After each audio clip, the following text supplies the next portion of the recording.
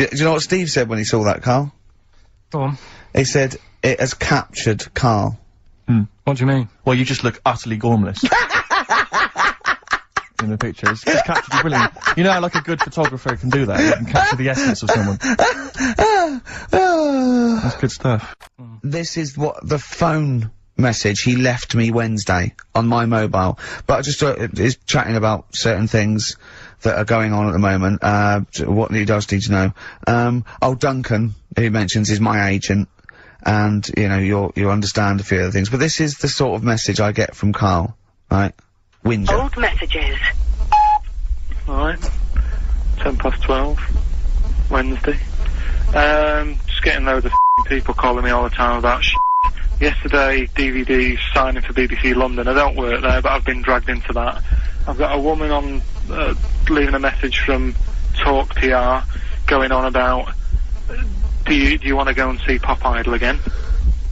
Right? They're just saying, uh, you and some listeners can go. So I'm sure you'll love that. I've got Jim Benner wanting you to introduce the tin buckets at the Astoria. So can can you just like let Duncan know that I'm I'm doing his job whilst he's sat on his arse with his thumb firmly up his arse? Can you let him know that I'm running around like a here sorting shit out for you? All right. See you later. Message left So, do you know what I mean? I know, but that's the kind of phone message he's leaving. But that- do you remember but- who he was before but, you? But he's started even annoyed that he gets a phone call. I remember he got a phone call for you to do a voiceover and didn't pass it on. You missed a voiceover. That was thousands of pounds. No, I did, I 'Cause did it- pass it on though, I told you. You I did. said a You said someone had phoned. yeah. That's not good enough. But who's that? Well, she, she didn't say, and I didn't ask, but Of it's course not my she job to do it. said. She didn't say. Rubbish. So you didn't take the number down. Just when she went, oh, can you tell Steve to call me? And you went, yeah. Yeah, well, I just thought you'd know her already. I should have oh. known, it was a woman, so I should have known. He's having a go, you see?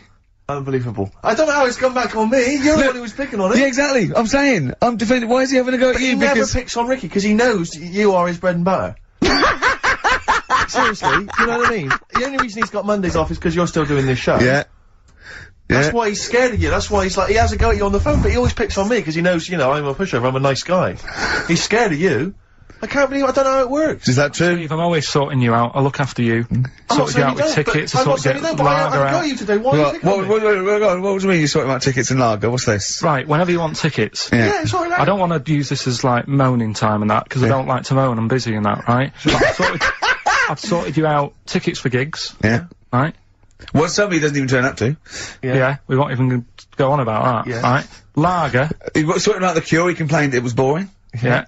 It was that big drum of lager that you had, and you said, "Oh, put that in your room for me, Yeah. because I don't want to carry it home." Right? lazy. So I said, "All right, then I'll put it in my room." It goes missing, it gets nicked. Hmm. Then you have a go at me because it got nicked. Yeah. I get you another one. You make me carry it around town for you for half an hour. Then you say, "Oh, I can't be bothered taking it home. Can you take it back to work for me?" Yeah. Yeah. But interestingly, this is like a year ago, so it's, it's, obvi- it's still, still pressing on you. Oh, hang it? on, and I forgot the one when we had an argument over 50p. when I went out for a want to coffee. give me 50p back that you owed me. Uh, that was the same day you'd given him about 40 quid worth of lager. But see, this is my problem. This was my point at the time. It's not the 50, 50p in terms of money is not what's important. The fact that you think you don't have to give me money back because it's only 50p, that was the point at stake. I, it's me who makes a decision. Oh, don't worry about the 50p, not you. It's only 50p. I'm not going to give it to you. Do you know what I mean? There's got to be rules, otherwise it's chaos, Karl. Come on, mate. All I don't want to fall out about No, it. that's not right.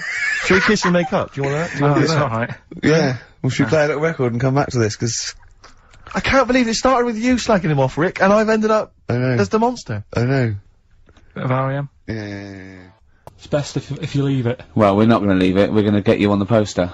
Yeah. I mainly have to see myself on videotape this morning. That's oh, I, I showed him. Um, um, uh, d- you know, uh, the animal show I did, the show. Yes. I'm doing a video, and I did behind the scenes footage, and I've got a. Uh, you've seen it, haven't you? I feel a little bit of Karl on there, isn't there? Yeah, Yeah, it's yeah, great. yeah. It's lovely. He can't believe it. He said, "Is it playing slow?" 'Cause he's so slow. And I come into the office going, "All right." It, that's how you On my talk. head as well. I look like I'm looking into a spoon. I'm not happy with it. I just think that if we're willing to to to uh, if Ricky's willing to use his celebrity profile for the sake of the show, Yeah. I'm willing to look like a you know let's say a fairly handsome kind of cool customer. I think at least the very least, Karl, is that you appear on there as well. You could dress Are up you smart. are you worried that you'll look the worst out of all three of us? Uh, who am I standing next to? Am next to Steve? I'm, pr- I'm fairly confident. Yeah. I like the way it's so predictable. You pull the string because you know what it is. It's not. You pull the string. I'm Ricky Gervais. With me, Steve Merchant and Karl Pilkington. Still arguing, this time about having help from your mum and dad. What do you think, Karl? No, I'm not. We, I don't want this to turn into some sort of wacky type thing where we're pretending we're arguing. Yeah. Well, we're not pretending. We're not we pretending, Are, you are Yeah. I know, I know, but people will think we're messing about. Oh, Right. that wouldn't have thought so. We just need to. We can talk about it later. Sort it out. Hmm. Yeah. It's just that Karl's a little bit stressed. I'm not, I'm not, I'm not stressed, but and he doesn't really understand that, you know, you know, me and Steve have got lots of different jobs in the week. He's just got one job. Yeah, But and we sort of rely on people getting messages to us, you know, as soon as they get them, you know, and not sort of deleting them from their phone selfishly. Just things like that, you know, people being on the ball. Not just thinking about themselves all the time, not just thinking about number one. what do you think, Karl? whatever. Do you know what I mean? Whatever. Don't get all maudlin again. Just having a little discussion. Yeah, this will annoy you. Guess what? Think of this, you little slaphead twat. Um, apparently, that's Sony's ours, that's Sony's ours. Right, apparently, women can get bald treatment on the National Health Service, but men can't. What do you think of that? Do you think that's fair? Is that a fact? It's a fact. We should point out that Karl is, uh, would you say balding? Yeah. Would that be fair? Well, either that or a wide parting. oh, you know, um, um rubbish. That's rubbish, Karl, those prizes. I'm ashamed to give them away. Karl, you know our mate Johnny. He's a Doctor Who fan. Yeah. Do you remember? Um, he bought um uh, the Doctor Who magazine, um, and uh, he went um to the toilet, and Steve got post-it notes and put geek on every page, and Johnny opened it on the tube. Right, and it had geek and everything. And Johnny bought in the, the new Doctor Who magazine, I think this week's or this month's, right? And they've they've um, they've done the perfect Doctor Who fan, right? What the geek is, right? And it looks exactly like Steve. Alright, don't have a go, Rick. It does. And, he went, and I, I've, I, I'm going to try and put it on the website. It's amazing. It's got your hair, glasses. It stands like you. It's sort of dressed like you, and it's only. And it's it's hilarious. And he's he's he was. I mean, I'm insulting you now. It's it sounds like an insult, but if you'd see it, you'd laugh. Play. well, Rockbusters, right? Yeah. Right. Here we go. Just a little bit Um, annoyed. Just uh, three clues. Uh, We've lost all the energy in this show, haven't we? Well, I'm just, I can't get over that insult. I'm just a little no, Three. he did though. It It just came out, no, I sort can be honest with you, it three came out left clues. field, I wasn't expecting an insult. No, And, but I I think there it was a sense of camaraderie on this. No, I'll just it in, email and in you'll see what I mean. Right, play a record, I'm just annoyed, I can't, I can't What we listen doing? I'm just, I'm just reading out the clues. Should we put this? Let's put this one in for the Sony Award. Let's put this show in for the Sony Award. Play a song, Karl, because I need to discuss things with him. I've talked before about in Edit second it down. Get this down to three minutes. It'd be a great Do show. Rockbusters in a minute.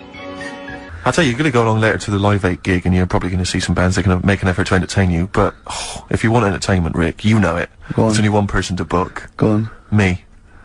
If, if you, you know, you have perhaps Yeah. something to do, because uh, because I mean, I'm, I'm obviously a top Well, I- DJ I- on the radio, but where my, where I really come into my own is DJing in any kind of club Well, you told me you were DJing. Uh, I didn't go to it. Uh, DJing at a, a party, and you said the place was rocking, the place was roaring. and I loved it. Uh, Karl just just said he was there, and they weren't. Well, that's nonsense, Karl, They because you know very well that when I was put, I'd put on a tune, they'd cheer. Yeah, but it, it was late on in the night. They would have done that whatever you put on. That's nonsense. No, they they said they were happy and everything. I'm not saying they weren't having a good time. It was your party. It was it was all right, but they weren't going mental like you're you're sort of making up. they were definitely going mental. Nah, when I put on the Proclaimers, they could not believe their luck. Yeah. They they would have walked a thousand miles. Was it good though? Was he? Were they really? What were they doing? Were they dan- They were dancing, were they? dancing and that, but they weren't sort of cheering, going, you know, more and all that at the end. What's about? Oh Take wow. on me came on. They, the big the big cheer went up. Oh, I don't know I've- who to believe. I've been there, done it, Steve. I've I've been the DJ as well. And Oh, it might be jealousy. It I might think be there's like a professional jealousy there. like a yeah. I think it's because my fortunes are on the up and these are on the down. You know, we all know famously that he had uh, Pink was making music. his Didn't DJ happen. outfit. Didn't happen. did, I Did- did enough. I just wanted to do enough to pay for the equipment, and I did. And that was that. But I don't like crowds, do I? It's it's one of them things, isn't it? Like I've said before, when you first see something, it's a bit of a shock. Do you know what I hmm. mean? It's like the Elephant Man or whatever. Yeah. First time you see him, it's that sort of oh, look at that. Do you remember the first time you saw Steve? No, I'm not being funny. Do you remember the f- the, the, the first? Yeah, but I've said this before. It's always then you get used to how people look, and you don't. No, no. I'm gonna burst. I'm you have to play a record. No, but- Because I just see Steve's. Who's the winner? The winner, very lucky, Sandra Cassidy of Leigh-on-Sea. She gets all those great prizes. You know, we've actually had people emailing in saying, this is the worst Rockbusters ever, because it was too easy, it was boring. But, uh, uh, uh, Oh. this is just, I, don't shoot the messenger. Oh, Other dear. people saying, um, it Well- really has run its course. Some people genuinely agreeing with Ricky. Oh, Karl, this must hurt, mate. Stinging attacks on you. Um, some people just slagging you off generally, saying that Oh, you, win, you God. whinge all the time. Looks like Steve that. was right when he um sort of like poo-poos your ideas. So, When he uh when he wheezed on your So other, bonfire. someone else, I swear to God, someone else emailed in and said, don't bother sending me the prizes, take them to a charity shop, or pawn them, give me the money, I'd rather have it. So I don't know what to say, Karl, I just wonder if it really has run its course now. All right. Well, we'll, we'll see what you come up with next week. Then. Let's see. Let's see what you do. Let's see what you come in with. Sure. oh yeah. About five to one. I'm I'm guessing you'll be popping in with another, another hip hop track full of Uh, yeah. full of effing and jeffing. well, no, again, I, no, I won't, I won't bring it into you, I'll do it myself at home, because obviously that makes it Oh, easier. Obviously you can't cope. Oh dear. Are you actually going to be here next week, or are you still going to be in Cornwall? No, you see there again. I'll be back. I'll be back in time. and in the in the week when I go to you know Cornwall to see the Monkey World, Yeah, you're That two day still past the work. Monkey World. that still work. Yeah. Still work. What? Thought you're going to interview some of the monkeys? I Get some love stories? that. I love that. You, you were going. Could a monkey live without bones? And so I'm going. Karl, shut the. F- please, just look at the monkeys and eat your ice cream. And that's work, is it? Right. Um, anyway, I just all I wanted to say, really. Here's tragic. What's tragic? What what did you want me to say about that song? Just your opinion. Your own opinion was fine. it's sad. in fact, in fact, your own opinion is better than anything I could really hope for. Wi without doubt. Whenever I ask you a question, You constantly surprise us. yeah, you're. It's it's wonderful. So only ever carry on telling the truth. Carry on saying exactly what's on your mind, and I think this could become a great. You're like a man who was frozen in Victorian era and has been reawoken and he's kind of discovering the world. Some things make sense, other things Yeah. don't. It's beautiful. It's As opposed to one that was made in a castle in Victorian times, like Steve. Nice. Oh, that's just. Oh, I've joined in with Karl. I can't believe it. I'm I'm sorry. On my side. Yeah, no, it was irresistible though, wasn't it? I'm really sorry. Should we play a record? I mean, I I know what Steve's like. He is tight, right? He's, Well. he's- he, no, he is, and you know that, don't you, Steve? I mean, I'm Financially, not- you mean? Well, no, I mean just the way you are. You're very Sure. sort of, you know, you you're not I'm you're not wasteful with your money. I'm careful. no, I'm not wasteful. Absolutely right. No, no, but to the extreme. Not at all to this extreme. Not at all to the extreme. No, no, no, no. Look after the pennies, the pounds will take care of themselves. Alright? Simple to remember, good advice. Yeah, Alright. but the thing is, right? Um, I know that I take the Mickey out of you for like, you know, the way you look and stuff. Sure. Right. Well, I'm right back at you. But the thing is, you can't help that. Absolutely. But I'll tell you something that women don't like, Sure. and it's fellas who are tight with the money. Sure. I'm not, I'm not frugal with money with ladies. I'm frugal with money with you. Well, I I've have, got no reason to splash money out on you. I've never seen you splash money out. Well, you've never been out with me. Have you ever, have, Steve? Have you ever splashed out on a lady? Um, no, but I hope to one day. the right lady. play a record. See? Strokes. Someday. No, that was a better, better choice, wouldn't it, to start off with? Um, oh, hello, uh, ladies and gentlemen. XFM 104.9. I'm Ricky Gervais, obviously. Steve Mitchell. Now come on, let's get my name right from now on. That, that novelty's worn off. What is it? Is it? Steve Merchant. Oh, yeah, they, that's the wrong one, isn't it, The Mitchell? Guardian got it wrong, it's Steve Merchant. And the more I say Mitchell, the more people are thinking. Exactly, it might be Mitchell. Oh, God, sorry, Dave. Um, but Karl wanted to start off with the stereophonics. Oh, loser. because it was a newer track. And Karl now, we've made him what he is. He was nothing when we found him. He's like work And now he's going, oh, we should start off with the stereophonics. I'm going, Trying to tell you what to do, If I want anyone's opinion, I don't. But Basically. you'd probably come to me, I imagine, wouldn't you? I'd be the first person. Before Karl, Yeah. I'd consult you, Steve. Thank so you. just keep it. Just because he uh, was in a was it Pilkey's mobile making disc music. I cannot wait. I'm looking forward to this. I mean, I literally can't wait. Should we do it now? Well, I'm tempted to save it because I just want to mention to people um, that uh, they should be very excited because uh, it's going to be Karl's special night tomorrow. You excited, Karl? Oh yeah. Oh, this is yeah. Um, uh, me and Steve, because we were nominated, we get a guest For the BAFTA uh, Awards. Um, and it's uh, it doesn't say guest. It actually says um, you know, uh, partner. So I'm taking um, my partner, and uh, Steve's taking Karl. Yeah. But what Karl doesn't realise is you will have to pretend you're his partner, otherwise you Yeah, wouldn't be we'll able have to it hold says- hands when we says go is, the red carpet. is this your, is this really your partner? It's not just a guest. They have That's to, how it is. And either we go in like that or we can't get in. you have to, you just have to be with him when you go up there. I mean, you have to, uh, d- does he have to, but you should, we should hold hands, but I think what we should do is just to make sure that there's nothing at all that like it's going to go wrong. We should just do a little kiss. just like, and Just or, when we or, get in or front of be the seen sort of like cheek to cheek, just to show them that, Yeah. you know, you're not, he's, he's Like not just getting, John and he's not just getting his mates in for a free meal, you are actually partners. No, I'm not. I'm not for that. Why not?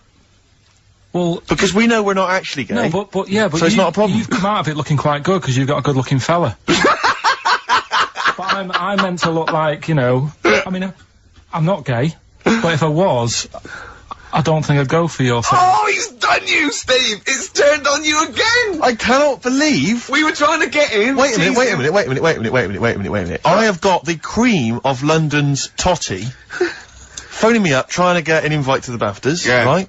We have very graciously asked you if you would like to come along. Well, that Yeah. worries me even more. That you've got women calling you up. Karl. Karl, I can't choose between them. If I let one of them down, I'm gonna, they're gonna destroy Yeah. them. He's- They're, yeah. they're, they'll be, they'll be ruined, their Yeah. lives will be ruined. It's better for me to take you and not, you know, ruin the lives of any of those poor When, women. when when he told them he was taking you, it was like a scene from Graceland. There was just like There was weeping. They were crying like It was horrible. Hundreds of them, and he just went. And I he, got he, upset. He just had to say, "Look, just chill out, bitches," didn't you? I did, I just said, you know, you're all my hoes, but Yeah. I can't choose between you. So I'm taking Karl. So I'm taking Karl. you know he gets he could get you a discount frocks. No, I had a letter from the people that there's a No, organisation. No, listen, Karl. There's an organisation that sponsors the BAFTA awards Yeah. in terms of clothes and fashion. They sent me a letter. They said your partner. They've not specified the sex. They've said your partner can come along and choose an outfit. Now I suspect. By the look of it, it is a woman's outfitters. I'm thinking we could get you a lovely trouser suit. Well, you have a it may look suit, feminine, right? But I think people will be fooled. It'd just, think be, it's it'd just be a little bit roomy in the hip and That probably would be- narrow on the shoulders, but you're a bit skinny. Why didn't you take it? Because it's a lot of an insult. And maybe just some pearls as well. be lovely. Wouldn't you? Wouldn't you? Want? I haven't got anything sorted to wear yet. See, you're slagging me off. You're likely to be end up going in a tracksuit. yeah. But but yeah, I don't know what we're talking about there. So we've got the film thing going. on. I don't know what we were talking The about. film. What were you talking about earlier about glasses as well and Steve taking his glasses off? What was that?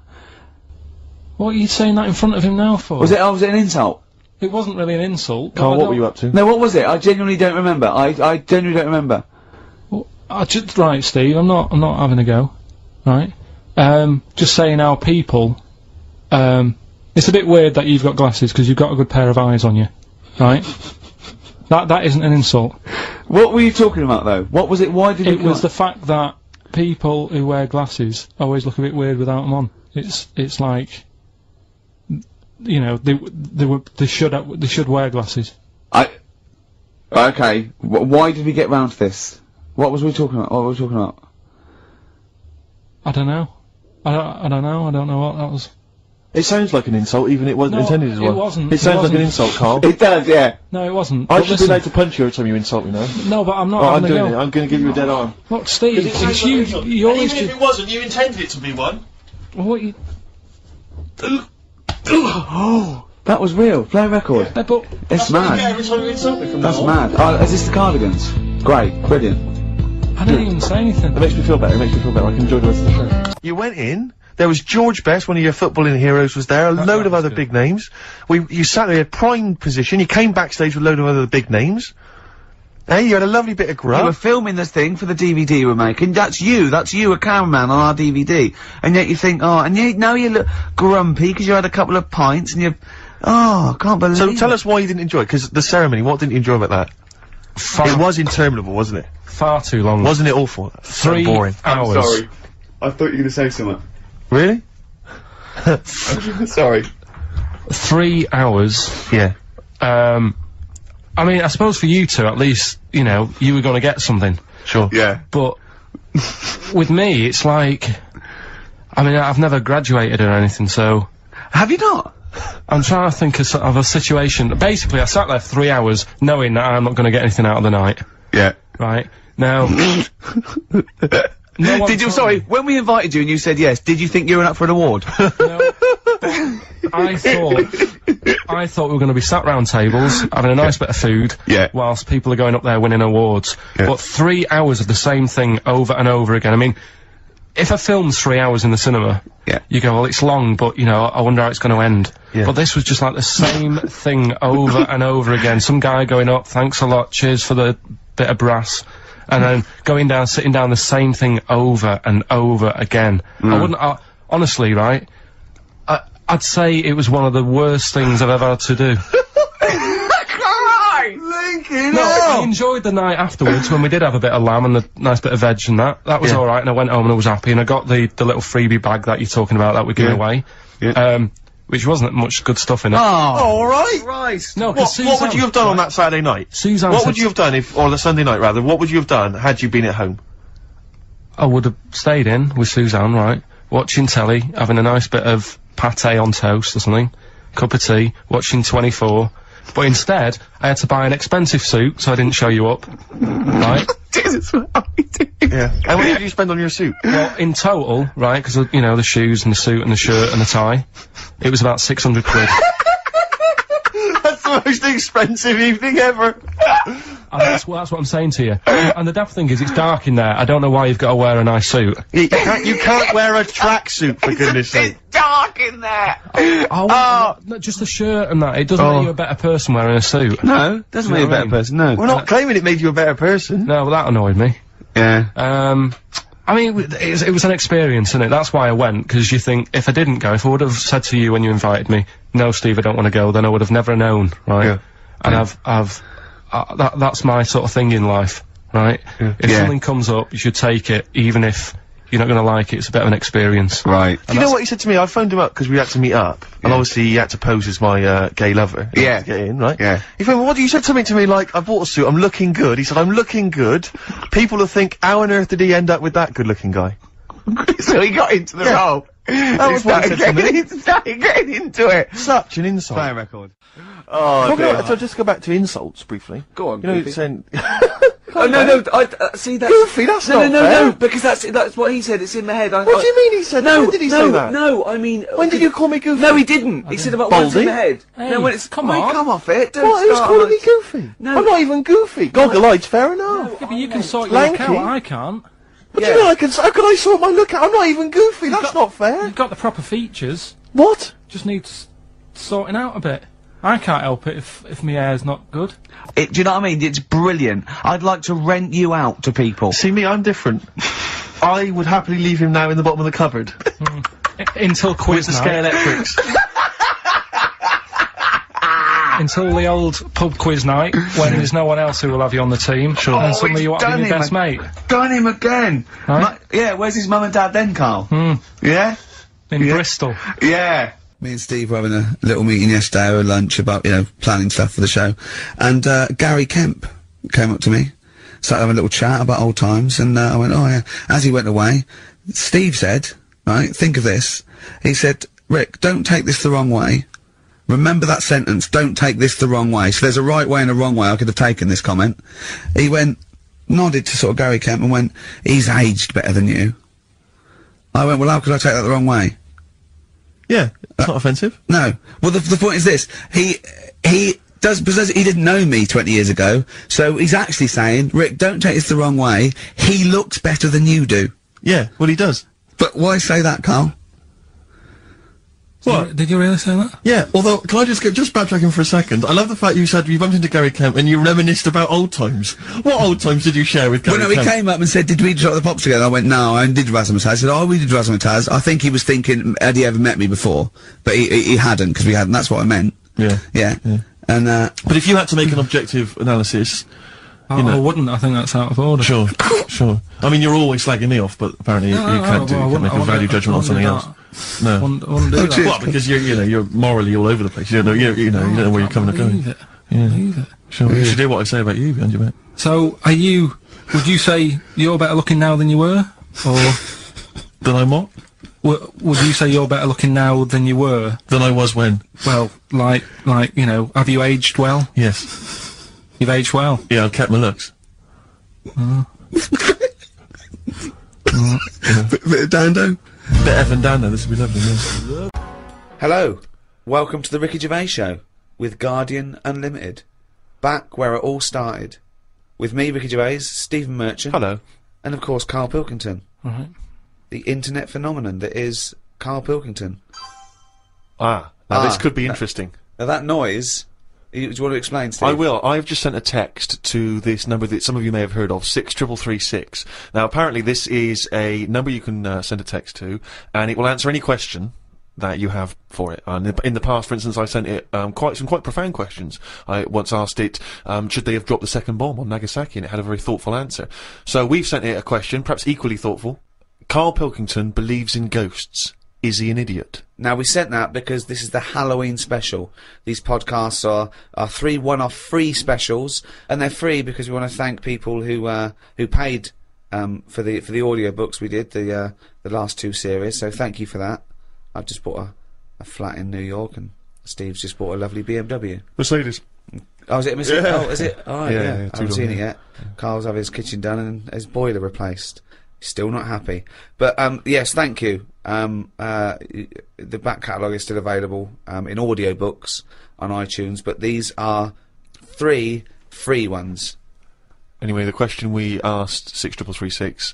Karl Pilkington believes in ghosts. Is he an idiot? And this is the response. Unusually, producer Karl Pilkington is both an idiot and a comic genius. His humour is not to everyone's taste, however. That's amazing. That's the response. But it's curious because it doesn't really answer our question about ghosts. Send them. Do you believe in ghosts? Okay. This is the Halloween special, of course. That's why we're talking about ghosts. Karl, do you believe in ghosts? Uh, yeah. I mean, I haven't, I haven't seen like a proper, a proper ghost. So why do you believe in something that uh, there's no evidence for? Yeah, You but know- what, what, why are we here then? If, if it is just sort of you're born, right? And when, I mean, we are useless. At least other creatures, when they're born, Well, you speak for yourself. no, but they're born. Other creatures are born to do a job, aren't they? When a bee's born, you know what that's going to be doing. It hasn't got any options. That's got a job to do. And it does that job, and it dies, and the next one comes along. Oh, We asked it, do you believe in ghosts? The existence of ghosts is not proven. Many experiments have claimed to identify ghosts, but none have been scientifically sound. excellent. See Yeah, that, that, that's that, just- that's but, that, just- but that that's a sensible, intelligent, logical, thoughtful answer. weird things have happened to me when uh, Hmm. was living at home and uh, was in bed one Where night. do you live now? No, but I was at my first home. Your Mm. parents. Yeah, my mum and dad's. Mm. So I'm in bed and uh, I'm lying there, and you know you get that sense of like, uh, oh, there's something going on, Right. and uh, I sort of look over my quilt, and there's nothing there. Thinking it's weird that. So uh, turn me back on it. I'm thinking I don't want to know if there is something there. I don't want to know. Right?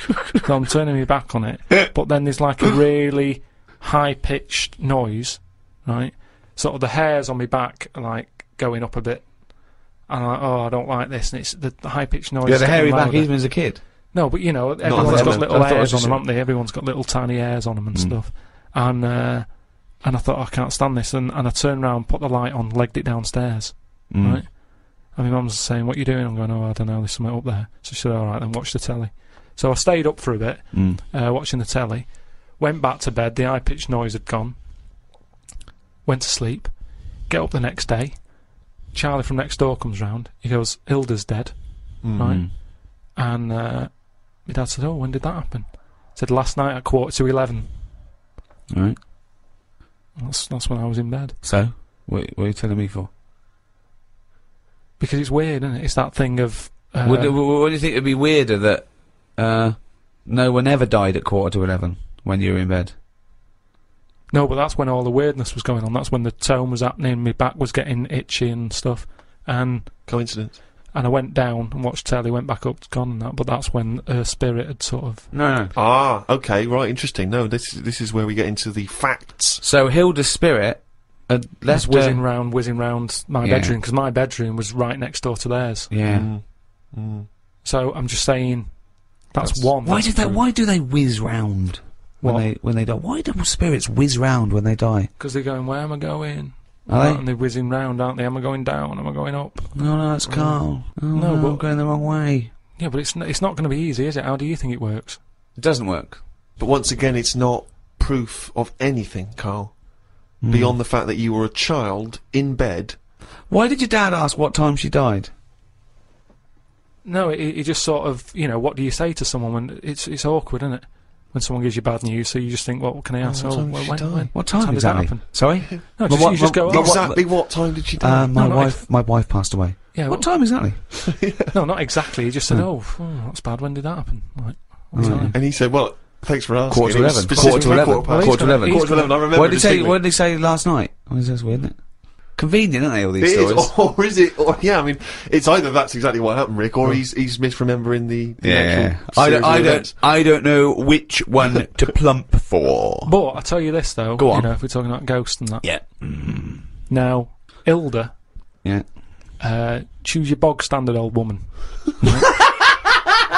Right. I hope that's on the gravestone. I know. Yeah. No, Did you, it's just- did you do the eulogy? No, you know, That's great. you, you What can we say about Ilda? Bog standard old woman. Right. There's sandwiches at the bar. That's the most insulting thing you could ever say. No, there's, there's, there's nothing. No. Let's just think about Hilda phrase. lived her life. Thank you for coming to celebrate the life of Hilda. Who died at quarter to eleven specifically? And was a bog standard old woman. Are we burning or burying? But anyway, but she lived to be quite old. Mm. Which annoyed you? And but yeah, No, in a bog standard way. But this is what I was saying about us all living too long and mm. stuff. It just, it just makes it worse when it does come to us being a ghost. I don't know what you're talking about that, that sentence made no sense. Just if you are going to be haunted, right? Say, I know you're going to say, "Well, I don't believe in them, so I'm not worried." So don't be going on about it. Mm. But say, like, you know, your new place that you've bought, you move in, and you go to bed, and there's something moving about the room. Mm. You see it.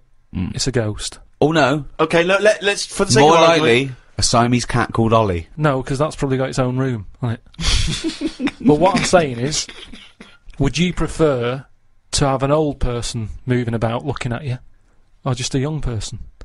I'd prefer a youngish person who looks normal and is sort of floating about, and you go, "Oh, all right. That that, that looks normal, floating about. no, but but an old woman would really scare me.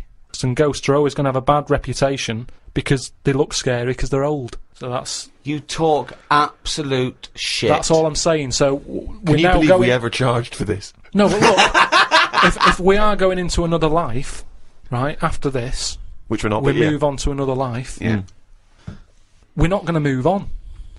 That land, say if it is like another world, where we go and we plough fields and we grow crop, crop, croppage, we grow crop, crops. uh, crops if you want. yeah. well, I um, would like to use the English language. Yeah, there's, there's too much fruit about, so just a crop, just something we need to get by. About.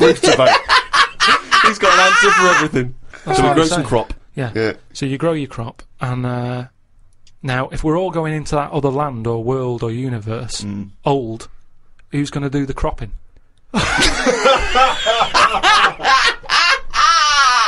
Oh God!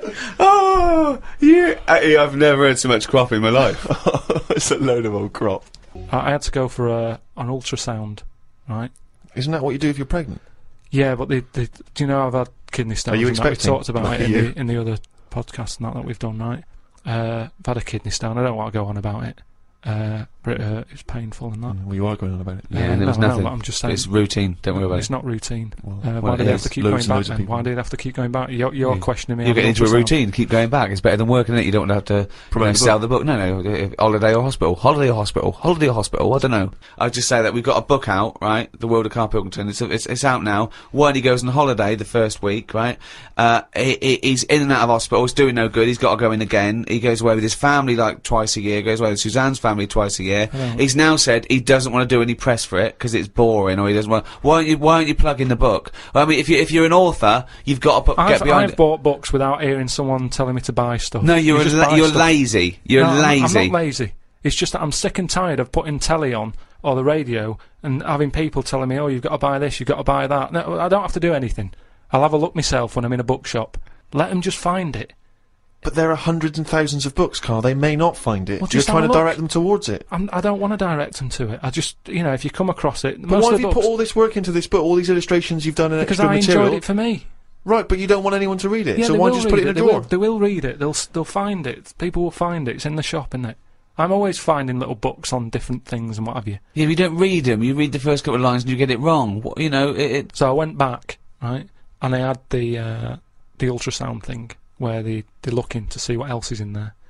Uh, and uh, when I was in the waiting room, there was a woman there. I reckon she was about ninety eight. now, why why are they rooting around in her to see what's up with her? Just let her let her die. Do you know what I mean? If she's not in any Jesus. pain, no, no. All Such I'm a- saying, I'm just saying, how long does she want to be around? And the, the the problem is, she went off. Right, I was sat in the waiting room. She went off into the little cubicle to put her uh, a gown on, and because she's old, she can't bend her arms and that. So she came out with it all open on the back, and it was horrible. It looked like like a a chicken that hasn't been looked after. Right, it was all leathery skin and that. Right. Now the thing is, it's all very well keeping people alive, but the surroundings of the body isn't meant to be lasting that long, is it? Do you know what I mean? The actual skin of, of a body, it's all very well keeping the heart going, checking the kidneys and all that, but we're not meant to be around this length of time. Yet we are, we're messing with it. Yeah. just do the gown up. You never do, you never get, you, you never see insects or anything like that that look old. You don't go, look at the state of that. Because they live about four weeks. yeah, but maybe that's the way it's meant to be. In the same way, we maybe we were only meant to live to be 40. But why did you go in for your operation then? Why didn't you just think, well, this is it, It's about on the offer. time? If they're looking after an old woman who's about 98, I'm having a go. well, of you want to course. live. Because you want to live on. She might have been Fed up. flirting with you, No, she was. keeping it open, just so you can have a little look. But I'm just saying, is that right? Is it right that You they're were going in her there rooting around and stuff? I didn't like it. I didn't like having it done. You know, I don't like going to the hospital and stuff and the doctors and all that. And she was pushing the uh, the thing down, and she said, "Oh, you can have a look if you want." So What, what down where? on on my kidney, She was pushing like this little scanner thing. Oh, right. She was going to have a look. I was going, "I don't want to have a look." She's going, "What's up with you?" I said, "I don't want to see me inside. It's Did they have a normal." tu- Did they put a tube down the end of your knob? Yeah, they did all that. We've talked about that in the in the other. But you were Audio unconscious, books. weren't you? Uh, yeah, but it doesn't matter, does it? If you know it's going on, it still bothers you. Just because you're asleep. Well, not really, no. What do you mean? Well, why does it bother you if you're asleep? Well, that's like saying, "Oh, I woke up and the house was robbed." Oh, it doesn't matter. You're asleep. Well, no, It's still going to bother you, isn't it? no, but, but you knew it was happening and you, you did it willingly. It's not pleasant to go in and be made to, go unconscious. That's the unpleasant bit, isn't it? And the pain. Well, and no, it's more the idea of it, isn't it? That's why you know doctors telling you everything they're doing. It's like, don't tell me. You know what you're doing. Just do it. I'm Well, not yeah, have so- a go at it. You know, it's not like DIY people coming around and going, "Oh, what you should have done there is," and you can go, oh, "I'll have a go at that next time on my own without calling you out." Forget kidney stones again. I'm not going to go. Oh, I've had it done before. I know what to do. I'll stick it up there. Doesn't happen, does it? But I can't. What was I saying? So anyway, so she she was pushing the the scanner over Yeah. me kidneys and stuff. Yeah.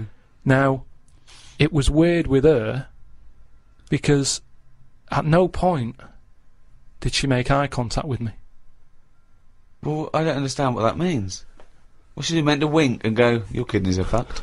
No, but it's just it's just weird that she probably spends her days looking inside people more than she does talking to people. I just thought it was odd that she that's that's how she sees people. When she looks at people, she probably sees kidneys. What, th- this doctor? The woman doctor. Well, doctor. Uh, yeah. Right. So what you're saying is the strange thing is that she often spends more time looking in people because she's a doctor than chatting to them. Yeah. And I is just- it weird that Jonathan Ross is the other way around because he's a chat show host? He spends more time talking to people than looking inside them No, but even when I was he's got asking a different job. when I was asking her questions, saying, uh, you know, does it look all right? Uh, what's it doing? Is it moving about? You know, asking her questions about my kidney. She could have quite easily just turned around and, and give me a bit of eye contact. She was say, "Shut up, I'm concentrating, she I'm was at work." looking at the screen in order to answer your questions. Yeah, she's at work. She's doing something. no, but just If she was here now going, Karl, what are you doing with that microphone? You'd go, shut the fuck up. I'm doing a podcast. Did she run this scanner over your head? and if so, did she find anything? We'd like to try and educate Karl, Rick, as you know, as we have done since we've known him, really, and he doesn't really seem to absorb any information. No. And um, and I, I was asked recently when I was going back to Bristol if I would come and talk to a classroom of school children. All right. you know, just talking about careers and particularly my career. And uh, I went down there. It was in Bristol. It was an inner city school, quite rough area. You're a son of Bristol. You're uh, Exactly, they love You're a there. celebrated son of Bristol. You've done. You're Golden Globe winning uh, person who's returned to the homeland. It annoys me when I go down there that I'm not met as I get off the train like the Beatles used to be when they came back from America. by a know? mayor and a brass band. Hordes of people, ticker tape. Forever this day will be called Steve Merchant Day. Exactly. It frustrates me that I just sneak back into town. There's no Yeah. fanfare. Yeah. But um, yeah, basically, they asked me to, to come talk at this school, and I sort of batted them away and said I'm too busy. And so um, they, I foolishly left them uh, the opportunity to to ask me again, which they did, and I didn't have a decent excuse, so I went. And I was expecting to talk to maybe a room of six formers. Um, they were nine. These kids, nine, nine and ten years old. But I realised as I was walking into school, I was suddenly really nervous. I was more nervous than anything I've ever done because I realised that I've not spoken to a child like that since I was a child myself. I just I've never interacted with them, so I didn't know at what level I would be able to pitch this this talk. You know, I didn't know what they understood, what ideas they understood. Obviously, in my mind, I was picturing Karl, and Yeah. then I was ratcheting it up a few years, sort of IQ wise. Yeah, yeah, yeah. Um, And I went in So what did you talk to about? And I was supposed to talk about careers, and I realised very quickly that they didn't really understand conceptual. Did they know who you were? Not really. One or two of them may vaguely knew. One of them went, "What's Ricky Gervais like?" And I said, um, You got a deep voice. yeah. yeah. Actually, that was one of the teachers. And um, and uh, I'm supposed to be talking about careers, how to get into careers, and I start trying to explain the idea of being a writer, and I say that it's very important to be able to get inside other people's minds, you know, figure out how they think and how you know, and try to understand other people. But this, they didn't really seem to grasp. They started talking amongst each other. You know, they were just losing interest. I lost them straight away. I was devastated. Oh, no. So then, and this is the worst thing, right? I started lying to them. Because I realised that every time I told a slight lie, because I thought they'd be interested, they were. So I, I know. Justin Timberlake. You're not joking, right? They said one of them said, "I understand you used to be a DJ," and I went, "Yeah, it's great being a DJ because you get to meet pop stars like Robbie Williams and Beyonce." Never met either of them. Never met them. And I, they went. One of the kids went, "What's Beyonce like?" and I went, and I went, jokingly, I went, "You wouldn't like her." And I said, "I said no, I'm joking. I'm joking. She's, lo- she's lovely. She's sweet. She's good as gold." I was making it up, And- oh, but they were loving this, and the teacher was going, "Would you all like to meet Beyonce?" And they were going, "Yeah," and I was thinking, "God, well." We'll bring her. I'll bring her down tomorrow. Well, exactly, but I don't know why I felt the. It was like I wanted to win the approval of these nine-year-olds. That's amazing. Because my own achievements, I realised, wouldn't mean anything to them. You know, I can talk about the people I have met, but they don't care if I've met Robert De Niro. But they're interested if I've met Girls Aloud. or me and Girls Aloud. Some of the times we've had together, it turns out. But uh, it is fascinating when you have to interact with with people with children like that because I've got no concept of how to talk to children. I don't. To me, I can't grasp the difference really in conversation and chat between, say, a seven-year-old and a thirteen-year-old. I don't know at what point they learn stuff and pick stuff up. Do they understand? Do you know what I mean? It's. I find it really. I remember hard. once when I was about nine, uh, the the the headmaster, deputy headmaster, used to do a little fable. I've talked about him in stand up. He used to do a little fable. There's uh, uh, one I remember where um, he uh, got a tube of toothpaste, and he got someone up. He said, uh, "You, um, come out here. Squeeze this tube of toothpaste out on this board," and he squeezed it all out. Right? He squeezed it all out and emptied it. He went, "Now put it back in." And the kid tried to struggle, and he goes, "You can't do it." He said it's easier to do something than undo it. Okay, go back to class. like people are going, oh, I get it. I know what he means. Yeah, yeah. They're just thinking, don't squeeze all the toothpaste out. Yeah. Just save some. Yeah. Uh, I mean, you know, there's there's no way they're going to take on No, that exactly. metaphor at the It's age too of nine. conceptual, yeah. Yeah, exactly. Yeah. yeah, just stop misbehaving or I'll smack you. That worked. Karl, have you had to have any dealings with kids? How do you get on with kids? Do you relate to them? Or are they just as angry and perplexed by your views as we are? Uh, I mean, it's with everything, isn't it? Everyone's different and that. I can get on with some young kids alright, and some of them are, like, you know, a bit cocky and what have you. But, um, I'm sort of getting on with the baby at, at the moment, because, uh, I've been made a, like a, a godfather. Think of that. So, uh, Wow, who did they reject? I know.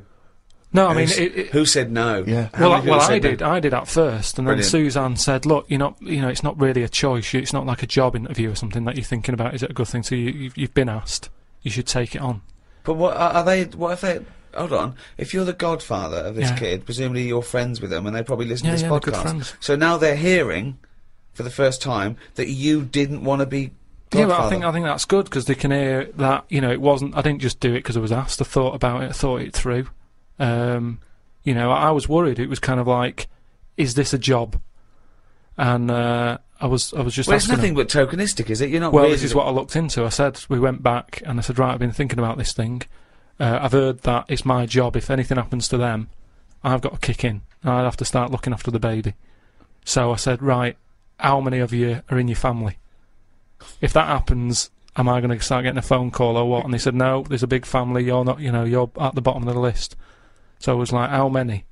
And just finding out what their age is. Uh, and and you know, I've only got a small flat. It would have to sleep in the sink or something, right? So I checked all that out and uh, all safe. So this uh, this baby, it's spooking me out a bit because it doesn't blink, and that's pretty weird when you're sort of talking to it and you're thinking, it's not blinking. Are you sure it's not asleep? No, it's honestly it's weird. If something doesn't blink, it's like it's it's evil. Because blinking just makes something look a bit more friendly, doesn't it? and I was stood there, you know, talking to it. I just tell it little stories about anything. Uh, it's lying there looking up at me. How old is it? It's about must be about two and a half months Well then, why are you telling it stories? because it likes it. But it's just weird how like then I'll I'll sort of forget the story because I'm looking at it going it's not blinked yet. It's been about ten minutes. It's not blinking. so then I forget the end of the story and I just walk away because it's not bothered anyway. It's probably not listening, is it? But a pointless tale! What a pointless tale now and at the time. I think it likes it. The kids like stories, like you say. They're not bothered if it's if it's not true or anything. Or if you walk away before the ending because you've forgotten it. That's Brilliant. why it's not blinking. It's so dumbstruck at the idiocy coming out of your gob. no, but you don't need to hear endings of stories. Maybe, like I said That's to the you, point. That's the point of a story. Isn't No, it? it's not. That's the point where people. That's why people like stories because they're hooked into knowing what happened. No, because there's loads of films that happen and they have a funny ending. You leave there going, I wonder what's meant to happen. And you make it up in your own head. You go, well, I bet what happened is that person went off and got married to that woman mm. and they lived happily. And then in your head, it's the truth. It's actually what happened. But but I think that's better. Why are we told everything? Because So what would your end be to a story such as The Elephant Man? Okay, he's rescued from the freak show, he's put in the hospital, he becomes something of a celebrity, then what happens? He discovered he had big ears and he could fly, and he he he joined the circus and he was the the main attraction. Um, I wouldn't change change the end that much because at the end of the day, you can't you can't make something up that's not believable. At the end of the day, he's got an head like an elephant. He's not going to have a good life, is he? So there's no point making out that he went on, loads of women fancied him, and you know he, he modelled hats. It's not going to happen. so so he's got to die. The Elephant Man had to die, but at the same time, Was shot by poachers. just show just For his- show a, for his tusk? show a few positives you know because i'm sure there was good bits in his life. I don't know what they were but you know look look at everything. Uh What was he like when he was a little baby elephant? they didn't cover what he was like as a kid. But you can get away with them sort of looks when you're a baby. You can be an ugly baby and everyone goes oh isn't it nice? There was some woman in a cafe the other week that i was sat in and she came up and she sat down with a mate and she was talking loudly going on about oh the baby's lovely they said it's got uh got lovely big eyes uh really big hands and feet now that doesn't sound like a nice baby to me i felt like saying it sounds like a frog but i thought i don't know her there's only there's only so much you can say to, to a stranger. I don't know what kept kept me from saying it. That's what I was saying before about there's something there's something Sounds like a frog. there's something inside of you that stops you. Yeah, that's amazing that you had the urge to go. That doesn't sound like a good baby. What, love? I'm just listening to the conversation. That baby you're talking about sounds like a fucking frog. Um, but something stopped him saying it. I just came back from uh, America, and uh, they love Halloween. They're out there. obsessed over there. I mean, it's a it's a proper proper thing out there. Here, it's sort of half-hearted. A few people, a few middle-class families, sort of. Uh, But do you, You think know, it'll get up. more popular here though if we do find out that ghosts are about? well, that would that never happen because they're not. No, but if they did, then But- suddenly that would be a big. well, be a big. America makes things famous now um, because of because of film culture and everything. So yeah, it's it's all it's all it's all from that. I, I, I doubt we uh, celebrated much at all, did we, 50 years ago? So I think it's crept Oh, up. certainly over here we didn't, but it's No. been largely introduced over here through commercial ideas, isn't it? Let's yeah, we can yeah. sell stuff for A- Halloween. and and film and, and, and things like that. And uh, but um, out there, it's uh, it was uh, they they start like weeks and weeks before, and they're decorated like proper proper. And um, but I saw a baker's, a little bakery in um in in Soho, um, and uh, it didn't look right with cobwebs all over it and spiders on the buns. yeah. And but even though it's fake, it just it's just I don't think you should do it on a bakery. It, do you know what I Yeah, I mean? know what you mean, it's a bit think that that's that surely puts you off the the product a little bit. I, don't always know. find it a bit depressing. Like last time I remember going into supermarkets and you see sort of these old women who, who you know, in their sixties and they're doing this job they don't really want to be doing, but they've been made to dress up as a hat. I know. as a witch or as as Cinderella, and it just Well, they could do It it, in like a morgue or something, just to sort of, brighten up the place. well, just so people aren't that scared. Imagine that. Imagine you're going to identify your your your your dead relative, and they go, "What's the spiders all over?" It's uh, thirty first October. No, oh, but- okay. But just make it a bit spookier and have a bit of fun with it, and let's not get serious about, you know, like I say, passing on. Yeah, but, But those sort of people have to take their job seriously. I remember when um my mum died, and um uh, I had to go along, and I was talking about um uh the what wreath they wanted, and this this person, uh, quite rightly. Had to turn off their sense of humour in a way because I suppose they're so they mustn't offend anyone. So I had to. I spoke like that at all times. yeah. At all times. Okay, and what what um would you like the wreath to say? Um, she was a mother and a, a, a grandmother. I went, yeah, my uh, mother, grandmother, and, and uh, what was her name? I said uh, her name was um Eva. I said um, and I made a joke. I said, do we get a discount because her name's short? And she went, well, actually, um, didn't laugh, didn't didn't get Yeah, that at all. She just went, yeah. just answer the question. She went, well, actually, you pay by the letter. I thought, okay, that fell flat. I'll go again. I went, well, uh, a friend used to call her E. yeah, yeah. She went, I went, I'm joking. She went, okay. Nothing. Yeah, Bad audience. bad time, bad audience. Tough crowd. yeah. Undertaker's never known for their. Yeah, um, exactly. Yeah, they don't crack jokes, Karl. A, f- a f- a friend of mine um, was um, tr- trained to be a doctor, and um, in his first year, uh, when they actually they practice, they intern at the the hospital. Um, he was watching this patient, and uh, two o- other doctors came in, and I won't say his name. Um, they said, uh, "Can you um, can you go and check on Mister So and So?" He went, "Yeah," and change his drip. So he went in, changed his drip, came back out. The doctors came after about ten minutes. They came running and said, "What did you do? What did you do?" And uh, they went in there and said, "I just changed the drip." He goes, "Well, he's dead. He's dead." He was going, "What, uh, "I just changed the drip. I did this and that." And they started laughing. He goes, "No, he was dead when we sent you in there." Yeah. Now that is almost excusable because it's imperative if you're a doctor Absolutely. to become accustomed to Yeah, the fact that people die and that it's, exactly. you know, yeah, so that so they were making a joke about a a dead body that means nothing to them other than professionally. Yeah. you know they were getting through it. He thought he'd just murdered someone. Yeah, Like, yeah, yeah. well, he thought he just killed someone. Um, but yeah, they have to be desensitized. But they wouldn't do that in front of the relatives. They wouldn't go. I had a laugh earlier with a young intern. Um, when your dad died, we sent him in to change the drip. Didn't even check. it was quite good. Anyway, let's get him out of here. No, but they do. But they do have a laugh. I heard about a doctor who was uh, working on a brain, right? Um, and apparently, when they work on the brain, it's best if they keep you awake because, um, you know, just so you can go that hurts a bit, and they go, oh, we best not touch that bit again. That's the Right. reason. Rick. Amazing. That's the reason. No, there is It's certain, there's certain operations, isn't there, where they go, you know, we can knock you out for that, but for this one, we want to know. It's probably because the You're brain needs to be active in order to, Yeah, to identify show the thing. activity, But yeah, sure, yeah, no, so it's anyway- actually so you can wake up and go, yeah, no, no, I heard That that. That stings. Hell, that stings. Don't put that in there. You can't feel anything in the brain anyway. No nerve endings. Really? You What? can't can't feel it, can you? Well, maybe there's another reason. But anyway, his head's open. He's sat on this chair. Um, the doctor's going. I reckon he was laying down. I thought he was laying down, but in your world, he's not. He's sat on a hard backed. I think it's more like chair. in front of a mirror, like a hairdresser type thing, right? and he's cut the skin off. Uh, So like- go, get, get, yeah, get a bit shorter there. so he's, he's So for the weekend, sir? he's- Oh, I won't be shagging with no brain.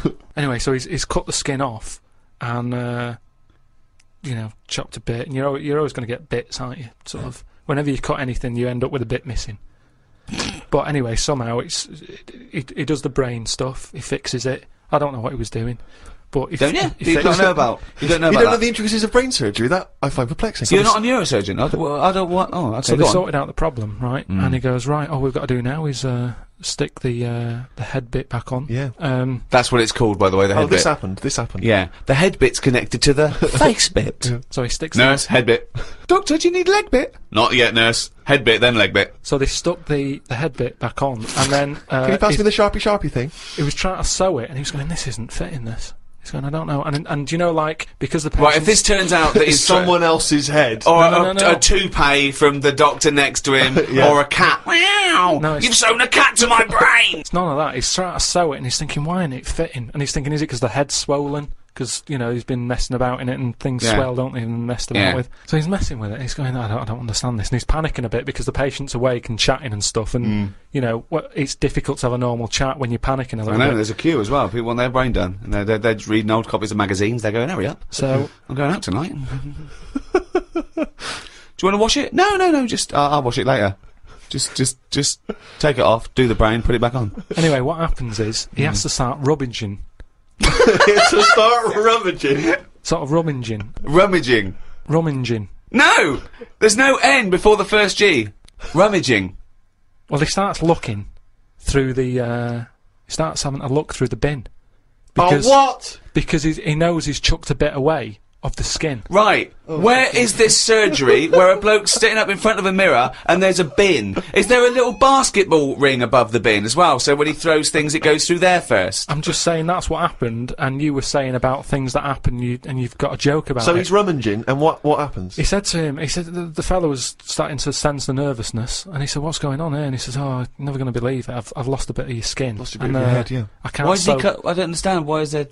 Why That's is it in what I mean. bits? Because because things just break up, don't they? It's like chicken. When you see him walking around, everything's in place and it sticks together. You cook it, suddenly it all breaks up. He, he cooked his face before he cut it up. I'm just saying how, how flesh it sticks together well yeah, when. he'd, he'd, he'd cooked the scalp before he'd taken it off his no, head. but it's he? just an example of how Oh, skin okay. can break up with the muscles and everything. So he's rum- he's rummaging in the bin, and does he find the head? he found the bit and then he's like, oh, sorry about that, and he, he sort of managed to stick it on. right, he didn't stuff. wash it off or anything. Yeah, I'm sure he give it a bit of a rinse, but um, but I'm just saying how you know Nonsense. you've got to make a joke out of stuff, haven't you? Yeah, it's bollocks. If you're a doctor. okay, that's good. So where was the joke in that story? Well, at what point did when? I thought this was a story Well, about how doctors have a sense of humour. Yeah, when well, did he he did make a joke? end. He sort of laughed and he sort of said, "Oh, there you go, it's back on." But oh, good job, we, you know, the bin men didn't come or whatever, and they, and they made a joke out of it. I've never heard such nonsense. I've never Karl heard just made that such joke up. nonsense. Oh, chimpanzee, that has only gone and written it down. The jingle there to announce a yet another reading from Karl Pilkington's diary. Um, when are you going to write until, Karl? What have you got? You're going to do I've got to do as far as December, and then that's it. uh, I don't know when does the diary end. 31st December, usually. Yeah, do gonna it till whole there? Typical, always the same. Yeah, that's that's when I'll do it till, and then uh, Why do that? Why just, why be conformist? Why, why end on December? Why not end on January the 31st? Weird that you should go, don't be constrained to what the diary Please. says. Me mam called me to ask me to like. Fuck me, you're right. That like, look, that should be. Me mam called me to ask me to look in some of the magazine shops in London for a magazine that she can't find. It's called UFO Data. I said, I ain't heard of it. She said she's seen an advert for it in one of her ghost magazines. I love the fact that she can't even find the magazine about unidentified flying objects. yeah, yeah. so we get uh, we get a clue She there. thinks I think I saw something, but I don't know whether it was a magazine or not.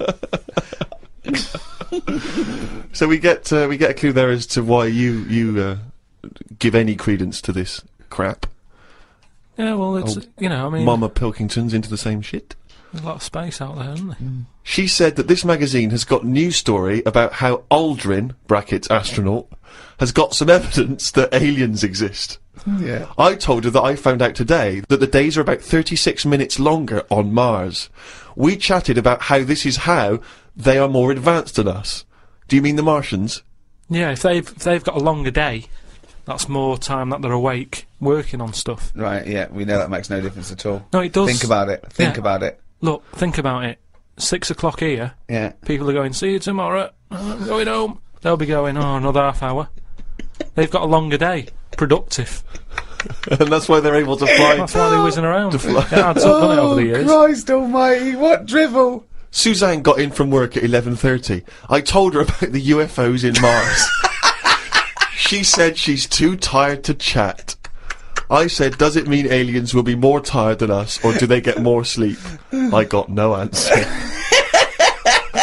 I love it when It Suzanne scares goes in. She never indulges No, in it does she? scares her. Anything with ghosts and UFOs, she sort of. It doesn't scare her, does it bores scare her. No, it freaks her out. scares her. Okay. I'm knackered today, and the face feels dry and spotty. Oh God, what's wrong Oh, it starts off! It starts off moaning! The first thing he does is start moaning! He wakes up and goes, oh, fuck me, I didn't die. oh, God! I'm knackered today and my face feels dry and spotty. I think it's the change in water since being away. Or it could be all the it could be all the Madeira cake I had yesterday. I'm gonna burst. That was I'm the gonna Madeira burst. cake. The Madeira, Madeira cake dries you out, does it? Well, it's just quite fattening, isn't it? But I like it. It's one of my little pleasures. oh, God Suzanne put! I went for a wander about to try and find the UFO data magazine from Imam. I didn't know which category to look under. There were too many magazines.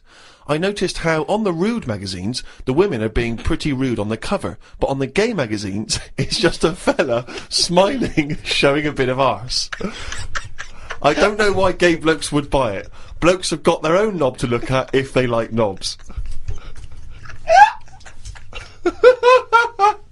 Why were you looking at the game magazine? No, I wasn't. It's just. Oh, you the- were? No, I, I you were? You studied them. them? Yeah, because I was looking about for UFO data. I don't Yeah. know where they put it. I don't think you find evidence of other world's down men's pants.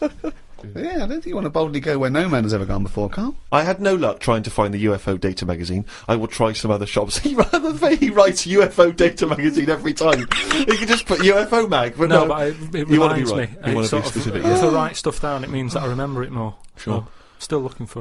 Got some posts from Oxfam. They're flogging animals for Africa again.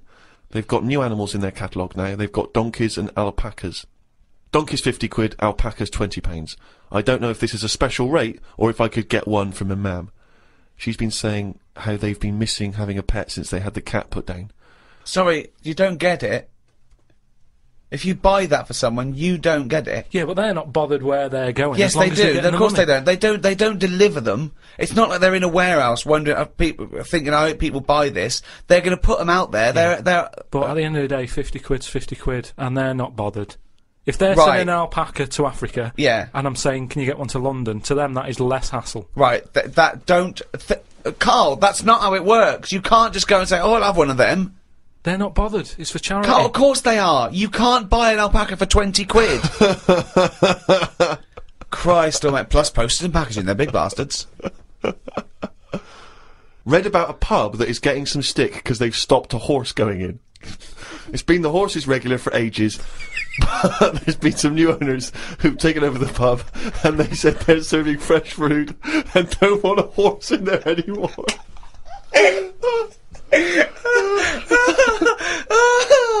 oh God. We've got to publish this diary. There's some dynamite stuff We've got to publish the diary. I mean, this is never mind, peeps. Can't we put this out next year or something with a oh, special CD? I, I It just, it's amazing. You got, you can't, you can't keep this from the world, Karl. I met Suzanne after she finished work and we went for a brew in another cafe. God, Jesus. It's always having a brew in a calf. It's like a sitcom. It is. Suzanne said I look tired and fed up. I think it's because I ain't been sleeping. or the Madeira cake. We don't know. or he's been going to every news agency in London, looking at gay magazines. She taught me some way to breathe that will relax me. I wasn't feeling that relaxed though, because the person behind the counter was banging about making a coffee. Noise stresses me out. I wonder if less deaf people die of stress than people with working ears do. oh, it's the theories. It's the It is such a noisy world, though, isn't it? It is. Uh, London is noisy, very noisy. I think just everywhere, just noise in general. They were Yeah. saying now, like, every noise has been used at least five times or something. What do you mean? Because there's only so many noises in the world. I don't know what you're talking about. I don't know what you're talking about. No, there's only so many What do you mean every noise has been used five times? I don't know what that means. I don't know what it means. Because I don't know. I've no idea. I've, I, every noise once has been used at least five times. there's only so many noises. It's like a piano, isn't there? There's only so many notes, yeah. and there's only so many noises. Right. But because there's so much stuff, the same noises are being used again I don't know what that means. By whom? Who's reusing the noise? by whatever. So, so a you'll have- woodpecker when it's woodpecking. yeah, yeah. Some some birds make noises that would sound like a Ford Escort, just because there's there's only so many noises that people can use. What is he talking about? Noises are a byproduct. Outside an instrument, Yeah, noises are a byproduct. They don't, a machine, they don't go, watch me make this noise, make this machine. It, it makes the noise it makes when Yeah, it's but- doing but something. why does it make that noise? Why not pick another noise? They don't pick the Well, who's noise. picking I the noise? The That's printing press makes the noise because it's the sound of the thing Yeah. going down. Yeah, you so know, the printing- a hammer makes that noise because that's what it does. No one's going, oh, can we make this make a different noise? No, it's it's a byproduct. I It's- know. So there's only so many noises. I don't know what you mean. You said the byproduct is because of something that's happening, right? But it's Yeah. the physical action, isn't it, and the way that that impacts on the uh, the surrounding air. That's what noise. You know how noises are manufactured. It's not a when, choice. When Stephenson's Rocket came, and I went. They went, can you make it go? It's what that's the noise it made. I know, but then, say like a new frog comes out, Oh, for f- what do you mean a new frog comes out? they find a new type of frog, Right. it makes a noise, and Yeah. they'll go, yeah, I knew it was going to sound like that. What are you talking about? Because about? there's only so many noises. Nothing, no, no animal comes out and makes like a weird noise, and you go, I've never heard that noise before. They go, oh, that sounds like a chicken, or it sounds like a Ford Escort, or there's only so many what frog noises. sounds like a Ford Well, Escort? there, No, can- but there there'll be can't be some many because you've used Ford Escort twice as an analogy here. So you're running out of noises. You've come up with chicken and escort so far. I can't but the problem it. is, a Ford Escort sounds a bit like an Austin Allegro. So I, I don't know, yeah, yeah. And a chicken, you're ripping off the turkey, you cunt.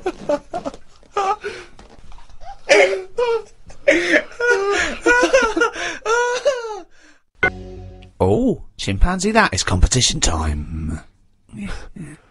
I think my worry there is people might get confused with it because that jingle is very Yeah. similar to the Monkey News jingle. There's aspects of it that's similar, yeah. Yeah, it's just some people might have just heard that, and they might have just heard chimpanzee and thought, "Oh, great, it's monkey news." But Karl presumably is too lazy to have actually prepared any monkey news. Oh, I've got some good news about Monkey News, actually. Have you? If you are craving Monkey News, then there is a special Monkey News poster in the uh, in the CD, the three CD box set, um, the Ricky Gervais show.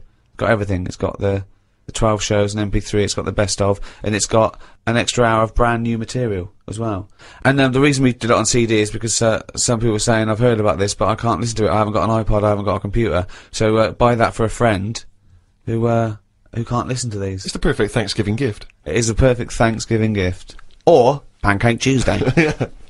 Um, and we've uh, we've signed um, one that's going to a lucky winner. We did a competition uh, on the last podcast um, to give away one of the CD box sets, the uh, uh, World of Karl Pilkington, and uh, we've signed that, and um, Flanimals with the Deep, uh, the new uh, book in the series. Can you remind us, Rick, of the quiz question? The quiz question was, "Do you want these?" okay, and what was the correct answer? Uh, it was yes. Well, we've had. Uh, it's amazing actually how many people didn't realise that was. We had a lot of people saying no. Uh, I'm not interested. Um, who are you? Why are you bothering me? But um, amazingly, Rachel Bolland from uh, Glasgow has got the correct answer. She said yes. Now then, we Yeah. need a new question, Rick. Yeah, should we give those away again?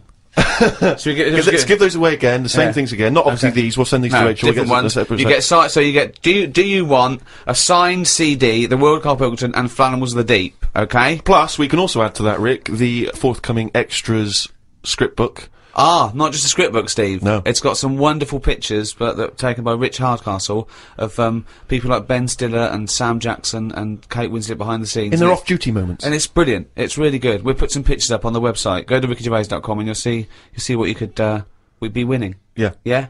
So we've got that perfect collection of stuff, but we need a new quiz question. Okay. Um. Okay. Th- th- so so those prizes. Uh. Does someone else want them? Does someone else want them? Yeah. Okay. All right. Well, if you know the answer to that, then get in touch. Podcast at rickygervais.com. Good luck. It's a tricky one. Oh, good luck anyway, because I never read the emails. well, that's the end of uh, the second in this uh, series of three special podcasts. That was the end of the Thanksgiving edition uh, with me, Ricky Gervais, Steve Merchant, See ya. and Karl Pilkington. Right. Thank you to Positive Internet, the guys that host this podcast.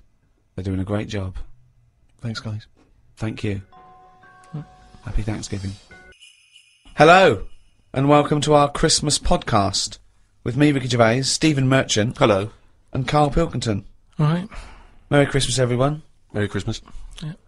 A lot of people are wondering, Rick, if having done so many podcasts this year, because we very much started the whole podcast revolution ourselves single-handedly roughly this time last year. Yeah, that's right. Have we perhaps exhausted the podcast phenomenon? Is it time to pack it up, pack up the equipment and move on to something new? Well, this will be the last one for for a little while. I think. I think you know we've done. We did. Uh, I think twenty four, and then these specials this year. I think we started it about this time last year. Well, I don't know about you, Rick, but I'm bored of the whole podcasting thing, and I know that uh, you probably feel the same way. Well, let's stop for a while. We may get back together again, but it won't be for a while. It's the. You know, we had a year. It was the year of the podcast. Been a weird year, hasn't it?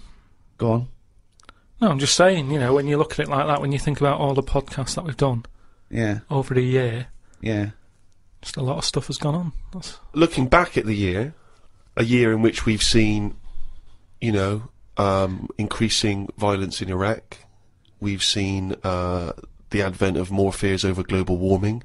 We've seen George W. Bush take a massive battering in the midterm elections. We've seen many major world events this year. Karl, what's stuck out for you? What event do you, if you think, oh my god, if you were doing your own review of the year, what would you put on the front cover? uh, the the grub that was that was eating biscuits on the windowsill. Right. That's just a little bit more up there for you than the capturing of Saddam Hussein and his sentencing to death. Just because you know, it's uh, I never thought I'd see that this year.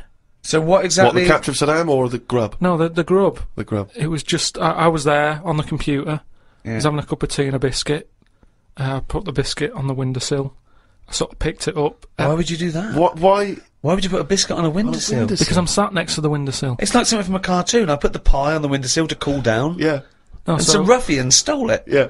so I was eating that and uh, I was enjoying it. Put the rest of it back down for like the next half of the cup of tea, and uh, I saw Planned out. This is. I bet. Well, we read about this later in the diary. so, and then I saw just like a little crumb moving. I was like, "What's going on there?" yeah. So I looked down closer, and there's an insect that is see-through, but with legs, and um, just sort of running off with a crumb into like a little hole. And then when I looked, I noticed there was loads of these little see-through things, and they were obviously all like, "Oh, I got biscuit," and uh, That's exactly what they were saying. They were- "We've got biscuits." biscuits over here. but I can't, that, what, Come what- on, what was it- like I say, it was amazing because it was they're miles away from what I'm about, and yet Not that far.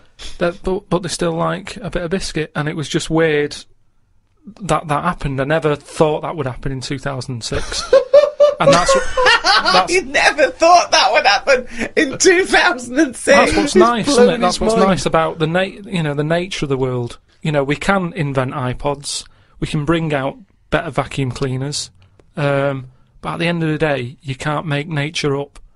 And to see this see-through thing, You do. eating a biscuit.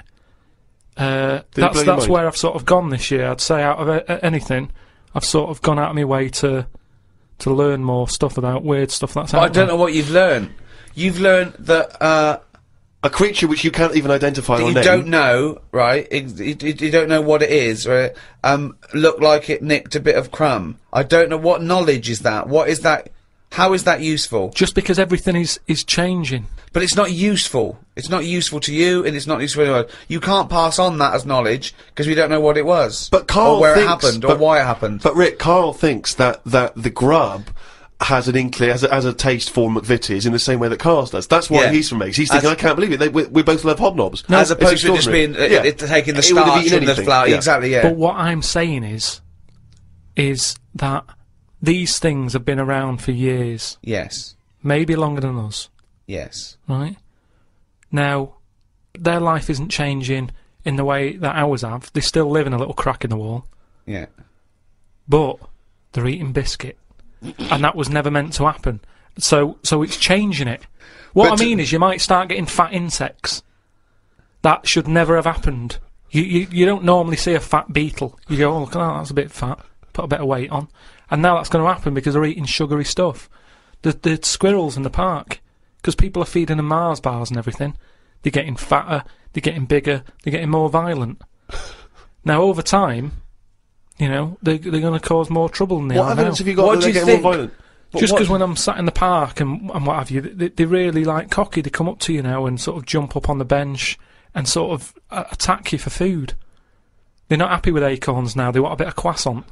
And that's that's what I'm saying. They've changed. They've, they're changing over time. Just like that grub having a biscuit. Everything's trying different food out. He'll want a gateau soon. Well, in the same way that you know, you, you look at people around the world how they're eating weirder stuff. They're running out of you know ideas on on how to cook food differently, and we're eating weird stuff. So our insects, everything's moving on. Everything's getting more intelligent. The goldfish memories got better. Chickens are more intelligent than people thought they were. Apparently, everything's mm. time. Time makes you more intelligent. Well, No, they do. That's that's a fact, isn't it? If if you're knocking around longer, then you're learning more because more stuff's going on, and you soak it up. And that's what these insects are doing. They're all learning. You know what I mean? No. I saw a cockroach playing Pac-Man. it was on the internet, right? And somebody had, had linked up a cockroach to, uh, to some. I can't even be bothered explaining it, but but uh, but that's what I'm saying. Everything everything's moving on. yeah, but but Pac-Man's like such an old hat game, man. It's like from the 1980s. Yeah, that isn't it? cockroach is Jeez, so- come on, oh, God. out of date. Get a with life, it. man. Hello, PlayStation 3. Is he Yeah, not heard of it? Hello. Yesterday's cockroach. Oh, Fucking hell. what was he listening to? MC Hammer. Christ almighty. Fucking hell, Pac-Man. Get a life. High five, man. I was in the supermarket recently, um, just uh, just walking past the condoms on the way to the pornography, and uh, and I uh, thought, you know, it's worth perhaps, you know, getting a stocking. You know, Get a stocking? No, getting getting some condoms. What, to put over your head? You're not still doing that, are you? No, no, no, no, no, no, no. No, I uh, I thought it was worth getting some condoms in. You know, it's it's, it's Christmas party season, and uh, you never know when you're going to run out of balloons. and um, and uh, and I was weird because the, the the condoms in the supermarket are contained in a kind of cage in a plastic cage, so it makes it all the more embarrassing buying them. Because I took them off the, ca- the the thing and I was trying to open it. Sort of, because I thought they, they would, you had to open it. Try know, it on. you- Try it on. exactly. Okay, this, you know, in case it doesn't fit. Exactly, Bring it back. Yeah. Bring it back, yeah. And, uh, and Do you do alterations? uh, yeah, we do, yes. Five pounds. and um, so I'm trying to open this thing, and, and this guy who works there, sort of with his middle-aged guy who works there, goes, "You, you, know, you have to, um, you have to take that to the uh, checkout, so you can't open that yourself." And I was just because I, I don't know, I still find it very embarrassing, you know, dealing with any of that sort of, you know, prophylactics and things. The novelty of that is still very embarrassing to me, and uh, so I just left it. I thought, forget it, I'm not gonna, I'm not gonna take these to the counter because you never. It's like if you get served by a by a woman, it's, sort- it's still a bit embarrassing, particularly if that's all you're buying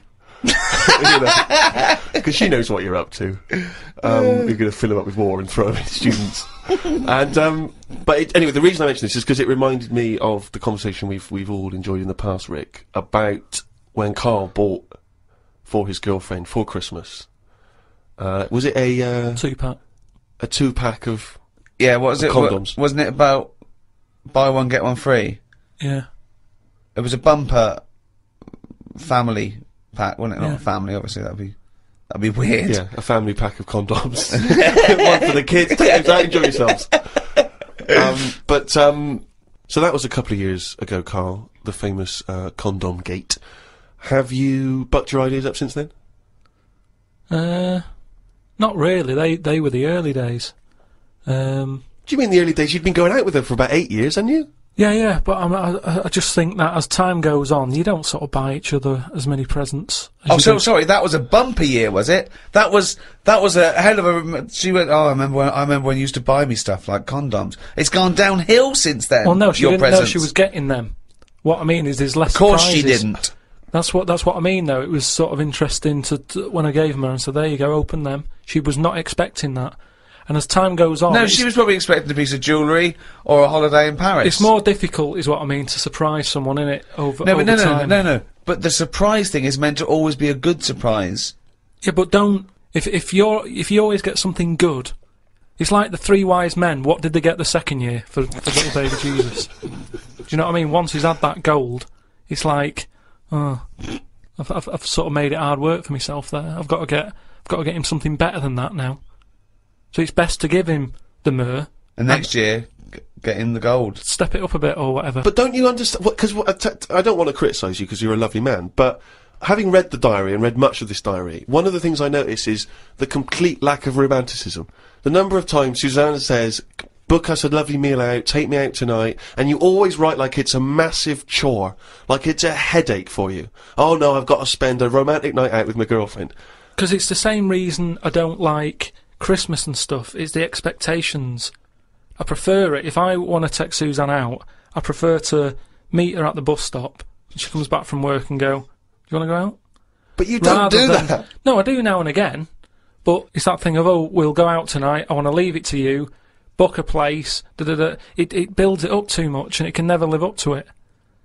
It's like how you you know how like people make a big thing out of you know having it away for the first time, and they go, oh, I'm going to do that tonight. Not the way to do anything. You won't get anything done by planning. That's a quote. That's an amazing quote. That'll be up there with uh, Newton and Churchill.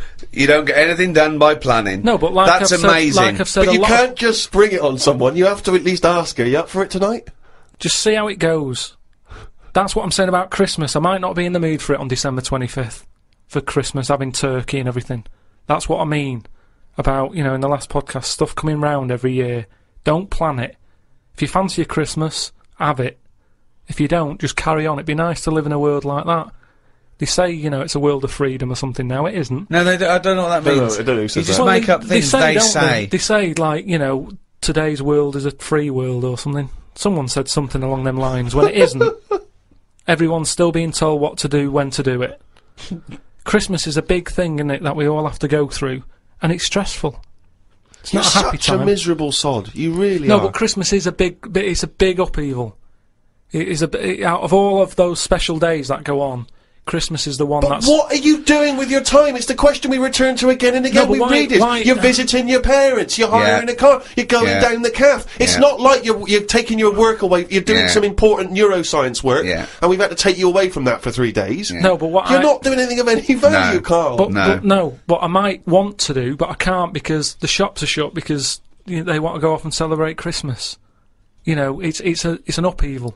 Easter's all right. It, it comes and goes. Do you want an egg? Not really. Don't have one then. You're not forced an egg. I like Easter, and everyone can afford an egg. There's no one being left out. Whereas Christmas, everyone like goes back to the family and they have a big meal and all that. And there's there's a lot of poor people out there who can't do that. So it's more of a if you're going to hmm. talk about religion and you know the religious sort of occasions, hmm. Easter's one that I'd keep. If you plan everything, you probably won't do it in the end. Whereas Again, that that as a soundbite is gobbledygook, Mm. isn't it? no, what I mean is say like um, holidays when you know they're coming. You never enjoy them as much as one when it's surprised on you. Who How surprises can- someone with a holiday unless you, be win it on a game show? How can you go, bloody hell, I'm on holiday. Suzanne did it with me. She sorted it all out and booked me time off work without me Ah, knowing. that's a lovely romantic gift. Yeah, and I went along with it, and we had a great little holiday. yeah, so maybe you should do something like that. Fair. No, she wouldn't like it as much, and I won't pick the right place, and I know she won't like it. You are one of these people that washes up badly, so you'll never be asked again, aren't No, you? No, that's my job. That's the only job I do. Washing yeah, well, it was a. Uh, But to be honest, that's that's doing me head in at the moment because I've outgrown the sink. He talks about himself like a crab. oh God! Gotta get a new sink for Carl. Why? Uh, he's outgrown it. No, just he's 33 now, and his knees around his head. Oh, he can't bath in that anymore. No, just my back's been playing up a bit, and I think it's because of the height of the sink. But hold on, you haven't grown. I think I have. Well, you haven't. No, you haven't grown at 33. Well, it's it's definitely something. It's just not very good. Subsidence. I don't know. I've just said to Suzanne, I said this this isn't as good as it used to be. It's not. this isn't as good as it used to be. He's washing up. Oh. He says he's got nothing in the flat. That's why he has to do a shop every day because he's got nothing in the flat. It's easier that way, isn't it? You don't know what you're going to want to eat.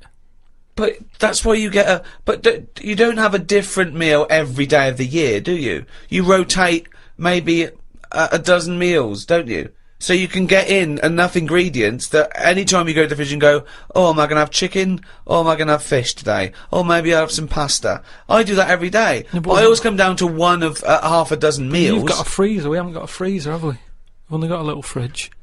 oh, There's nothing wrong with nipping to the supermarket. There's nothing wrong with that. So you've got too much time on your hands, boy. Uh, You it had one thing. You had to do one thing this year: promote the book. Couldn't that we'd bothered. Couldn't be bothered, mate. Could not be bothered. I haven't seen I haven't seen Carl an interview with him. I haven't seen him on the TV. Oh, he was on the TV um, a while back on the thing called the Culture Show, Oh, on yeah. BBC Two. And I tell you what, he was sat there, looked like a little frightened frog in a chair being interviewed. And I tell you what, I'm I'm not being funny, but his head looked fucking round. Did it look fucking yeah, round? yeah, yeah, yeah. Literally Yeah. looked like a little fucking round-headed twat. yeah, I'm not doing that. and that's my personal opinion. Uh, Did you enjoy that interview? Not really. Why? Well, I this is I met a guy. Funny you should mention that. I met a guy when I was in France recently, and I met a guy. He wasn't a Frenchman, but he was over there, and he saw me. He was a bit drunk, and he came over and he went, "Karl Pilkington's got a head like a fucking orange." and I thought, and I high fived him, and we agreed. I thought, isn't that nice? You know, even when you're abroad, you can find someone who oh, speaks sense. Oh, Yeah. And they shaved your head more. No. It's just the they way sort of greased it up a bit just to get a bit more reflection off it. No, they they put a lot of makeup on it. They said, "Do you want any makeup?" And I said, "Not really." And that's when I was like at the back where they could have done it. And then I, I went and sat in the chair, and there's like a live audience there. And the woman goes, "No, I best do some colouring in." And it was like, like She gave about you a book fi- to 50 colour in? people. Keep No, no, she, she started colouring me head in, and she was like, like had some brown powder. She's doing my head, doing the top of it and stuff. And I was going, "Isn't that enough now?" And everyone's looking and sort of laughing to themselves that I'm having my head coloured in. sure she was doodling on the top. She took longer than anyone else who she was doing. I watched like other people who were on. Well, she's got more flesh to do. When you do usually powder someone, it stops at the forehead. Yours had to go around to the fucking back. yeah, but the camera wasn't at the back of my head. She was just kept going. no, and but the shine, the shine for the cameras that would get The in glare. people's They eyes. got to be careful. Health and safety. The light will bounce off into the eyes of the audience. blind Yeah. them. yeah, well, I wasn't happy with that anyway, so I'm not doing it again. How do you cope with this newfound um, interest in in you as a person? I've got an idea, Steve. By the way, you know, but my the for me, I want Karl to be famous, so it gets him hassle in the street. Yep. That's what I'm hoping. Sure. When they see him in the Yeah, street yeah, with his yeah, little yeah, yeah. fucking round-headed face like a fucking orange. Yeah. Right. I'm going to do a tour um next year. Okay. Called Fame. Okay. And everywhere I play. If I, I hopefully play to, to millions of people in, uh, you know, I might even go to America, but I, I'll make sure uh, the theatres I play, or uh, there's a picture of Karl on the seat, right, that they can put in their window. Uh-huh. So next year, I want a picture of Karl Or in what every arse win- with. or yeah, or Yeah. whatever. But if you can make this yourself, put Karl everywhere. So, to, have you seen this bald-headed twat? Please make up the posters. Just send I'll- emails to friends. Absolutely. I want to see pictures. Uh, if you own a shop, but a big picture of him. If you just, even if you you know uh, uh, your own home, your own flat, get it everywhere. Have you seen this bald-headed twat? This is Karl Pilkington. He's got a head like a fucking orange. Get it everywhere. I want to see the world papered with Karl's round head. Happy New Year. Where'd you get that from? It's handy, wasn't it? Put it on. What is it? That's the. He can't hear because he's got. He's put your headphones on. Why was it? You'll love it. You'll love it. Yeah. That's magnificent. Yeah. That's now Ricky Gervais's theme tune. Yeah. Every time we start the show, we should just start with that. Win, Ricky, win. Karl, you just want to have a dig at me because it's coming up to two o'clock, and you've not really put a lot of uh, effort in today, slagging me off. do it on purpose. No, he doesn't do it on purpose. He's, for it. he's, he's just he's just an honest northerner, and he can't lie. He's like George Washington, but without the wooden teeth. Yeah. Uh, I don't think your heart's in it anymore either, Karl. I was all right today, but Steve's really dragged me down. Well, let's wait a let's minute, wait a minute, I just need to know why. No, do you know like Yeah. people are being miserable around you? Yeah. I, I was full Yeah. of beans when I came in. Yep, yep, yep, Yeah, yep, but you got to remember last week you were really miserable, and that really wound me up. Yeah, because he was having So to do stuff because you know he'd been let down, and they were worried about Yeah, the next week you were in a terrible mood. Yeah. Don't look at me Between like you the were. songs, I wasn't like going off and lying on the settee, looking ill, uh, talking, talking in that voice. Oh, he's done you again. I said, I s- just now, being quite friendly. Yeah, Karl, Steve. Karl, have you ever tried to get into the Monarch for free? Because I'll be honest, mate, it's not going to happen for you. Come out with me, mate. You got a quid off. All right. Oh. When you can get in places in Camden for free. Yeah, I'm alright, yeah. Oh, yeah, he's done you. Do, do do you not care about the job? I mean, I've got to ask because, you know what I mean, if I was in charge, I'd worry about your motivation or... Because we... Yesterday, we were trying to work out what you enjoyed doing, and we got to, uh, Manchester United and moaning. And that is, that is the two we I, came I up don't with. know where you get the moaning thing You're from. always whinging. About what? Everything. Wh- when? When did I last have a moan? Uh, just before we came on air. Right, and why was that? Um, I don't know. I can't remember. Because we were in good mood. We were in a good mood, me and Rick. I'll tell you why. Go on. Because you brought a song in at 10 to 1 Yeah. With a load of effing and jeffing in it. Yeah. and saying, can you edit this? Yeah. yeah. but that's your job. You could have brought it in yesterday. No, I couldn't. Why not? I hadn't thought of it. Hmm. but why? But why? But why are you whinging? That's your job. And I didn't come in ten minutes before. It was a good twenty minutes before. It just took you ages because you were whinging and moaning Hmm. to even get started. Uh, been very quiet week. Uh, been checking, uh, I was looking in books last night and stuff. Uh, so Is there any monkey news? I, I've, g- I've got some, but just because it's not that good, something else I found out that I thought I'd share with you. Go on. I was looking in the Guinness Book of Records, right? Because I thought they'll have something in there about monkeys or something, right? Uh, and there's a little monkey. I think it lives in Asia, right? Uh, there's loads of them live in Asia, Might just Um, be travelling, but yeah. and um, something I found out. I don't know if they've got it right, and that's why I want to bring it up. Uh, apparently, it's the mammal, right? That's got sort of the the pointiest eyes, eyes that pop out of their head. Steve.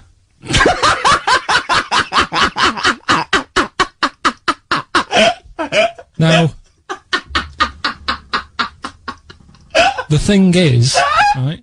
I thought that's interesting. Yeah. Apparently, it's, it's it's the biggest with the sort of goggle eye type thing. Right, yeah, go on. Apparently, they they come out of their head, um, 1.6 centimeters. 1.6 centimetres. What, do you mean they protrude? Yeah, they protrude from the head at 1.6. Okay. What? How, how long? Have you got a ruler, Rick? One point one point six. He's having a go. I'd say I'd be a little bit annoyed if the monkeys beat me.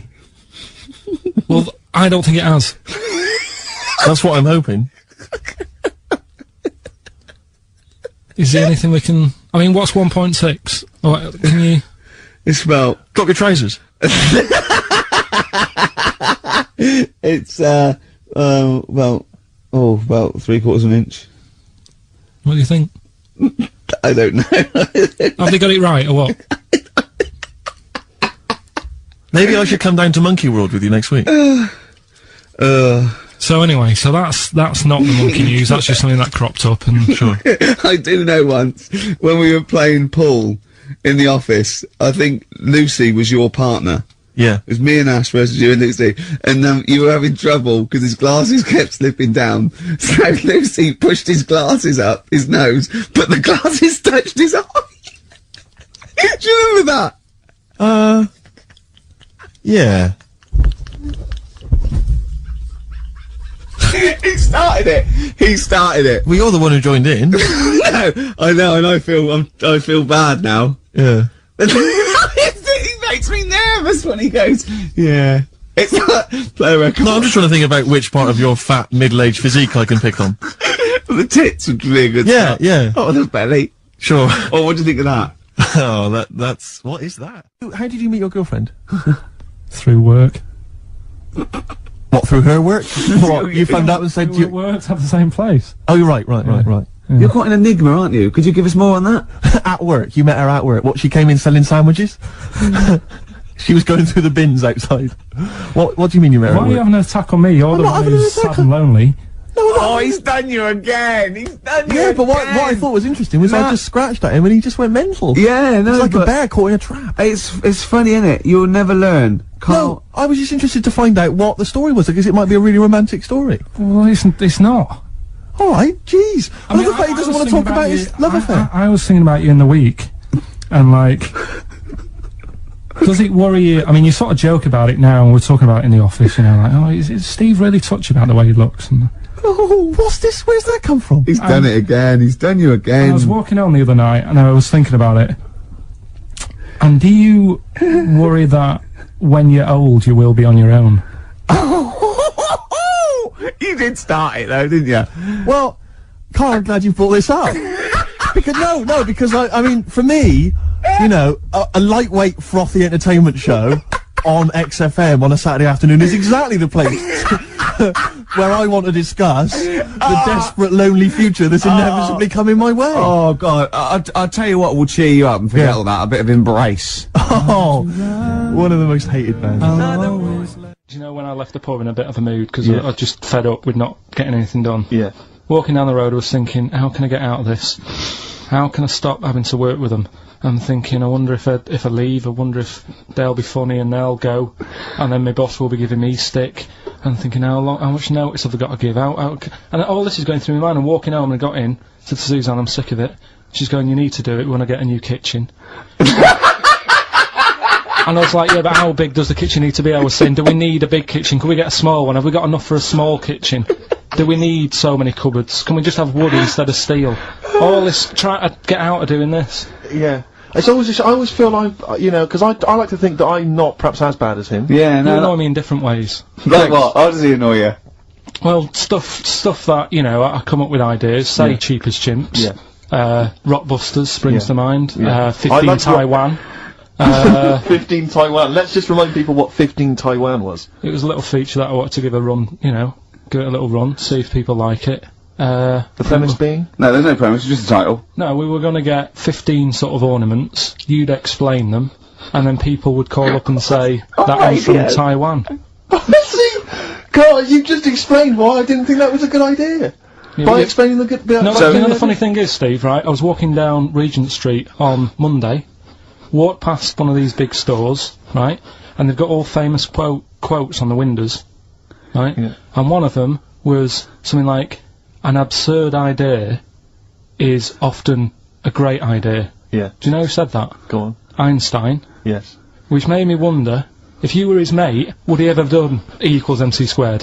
Or would you have said, don't bother with that, it's not going to work? Because that's all you seem to do, everything I come up with, Yeah. you put down. Yeah. Well, that's one thing. He's negative, right? Don't know. I don't know why. I don't Okay. know why he's, he is. What else? He messes me about, I get him concert tickets for stuff, and, and you say, oh, I didn't bother going. Yeah. Yeah, that is annoying. You come in, w- you know, five minutes to go with tracks that need editing. Yeah. Yeah, the little bag, that bag that was free. Yeah, you got a free bag today, an XFM little rucksack thing. Yeah. Yeah, You were like, oh, what's this? What's this rubbish? Yeah. Ricky said, I'll have it, they're great. You said, no, I want it. Yeah. Well, it was So- free. I needed. Mm, I'll give that as a well, gift or something. So, so I mean, I think on reflection, Steve is probably a little bit more annoying than me. Mm. I, w- I won't go that far. You are you are annoying. If I had to go away for a week somewhere, Yeah. if it was a quiet place, Well, you are again, aren't you? That's two orders you had this week, this year. I mean, If it was a busy place, I'd probably go with you because people, do you know what I mean, staring at me all the time and that. If I'm walking around with Steve. no, I'm just Can I draw up a list of reasons I don't like you, Karl? being honest. What? I'll tell you, because the list of reasons I don't like you is incredibly long. And getting longer. Just saying. by the way, Red Hot Chili Peppers on XFM 104.9. So, a few more shows. And then I. I, I hope Sony are happy. Mm. They should encourage. You know, we've only been radio, you know, a couple of years. Exactly. They Trying. should encourage young, you encourage young talent Yeah. like you. Yeah. Instead of giving it to Radio 1 and Radio 2 and... The old war horses. We just had a quick email. I wonder if you could answer this. It's James from NW1. He says, Ricky, is Karl going to be on this week's show? Please let me know, as I may listen if he's not. um, sadly, Oh. he is here. Oh I mean, dear. people are already turning against you, Karl, because they've seen what's happened. Yeah. I think they've probably realised that we've I think we gave him you too much. I think, exactly, I think we've got a spoiled sort of kid in our hands. It's sort of like, you know, we, we knew, we knew how bad he was, but we were trying to sort of bring him out of his shell a little bit. Yeah. Encourage, you got to encourage sort of, um, children like Karl. Well, yeah, exactly. to sort of fend for themselves. Um, but uh, I like the fact that Dickie Anderson had that wonderful rant. It, I mean, it was an articulate email. It was quite long, and he must have typed it immediately. I'm thinking because he's a fan of the show and he, he thinks I'm a you know a genius. We need a PA, Sure. don't we? Yeah, yeah. Do you reckon he'd come and work for us? Um, well, it can't be any worse than what we've already got. I don't know. You know. So there you go. Then we're giving up. We're giving up radio. We're going to concentrate on television. Karl's going to probably go back to what your little, just doing your sound. The thing I won a silver for at the Sony's. Funny that, isn't it? Oh, you won a silver, did you? I got a silver, yeah. Oh, for yeah, doing, what was that for for? doing the proper job that I do here in the week. Well, no, it's two of you for a start. Yeah. Well, there's three of us. Can't even get a bronze. Now who's the weak link? right? Well, Bit weird, isn't it? let's get. Let's look. Let's get, let's not argue. We haven't got many shows to do. To be fair, though, this this show is, is. I think it's more to do with the fact that you talk on this show that has brought us down. Right, I haven't said anything hardly today. No, well, this is an award-winning show potentially. we'll add this one into Yeah. next year. If Oh. you could oh. just keep stum, we might have a chance. Alright. Well, coming up, right? Let's put it behind us. Okay. Let's draw a line under it. Stephen co-wrote and uh, directed The Office and Extras with me. Um, you may have seen him in Extras as the agent. Uh, you may have seen him briefly in The Office. He is a goggle-eyed freak. You're referring to the character there, are you? Or? Yeah, whatever. Thanks. um, no, well, no, no, it's just a little. I'm just trying to paint a picture for people at Christmas. sure. Steve. Yeah. Um, I wouldn't say goggle-eyed. I think goggle-eyed freak's harsh. You know, these are pretty. These are designer specs. And uh, Right. yeah, admittedly, I'm I'm I'm a little bit tall, but uh, Six foot seven. Yeah, but let's not have a go at that. Karl. We're got more like this later. I think we should play a record. We've done introductions. Pop a little song on. But do you remember well, the first time you saw Steve? Well, let, let's let's pop a little song on on that, right? Chat about it in a bit.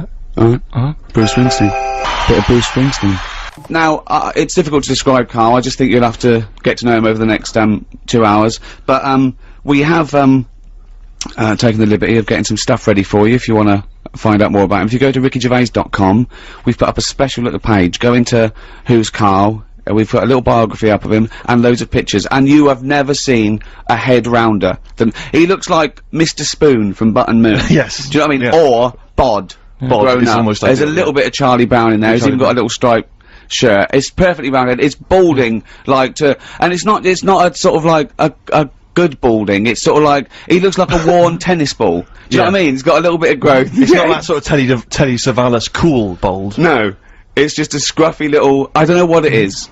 Happy Christmas and that. what do you think of that, then, Karl? Your introduction to the nation. Well, you know, if we're going to start picking on looks and stuff, like you mentioned before, we can we can go over everyone in this room. What? I mean, let's make it fair. What? Let's have a chat. Let's have a chat about about Steve over there. What? What are you talking about? Well, you know, you know how sort of I felt when I first saw you. wait, wait, right, don't go mad, Steve. Let Karl speak. Right, this is his platform. No, no, I'm But- just saying. You just said about painting a picture. Yeah, go on then. I wouldn't paint a picture of that. is, is what? Is, no, I'm not. Steve, you know I'm not having a go, mate. What, You're a what, good. what do you mean you're not having a go? It sounds like you're having a go. know. Well, what did you think when you first saw him, when, when he first walked into that room all those years ago? Uh, sort of thought he looked like a cartoon.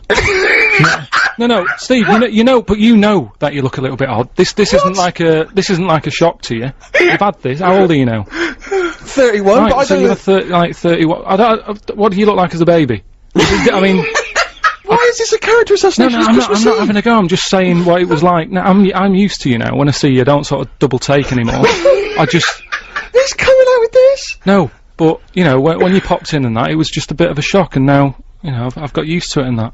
Good, you're happy now. You can cope now. Hold mm. on, you were shocked when you saw Steve Merchant. You told me once you went to school with two fellas who had big heads and webbed hands and feet.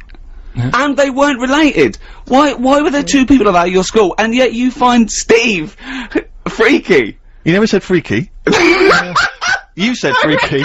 You said freaky. Karl, just, I, I, I don't want to. St- I'm not stirring it, right? You, you started a little bit of a war with Steve. You Well, you always are have. stirring it. Well, no, no, no, no, Well, no. This is what it, this is stirring right now. This is this is the terminology. But do you know that the fellas in your school, Uh. the big heads and webbed feet and webbed hands, Well done. Yeah. but but they hung around together, did they? Uh, I don't think they did. And they were nothing to do with each other. No, I think people expected them to sort of knock about together. But they, they must have thought, oh, that's, that'd be too obvious. Do you know what I mean? but where did you live? Near a power plant? Well, I mean, why, why did you have... I don't think it had anything to do with that though. Just sometimes you get a little. Look at Steve. He didn't live near a power plant. no, no. Listen, can I just stop you there, right? No, Let me just stop you there because I, I, it always happens as soon as we, we, you know, it's, it's supposed to be a nice day and suddenly you're having a go, right? I- I now this has got this got sent on the email, okay? Now this is not me saying this. This is someone who's forwarded a review that was put put on the web. It was a review of your appearance on one of Ricky's stand-up comedy DVDs. Okay, I'm reading, I'm quoting this. This is not me saying it. Mm-hmm. It says that uh, Karl, through a combination of his intriguing way of thinking and slightly less than human appearance. Right, Karl may just be the proof needed to muffle the cries of creationists the world over, as this missing link demonstrates that not only did man evolve from apes, but the process isn't quite finished yet. okay, now that's someone else, an external person's opinion of you. But you the, the- the terrible thing about that is, Karl's feelings aren't hurt because he didn't understand a word of that. I said the word creationist, that lost him. That, that's it. You You've got to remember that Karl. You know when um, people say they're talking to their cat and they go, "Oh look, look at him, look at this." It's like he can understand what we're saying. Well, Karl's got that look, but you know he can't understand. Yeah. What what you're saying? All right, Karl.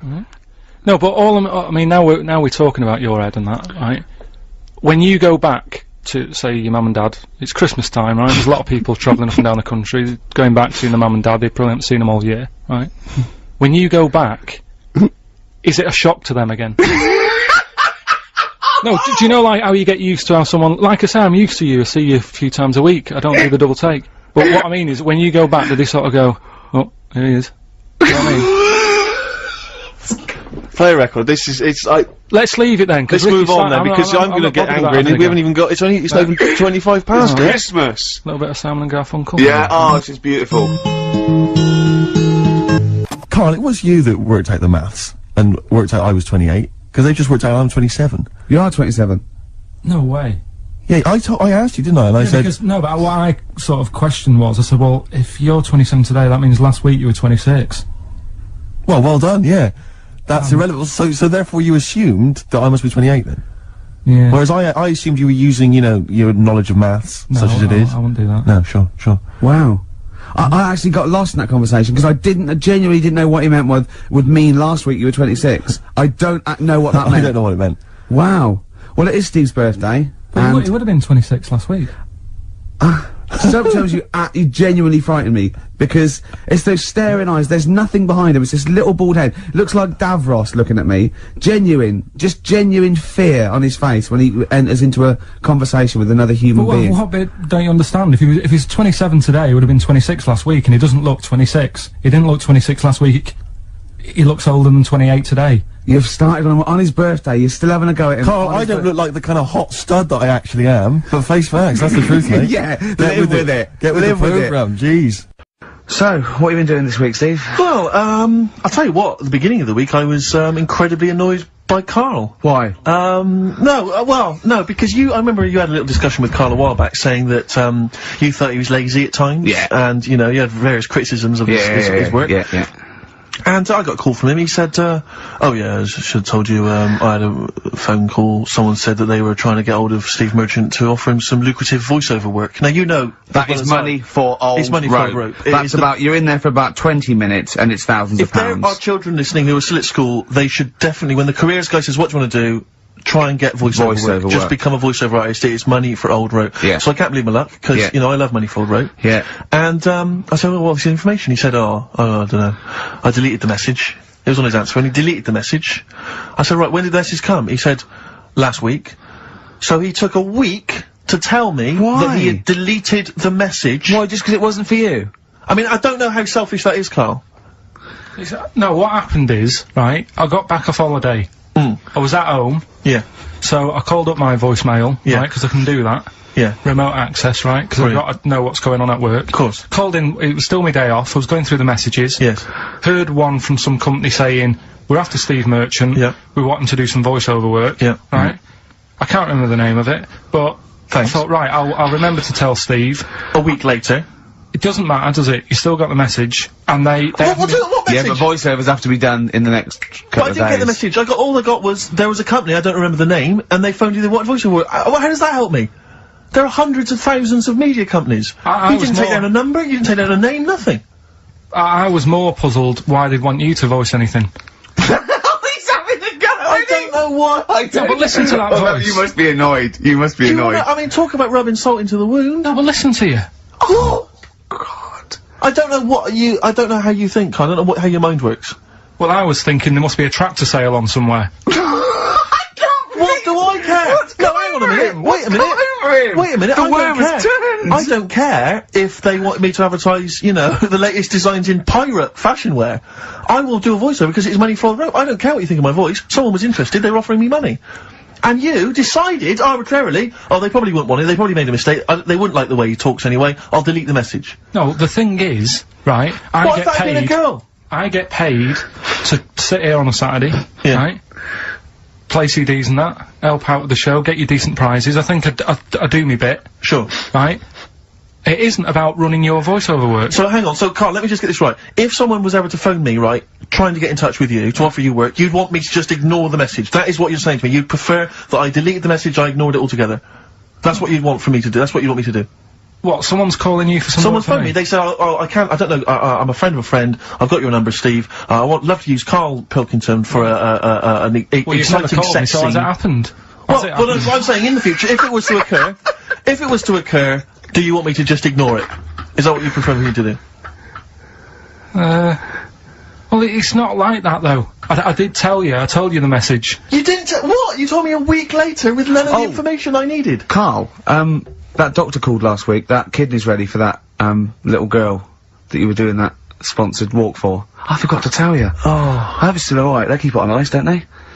I think they do. selfish, Karl.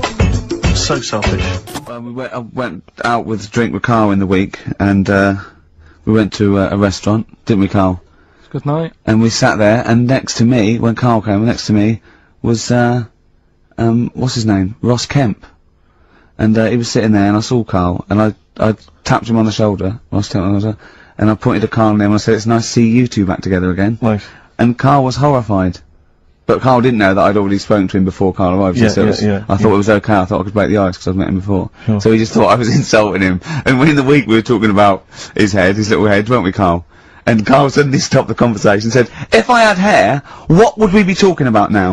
I think he had enough of everyone talking about it. And he looked good though. He had, it, it's, it's a special little do. He had it sort of, you know, cropped a little bit more. I like it when he's just freshly had it done. Mm. Do you like? yeah. Has, has that ever happened to you, Steve? When you, if you're somewhere, say if you sat somewhere, does someone sort of, you know, is he anyone else who you look like, or would you say you're a bit of a one-off? I love these two. But, I d- I- but to be fair, It's alright. but to, no, but, wait, wait, wait, to be fair, uh, he seems to be having a go at me an awful lot more than I do at him now. I mean, he just starts it. You know, he I just think- starts it out of nowhere. I th- yeah, I think I think his is sort of a get back for the way you treat him as a producer, not you know. But he's not a producer. if he produced the show, I wouldn't, I wouldn't have a reason to criticise. But, I think this is it. oh but I, seriously, I mean, it it really winds me up though because you know it started as a joke, but now it's just it's abuse. yeah. He got annoyed at Heat because it said Karl's producer. Well, not so much a producer as just a bald mank, and he Yeah. went, "Can they say that? Yeah. Can they say that?" See, that's a magazine, an independent publication has identified what exactly it is you do. yeah. There we go then. Go on, bring it on, because here we go. He's looking at me. I know he's thinking. I can hear the no, cogs no, I'm not, I'm not working. thinking anything. It's no, no, that, that is true. Never a true word. Play a record. Beautiful bit of uh, Snoop on XFM. Yeah, kicking it with uh, Ricky old Gervais. school, yeah, yeah, yeah, yeah, yeah, yeah, Sweet, yeah, sweet, sweet, sweet. Uh, Steve Merchant and uh, Karl Pilkington. Uh, what has happened to Karl? Because Karl, I thought, is you know, is this sort of sweet little buffoon, almost hmm. childlike hmm. in his his ways. You know what I mean? Like Charlie Brown after some sort of head injury, and and now he's.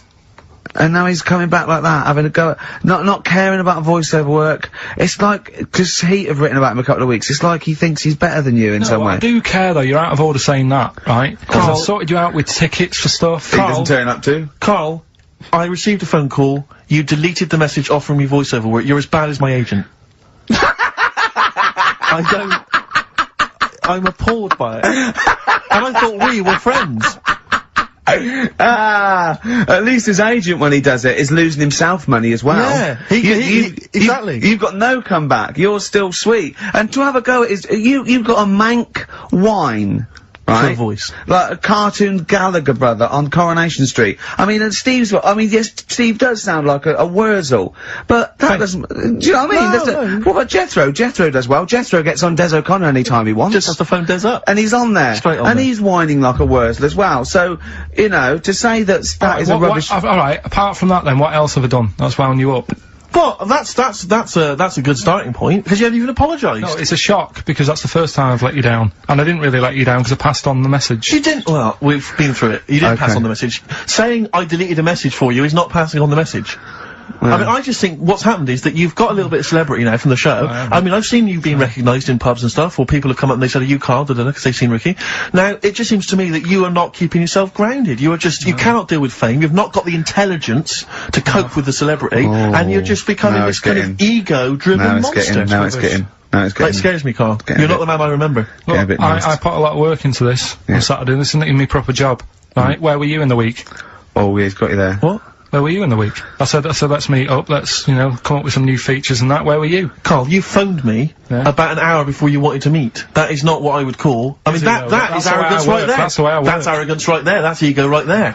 He couldn't, he couldn't go, but it, I, I, when I came in, he said, where's Steve? I said, Steve can't make it. I had to tell him why. Steve was staying in to tidy up because his landlady was coming. This, this he couldn't get over.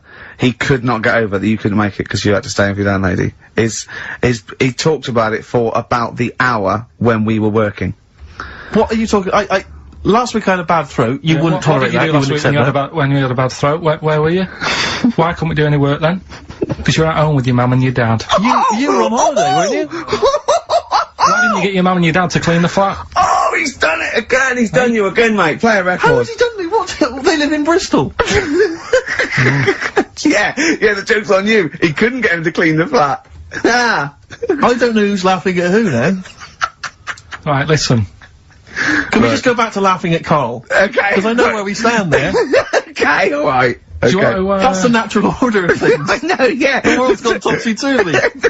he's, he's stepped out of the pecking Yeah. order. Right, well, someone who I don't let down, right, are the listeners of this show.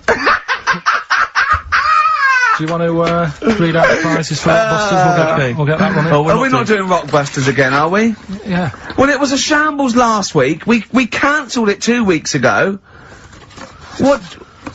It just, I mean, there, there you are right there, Rick. I mean, both you and I, and let's be honest, we're the guys with, the, with our names on the poster. I know, It's yeah. supposed to be your show, and, And yet- our faces. exactly, and yet, we have to have we have to be on tube stations with people laughing at us. yeah, well, they're not laughing at me, right? They're, they're Well, good I don't photo, they're know. What do you think people think of the poster, Karl? Seriously.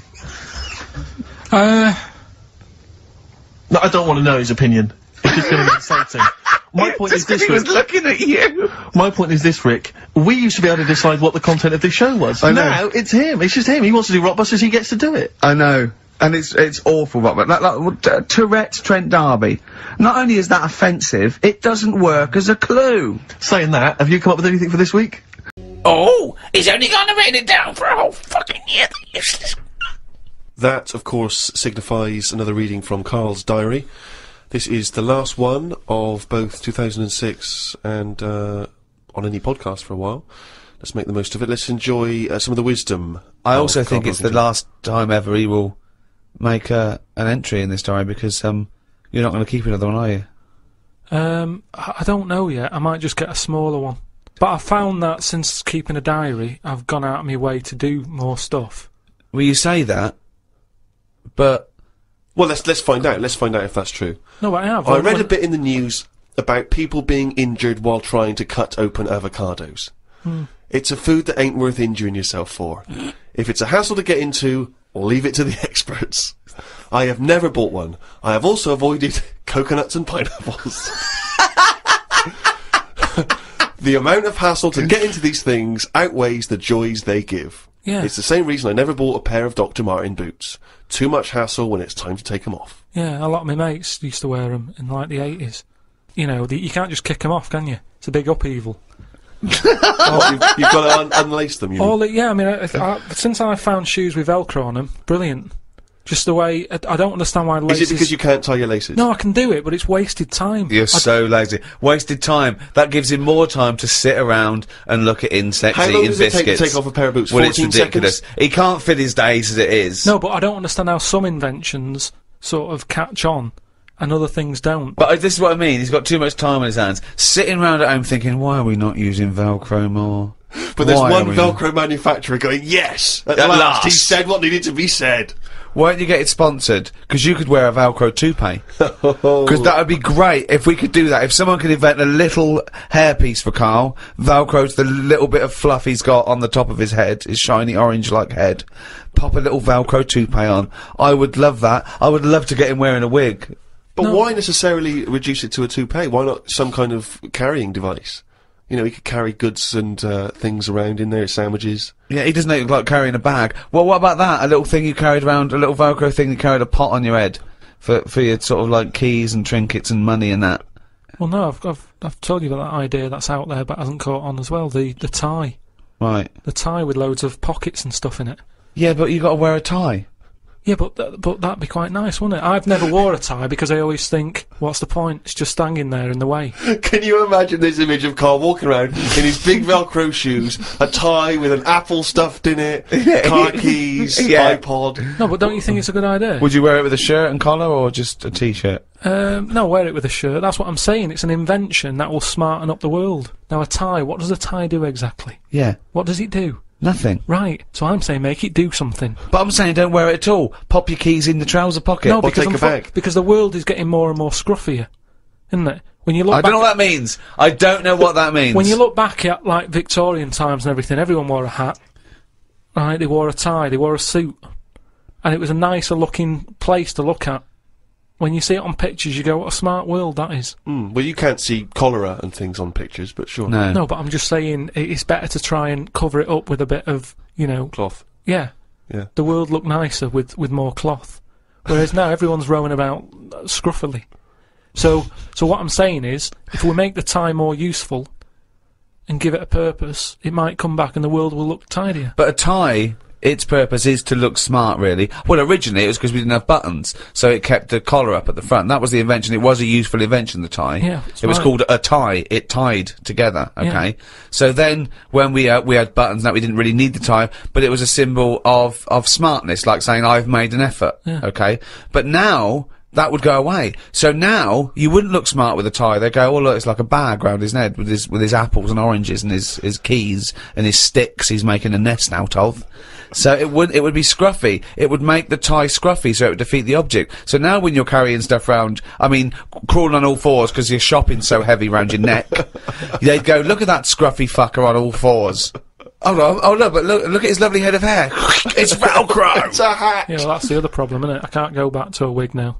My theory about reading old news is right. It's less bad when you know it's old. It was a story about a weatherman who was fired yesterday for having a nude picture of himself on the internet. But that happened two days ago. He's probably got another job by now. So old news isn't as shocking. Well, old news isn't news though, is it? It's olds. What are you doing? Just reading the olds? No, but what I- what I mean is, if if someone Stick the video on of uh, last week's news. I just want to catch up on the olds. yeah, but but then it's still news. If you, news is something that you don't know, isn't it? If someone tells That's you something- everything to you. That's information, Karl, not news. Yeah. But, but news is information. No, And the what- key the key with news is the word new. No, no, no. I don't think it is. Is it? It's, it's just it's just information, but they tell you at ten o'clock at night. It's like what information's gone on. Bong. Here's some information. Yeah, that you didn't know before because you couldn't have because it only happened today. Bong. Yeah, but never mind that. I'll tell you in a couple of days. It doesn't matter as long as you get the same info. Bong. Yeah, we can't call it news though because it's misleading. We'd get done. It's called olds. Bong. Yeah, but listen to me theory. What I'm saying is, is that if someone in your family, you know, I don't want it's Christmas and that. I don't want to bring the tone down, but someone dies in your family. Hmm. Now, say if you're away on holiday, and they don't call you because they don't want to ruin your holiday, then hmm. you come home and they go, Uncle Frank's dead, and you go, oh, when did that happen? And they go, two weeks ago. Now, because everyone else has got over it, it's not as bad for you. Because part of bad news is the way everyone's walking around moping, going, "Oh, have you heard the news? Frank's dead." But because everyone's got over it, time is a healer. That's what that's what I mean about old news. It's better than new but, news. But yeah, but according to you, the only news that really matters is stuff that affects you. So it doesn't matter when you uh, There was an earthquake. When was it? Yesterday. Phew, that's alright then. Often the aftermath is worse than the actual event. Two, you only care about things that actually happen to you. So the doctor goes, you got a kidney stone. Oh, when did this happen? Uh, two weeks ago. Oh, that's alright then. Doesn't make sense. No, but the world uh, is. you're not you're not upset about dead Uncle Frank just because other people are upset. You'd be upset personally. Would it make any difference when you when they told you? Yeah, but it, it is everyone else's emotions that, that make it worse, I think. Knocking around people who are miserable. What about warnings? What about when they do things like smog warnings or, you know, there may be a... I don't like it on the news when they sort of say, news just in. I think, oh, what's this? You think, oh, what's going on? But it might be It useful might to be know it. important information. No, it just makes you panic. What? Yeah, but but sometimes knowing stuff keeps you alive. Yeah, I, I don't know if I like it. It's, it's sirens, you see. I don't like sirens, do I? I've, I've said to you, I think it's a, a scary noise. Well, it's meant to be so you get out of the way. No, no, it's not meant to be. It's it's a sign to get out of the way. I'd prefer it if it. Like There's a I've voice. said. Hiya! Could you just move out of the well, way it can for be us? anything as long as we know. It can be a chicken noise, but as long as you know Oh, that that's not going chicken to freak noise. people out. No, but it sort of make you smile. But you you go, oh, best get what? out You're of the way. cycling along and you hear what sounds like a giant chicken behind you. And you smile because you know that even though someone is burning to death, there's something clucking in my way. Do do do do whack! Do do do do whack! Oh, that's probably a guy having a heart attack. Going to my mum and dad's today. Oh. Uh, I'll cut to the chase, Rick. They basically, it's uh, we got about four pages where they drive to his mum and dad's. Oh, Jesus I'll skip Christ. past that because it Yeah. takes fucking forever. Got there, mum and dad. His mum made him some dinner. The old woman next door, brackets, whose man was a witch. Just pop that in brackets. Just pop that in brackets. I think we've discussed that before, actually. The old woman whose mum was a witch. whose mum was a witch. Yeah. Oh. The old woman next door has been worrying because she keeps seeing adverts on the telly about changing to digital TV. She's saying she doesn't want wires drilled into her walls because they'll make a mess. My dad told her that it doesn't matter because it'll probably won't happen until 2012 and she'll be dead by then. He didn't say that to her though. Did No, he? he did. They've got, you know, she, she's old. It doesn't. She knows she's going to die. I mean, it's something we've all got in common. And he's right, isn't he? Why is she worrying about it? Maybe that's sorted it out. Put it into perspective for her. You will be dead when this happens. Don't be worrying about it. But everybody worries, don't they? You've got that little sort of hole in your head that you fill with worries. You know, everyone's got to fill that little worry worry hole with worries, and that's us. Worry hole. Everyone's got to We've, fill the we've never worry just hole got to with assume worry. that there's a worry hole. A worry hole. Don't be filled with Unbelievable. worries. I love the fact that pe- you know uh, doctors in a million years would dig this up and go, humans used to have a worry hole. Went to bed around midnight. Suzanne and I decided to sleep tops and tails because it made me get a bit more room. Me dad had cut a bit off the mattress to fit it between two cupboards. It's amazing how much of a difference it makes just sawing off a bit of the mattress. You sort of roll to the edge, but the weight of the blankets keeps you in. This is like something from a Roald Dahl book. No, it's just, it's just, uh, you know, you think a- anything you can sort of trim anything, can't you? And it normally works. But with a mattress, I mean, he, he only took off. I don't know what how long that is, but he's sawn off about that much on the mattress and then has stapled it back together again. Amazing. And it just makes so much difference. Of course it does, because a mattress is a very carefully designed object. Yeah, you wouldn't think so, though, would you? Well, you, just would if you had a it's full of fucking brain you know. No, no. Is he, is he, someone took his brain out of his worry hole? oh god! He sort of match in half. So we decided to sleep tops and tails. It just gets stranger. so strange. Why? he did it to make the room nicer with the with the cupboards on either side. So he sawed a mattress in half. Well, not in half. Can you imagine how much hard it must be to saw a mattress in half? What did he use? What a big electric saw? Oh, th- well, it must have been, yeah, because there's a lot of springs and stuff in there. Jesus. So what happens to the springs? They just spring out the side. Well, some some sort of stick out a little bit, but you're not lying on top, are you? They come out the side. So it's just got a bit of gaffer tape and a staple gun. Unbelievable. Oh, hey, man alive. It's like Does he run it as a hotel? That's unbelievable. there are squats with better bedding arrangements. Well, uh, we've had a bit of a bad thing in our house about mattresses and that, because when we first bought our uh, first flat in Salford, you know what it's like when you buy somewhere, you, you, sort of, you haven't got any money, have you, to buy extra stuff that you need. So, we'd bought a bed, right? But there's that rip-off thing with beds, where you buy a bed, but a mattress doesn't come with it. Which I've never understood that. Because it's not a bed, is it? Without that mattress, it's not a bed. It's a car without an engine. You wouldn't go there. You go. Well, that seems cheap. Well, there's no engine in it. So we bought this. We bought this like you know uh, flat and what have you. And we bought the bed, and then uh, like, oh, we haven't got a mattress. So my dad got one from Uncle Alf. No, well, from that Uncle Alf fella, because he had one in his van that he used to use now and again. If he was like travelling round, he'd just keep in the in the back on this mattress. Amazing. A It bloke was- who drove around in a van with a mattress in the back. so How Uncle terrifying. Alf. So Uncle Alf, right? Well, tell me about Uncle Alf. Well, you know about him He's the one who slept in a dinghy. He's the one who. Because his mattress was in his car.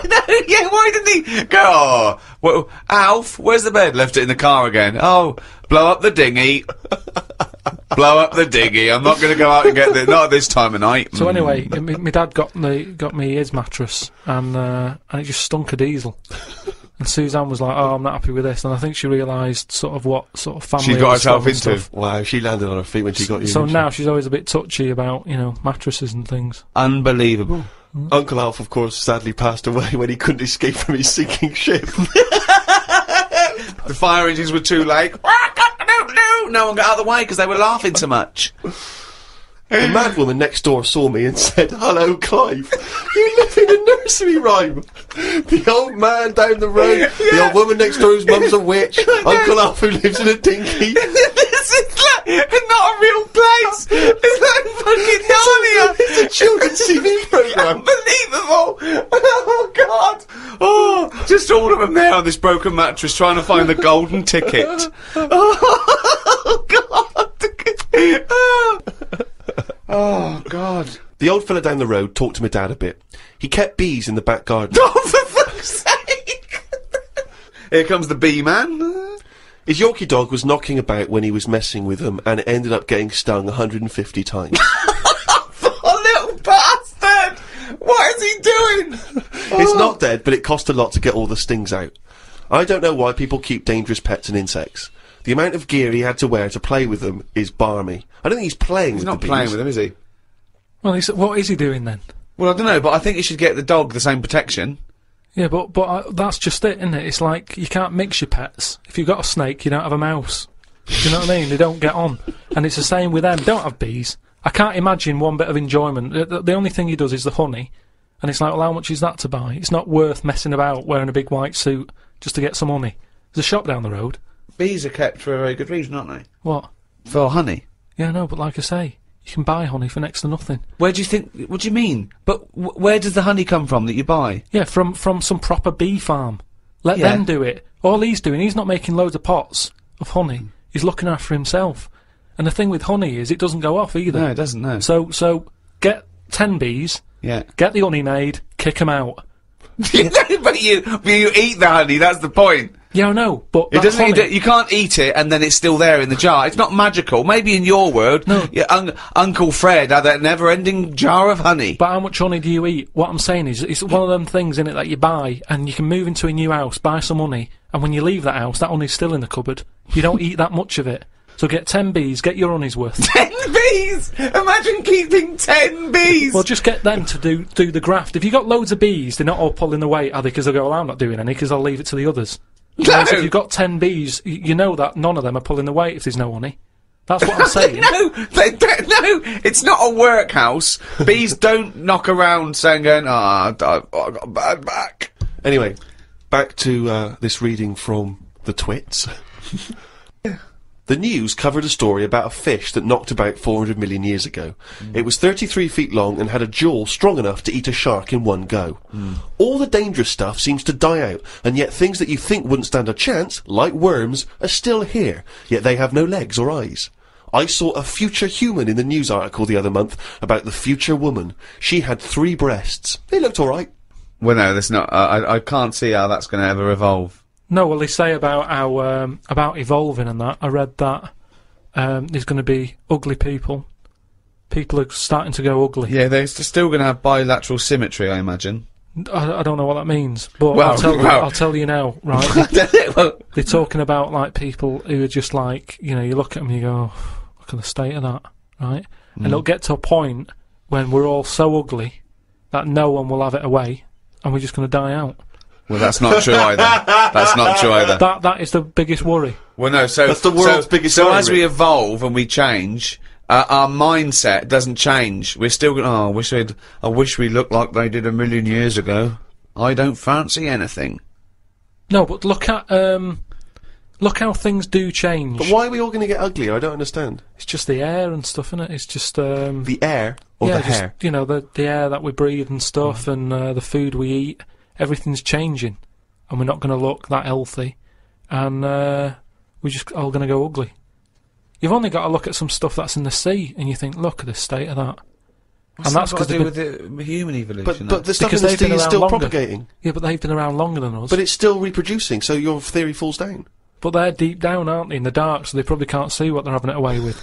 if they were up on the outside, they'd have died out ages ago. Why? Because they wouldn't fancy the other stonefish or Yeah, because they're sea really odd looking. I can't remember the name. I think it was a viper or something. It's the, it was just a head. But Karl, A the fish reason that's just a head. it was well ugly. watched a program about the twins this morning. It was filmed 16 years ago. They are mental. They did everything together, including the vacking up. Phone calls had to happen twice so they could both have the same chat, and they said the same stuff at the same time. Well weird. The bloke who I watched it with, I don't know who that is, just some homeless guys that you just invited into the No, flat. just someone I've been sort of working with. Sure, a mate of yours. He said he fantasized about having it away with a pair of twins. I don't see the point in this. If you're going to have two of something, I would prefer to have two different. Have two different women. If I had two cars, I wouldn't have the same one twice. Same rule with women. I don't even normally like buying the same pair of trainers twice in a row. No, if you're going to have something new, make it make a change. It's like that fella who was going out with a woman and then left her and went out with a twin sister. Not worth it. Not worth it! It's not worth the upheaval, is it? Because it's exactly the same model. I watched the final of I'm a Celebrity, Get Me Out of Here.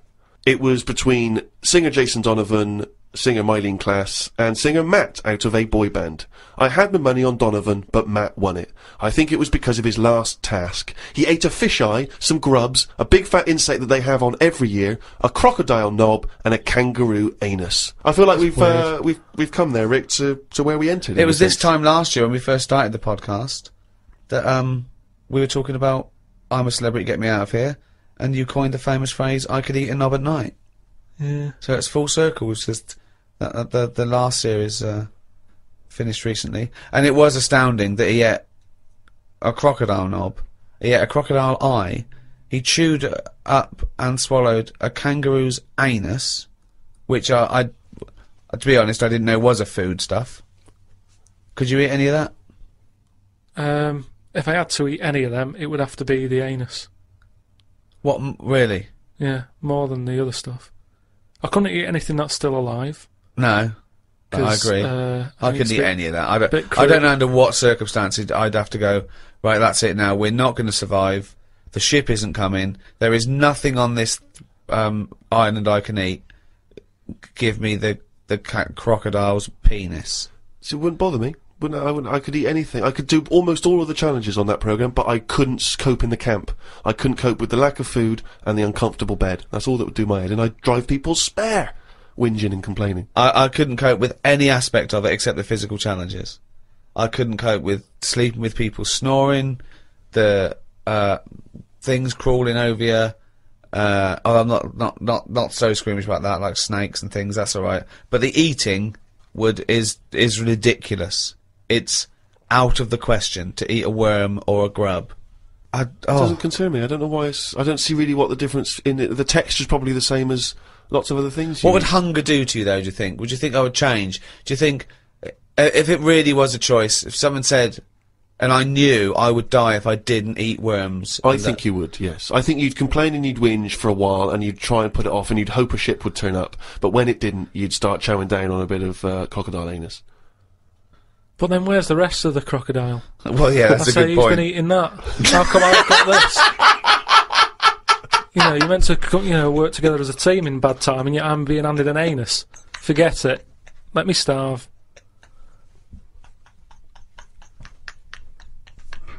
Well, thanks for listening. That was the uh, the Christmas podcast. Um, we should say the winner of the last competition we did. Um, they can win the um, the podcast book and uh, Flanimals and um, the extras book that's out, still available, All available. and the CD. The three, the three CD set of the, of the best of the podcast. Yeah, is that right? Series one. brand new hour. If you haven't got that, get out. Well, maybe you've got some record tokens Yeah, if you've got record tokens or book tokens, those are the perfect uh, things to spend them on. or fifty pounds from your auntie. Exactly. Let's go go and buy one of those. Um, and the winner was uh, Stephanie Prow from the Wirral. Well done, Steph. Well done. Well, thank you to Positive Internet, the guys that host this podcast. That's the end. That's the end of the Christmas podcast and the end of this uh, this team for a little while. Yeah. It's been great. So it's goodbye from me, Ricky Gervais. Goodbye from Stephen Merchant. Goodbye and Happy New Year. And goodbye from Karl Pilkington. All right. All right. That was all right, wasn't it? Yeah, it's good. It's all right. What are you doing now? You got time for a coffee or something? I can't now. I'm going to the um, you know, the orphanage for uh, terminally ill kids. Oh yeah. I'm going down there. I'll go down there every Christmas and you? like, Do you? en- entertain and Oh well, yeah. That's lovely for him. Yeah, no, I've uh, actually written a song. I'm going to perform. They they see The Office and see that I sing in that. I've, uh, You've written a song for the. Yeah, yeah. Well, could we hear a bit? I mean, what? I don't want to put you on the spot, but No, you've got, you've got the it's guitar there. Yeah. Um, I wrote this for a, a kid. He's a brave little guy. He's only about ten, but um, uh, it's just, it's heartbreaking. He's ah. Don't cry, it's Christmas. Santa's coming soon.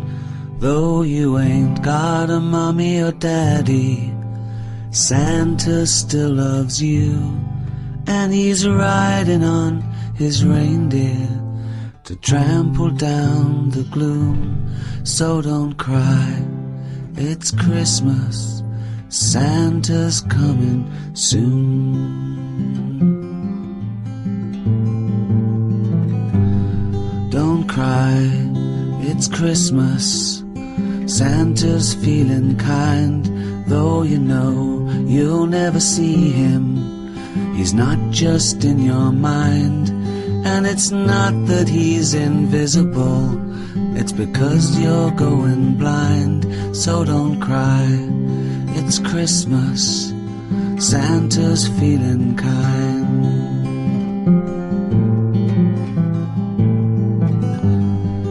Don't cry, it's Christmas. Santa's on his way, though he's got a billion children, and he's only got one day. You've got slightly less than that. If I were you, I'd pray, but don't cry. It's Christmas, and it sounds a little gay. I imagine that'd be quite moving for everyone. Yeah, I'm just. I would. I just. I would ask you now to not play that song. Oh no, too late now. They expect me. But I, am not sure it's going to be as well received as you perhaps hope. I think that's better than any gift, and I don't really want to give gifts because they're expensive. Sure. You know, speaking of like weird stuff and that, I've got a new. Well, we Uh, weren't, but go on. No, I've got a new book. Do you know I had that Freaks book? Top 50 Freaks. Got a new one sent to me. Really? Uh, yeah, and do you know, like everything um, normally has a name. So, like if it's uh, the two-headed fella, you know, they're all nicknames like that, aren't they? There- They've got two nicknames, I imagine. Uh, but this new book I've got, right, on the cover of this one, it's got like a woman with three breasts, right? And she's called the, the three-breasted woman, as you'd expect. the one face. Why is she posing nude though? That's what I want to know. Tart. Well, she looked happy. And there was a, a fella with like one one face but two bodies. Doing one face but two bodies. One face, two bodies. what do you mean So one it's weird. face, two bodies? Surely know. you one head, two bodies. Uh, Ed as well, but it was mainly the face that was weird because he looked fed up. He sort of- What are you talking about? How what can are you have a talking face about? Without a head? How can you have? What do you mean? How did it join to the neck? no, it did. It did have a, a head, but the fact is, it, it was weird that it had one face to me. What do you mean? Well, if you've of got course one it- head, you'll have one face. Yeah, I know, but it was just it was the fact that he had one face and two bodies that I didn't think. But why do you keep saying one face and two bodies as opposed to one one head? head? and two bodies? We're all the man with one face. Yeah, but now I've got one body. Yeah, well, surely he's the man with two bodies then. Again, the description. You, I mean, Roll up, roll up. See the man with one face. Yeah, I know, yeah. So it's it's full of stuff like that, right? And what I'm saying is that fella, you know, the one-faced man, the three-breasted woman. He wouldn't be known as the one-faced man, is what I'm saying. Well, they've all- that, they that all- isn't the peculiar thing about Yeah, him. well, they all had names like that. Right. But there was one thing in it that didn't even have a nickname. It was so weird. what do you mean? It was. Ju- it just said un- unidentified. What What does it look like? Um, sort of sort of testicles for eyes. that's that's that's. It just reminded me when you What do you talking mean about strange- testicles for eyes? And what is it? Do they have a normal body? I didn't even look at that. Oh, for f- No, so that's what I'm saying though. You're attracted to to the odd, oddness of the thing, and that's what I was saying about Warren when he walks in. Warwick. You know, it, it it'll be odd for a minute, and then I'm sure For him, He'll for get him it over will be. yeah, Yeah. he'll- He'll get used to you. I've got my head round it a bit more, and and the way that there's loads of people in the world, Mm. and yet you don't see people with like dangly eyes more often. It amazes me. I love the fact that he's amazed by not seeing freaks. yeah, yeah, yeah. It's incredible. He's walking down the street going, "Oh, everyone's got one head. That's Yeah. weird. Suzanne, see any dangly eyes today? no, me neither. It's weird, isn't it? What's going on in the world? Oh. He's only gonna read it down.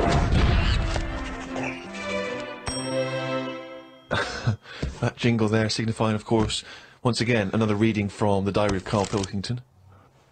Now, of course, for those of you who have not been keeping abreast of Karl's medical complaints, um, just bring us up to speed, Karl. You had to go into hospital because previously you'd had. I've been in and out. Honestly, I've been in and out of that hospital just with uh, kidney problems, um, really painful and what have you. And uh, He yeah, had so- kidney stones, all No, no, but sorted. seriously, I had a bit of a lie-in today because I have to get up early for my operation tomorrow.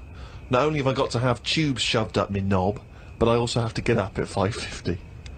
Suzanne said I could have what I want for my last dinner. It's not your last dinner, you're going for an operation. yeah, but you, you, you can't take things for granted these days. Oh, for I had shepherd's pie and peas. Suzanne made it from scratch. As nice as it was, it was annoying. Because making stuff from scratch means loads of pots, and it's my job to do the washing up. So much as the food was nice, there was loads of pans and that. People who get their last dinner on death row don't have to wash up. Got up at 5.55. You were supposed to be getting up at 5.50 on the other page. You were five minutes late getting up. He's often late. Often late. Got to the hospital and had to wait in the waiting room. There was another nine people in there waiting to be sorted. I got called in. They sat me on a bed and took all my details down. Five minutes later, I'd been knocked out. I got woke up when they were ripping a pipe out of my throat. I felt more rough this time. The doctor came to see me and said he couldn't find a stone, so I must have passed it. I said, Are you sure? He said, Yeah, we filled your kidney with water and expanded it, and there was no hiding place. I sat in the recovery room for an hour while they found me a bed. One of the fellows who was sat in the room with me this morning got wheeled in. They couldn't wake him up. All the nurses were laughing because he didn't want to wake up. I bet they were laughing at me when I was in the theatre. Someone told me they totally strip you when they're operating. I would have looked like the alien on the Boswell incident. Boswell! Boswell! It's quite a nice analogy if it weren't for the fact that you said Boswell. It's It's the Roswell incident. Ricky and Karl are here now. I don't even need to say your surnames. Hello. Hello. Hello, Karl. All right. You're How's right. it going? Yeah. Yeah, it's good. going all right. Like Frank and Liza. This actress, Jessica Chastain, who is going to be huge in a year, I think everyone will know her name. And I was at the premiere last night for a film, and I said, Oh, when you come in tomorrow, you'll meet Ricky Gervais. And she started screaming, going, Oh, I saw him at Madison Square Garden, I've seen all the office and extras. And I said, oh, You'll also meet Karl. And she, she, if anything, she screamed even louder. Oh. She's just screaming all the time. what have you got her on for? God. It might be a She condition. can't- yeah, she can't communicate through words, God. just through screams. We've got something for it though. She's, if you take these lithium pills, she's all right for an hour. So don't worry about it. Well, look, Karl, you've got a following in America now. Think of that. You see, what what a lovely compliment you just passed on there from uh, an actress who's come to this little island. She's going to be huge. She's nice, and and you did. Look at you. I wasn't dissing her. I just your- said if look she's at coming your in body language. You know when you when you feel so, when you go to a some sort of uh, zoo in a country that uh, hasn't quite got their animal rights together, Yeah. and that you see these old chimpanzees just sitting there rubbing their head, and they've got neuroses, and they're do you know A bit emaciated, I know yeah. you feel so sorry for them, and you want to that like him now. That's just like him now, rubbing his head. That's comfort. That's what that's what all simians do to comfort themselves. They just touch their head and act like, oh, what am I doing here? So how's it going? It's going all right, Karl. It's going all right, thank you. He is right. It look as though you've just been See? told you've Because got a I've week been all over the place. Where, where? Where have you been? You name it, I've been. If you had a globe in here and you span it and popped your finger on it, I'll go, France. yeah, I've been there. France. Well, not for the series, but I've been there. Yeah, I've been Um, your your kitchen. yeah I've done that. But no, I've been everywhere. I've been to Alaska. Uh, I've been to Thailand. I've been to Vanuatu. What's that? Exactly. That's what a lot of people say. They don't know where it is. I'd, I'd never heard of it. The globe that I've got, Vanuatu, isn't even on it. Yeah, but it's a blow up one, isn't it? It's not. It's a proper one. It's a proper globe that I've got, and I looked for it because I always like. I, I was doing like you know, like on Wacaday when they used to put stickers on a globe. It's a cracking reference there. No, For anyone who had a job in the 80s. Timmy Mallett, he had like a map, didn't he? And he'd say, "Hey, I love the fact that your geographical knowledge up till now was based on Timmy Mallett's Wacaday. all right. Well, I've been to there. I've been to New Zealand. I've been to Australia. I've been to Japan. Just got back from Japan about Now, three days ago. Let's, let's explain what an idiot abroad is. So this is where Ricky, yourself, and Stephen Merchant send him to places he doesn't really want to go to. Well, he does want to go to because he, he, we drew up a list. Um, uh, I've got we a sort list. of found we sort of found the top hundred sort of uh, um, people's bucket list things to do before they die. That's the list That's that I work okay, I'm from. being, I'm being passed the list now by Karl. Right, and they're the- they're do the- before you die. They recur. They're the hundred most popular things that we could we could find. We compiled that and we let him choose seven.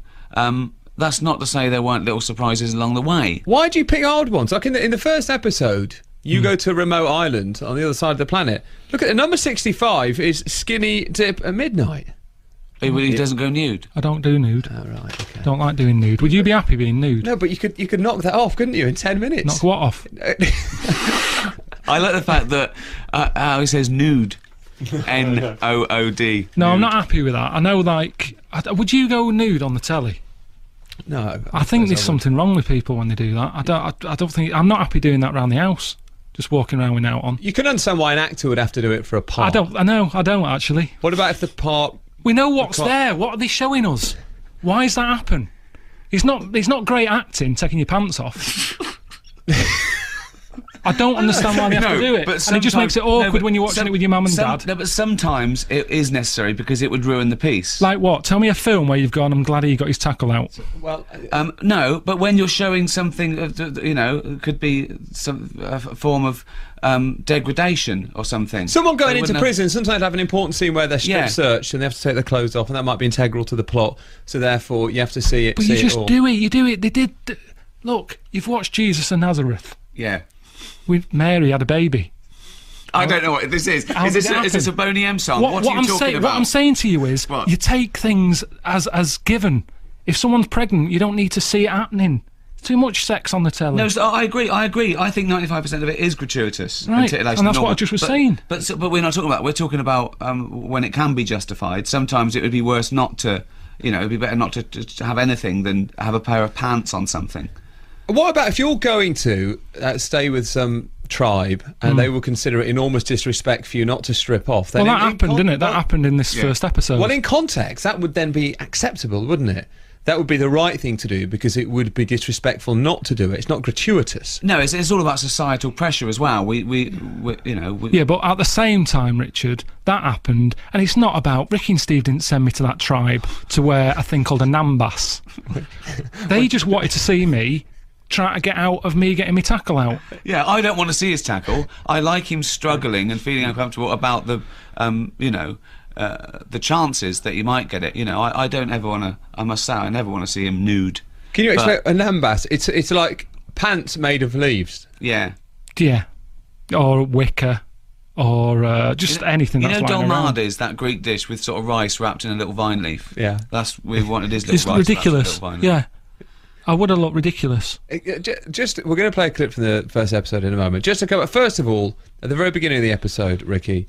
Karl doesn't quite understand the premise of 100 things to do before you die because he says, No. he's like, why would I want to swim with dolphins if I've only got, you know, a, A day few minutes, yeah, he thought it was immediately before you die, Like someone's really sick and ill on life support, and you chuck them in a pond. All right, well that's saying then. That's saying live every day as if it's your last, Yeah. like Ronan Keating sang about. Yeah. I don't think I'd be up for doing much if it was my last day. No, I'd stay in. No, no. Again, the point Well- of that phrase is that you don't know it's your last. So because we don't know it's our last, every But you can't live like that either, because what do you do when you've got bills to pay and you go, I've spent all that, I thought it was going to be the last day. It's Well, a ridiculous thing to all. live by. But that's all part of it, isn't it? it pension, mean- you get a pension. Yeah, I don't so- know how long I'm going to be around. Yeah, it doesn't mean go and get a credit card and live it up and hope you die tonight so you don't have to pay it back. It means every moment is precious. Our life is finite, so live every day like it's your last. Live every every moment, savor every good meal, every fine Mm. wine, every nice experience, because it might be your last. Karl, if it was your, la- if it actually was your last day, and you knew it was your last day, what would you Well, do? that's with- different. What, what would you do with That's it? very different. I'd probably just um. God. Well, I'll be at the doctor's. yeah. Well, not if, you, if there's no point. No. All right, I won't do that. What would you do? Just stay in. Just watch watch a film. Watch something.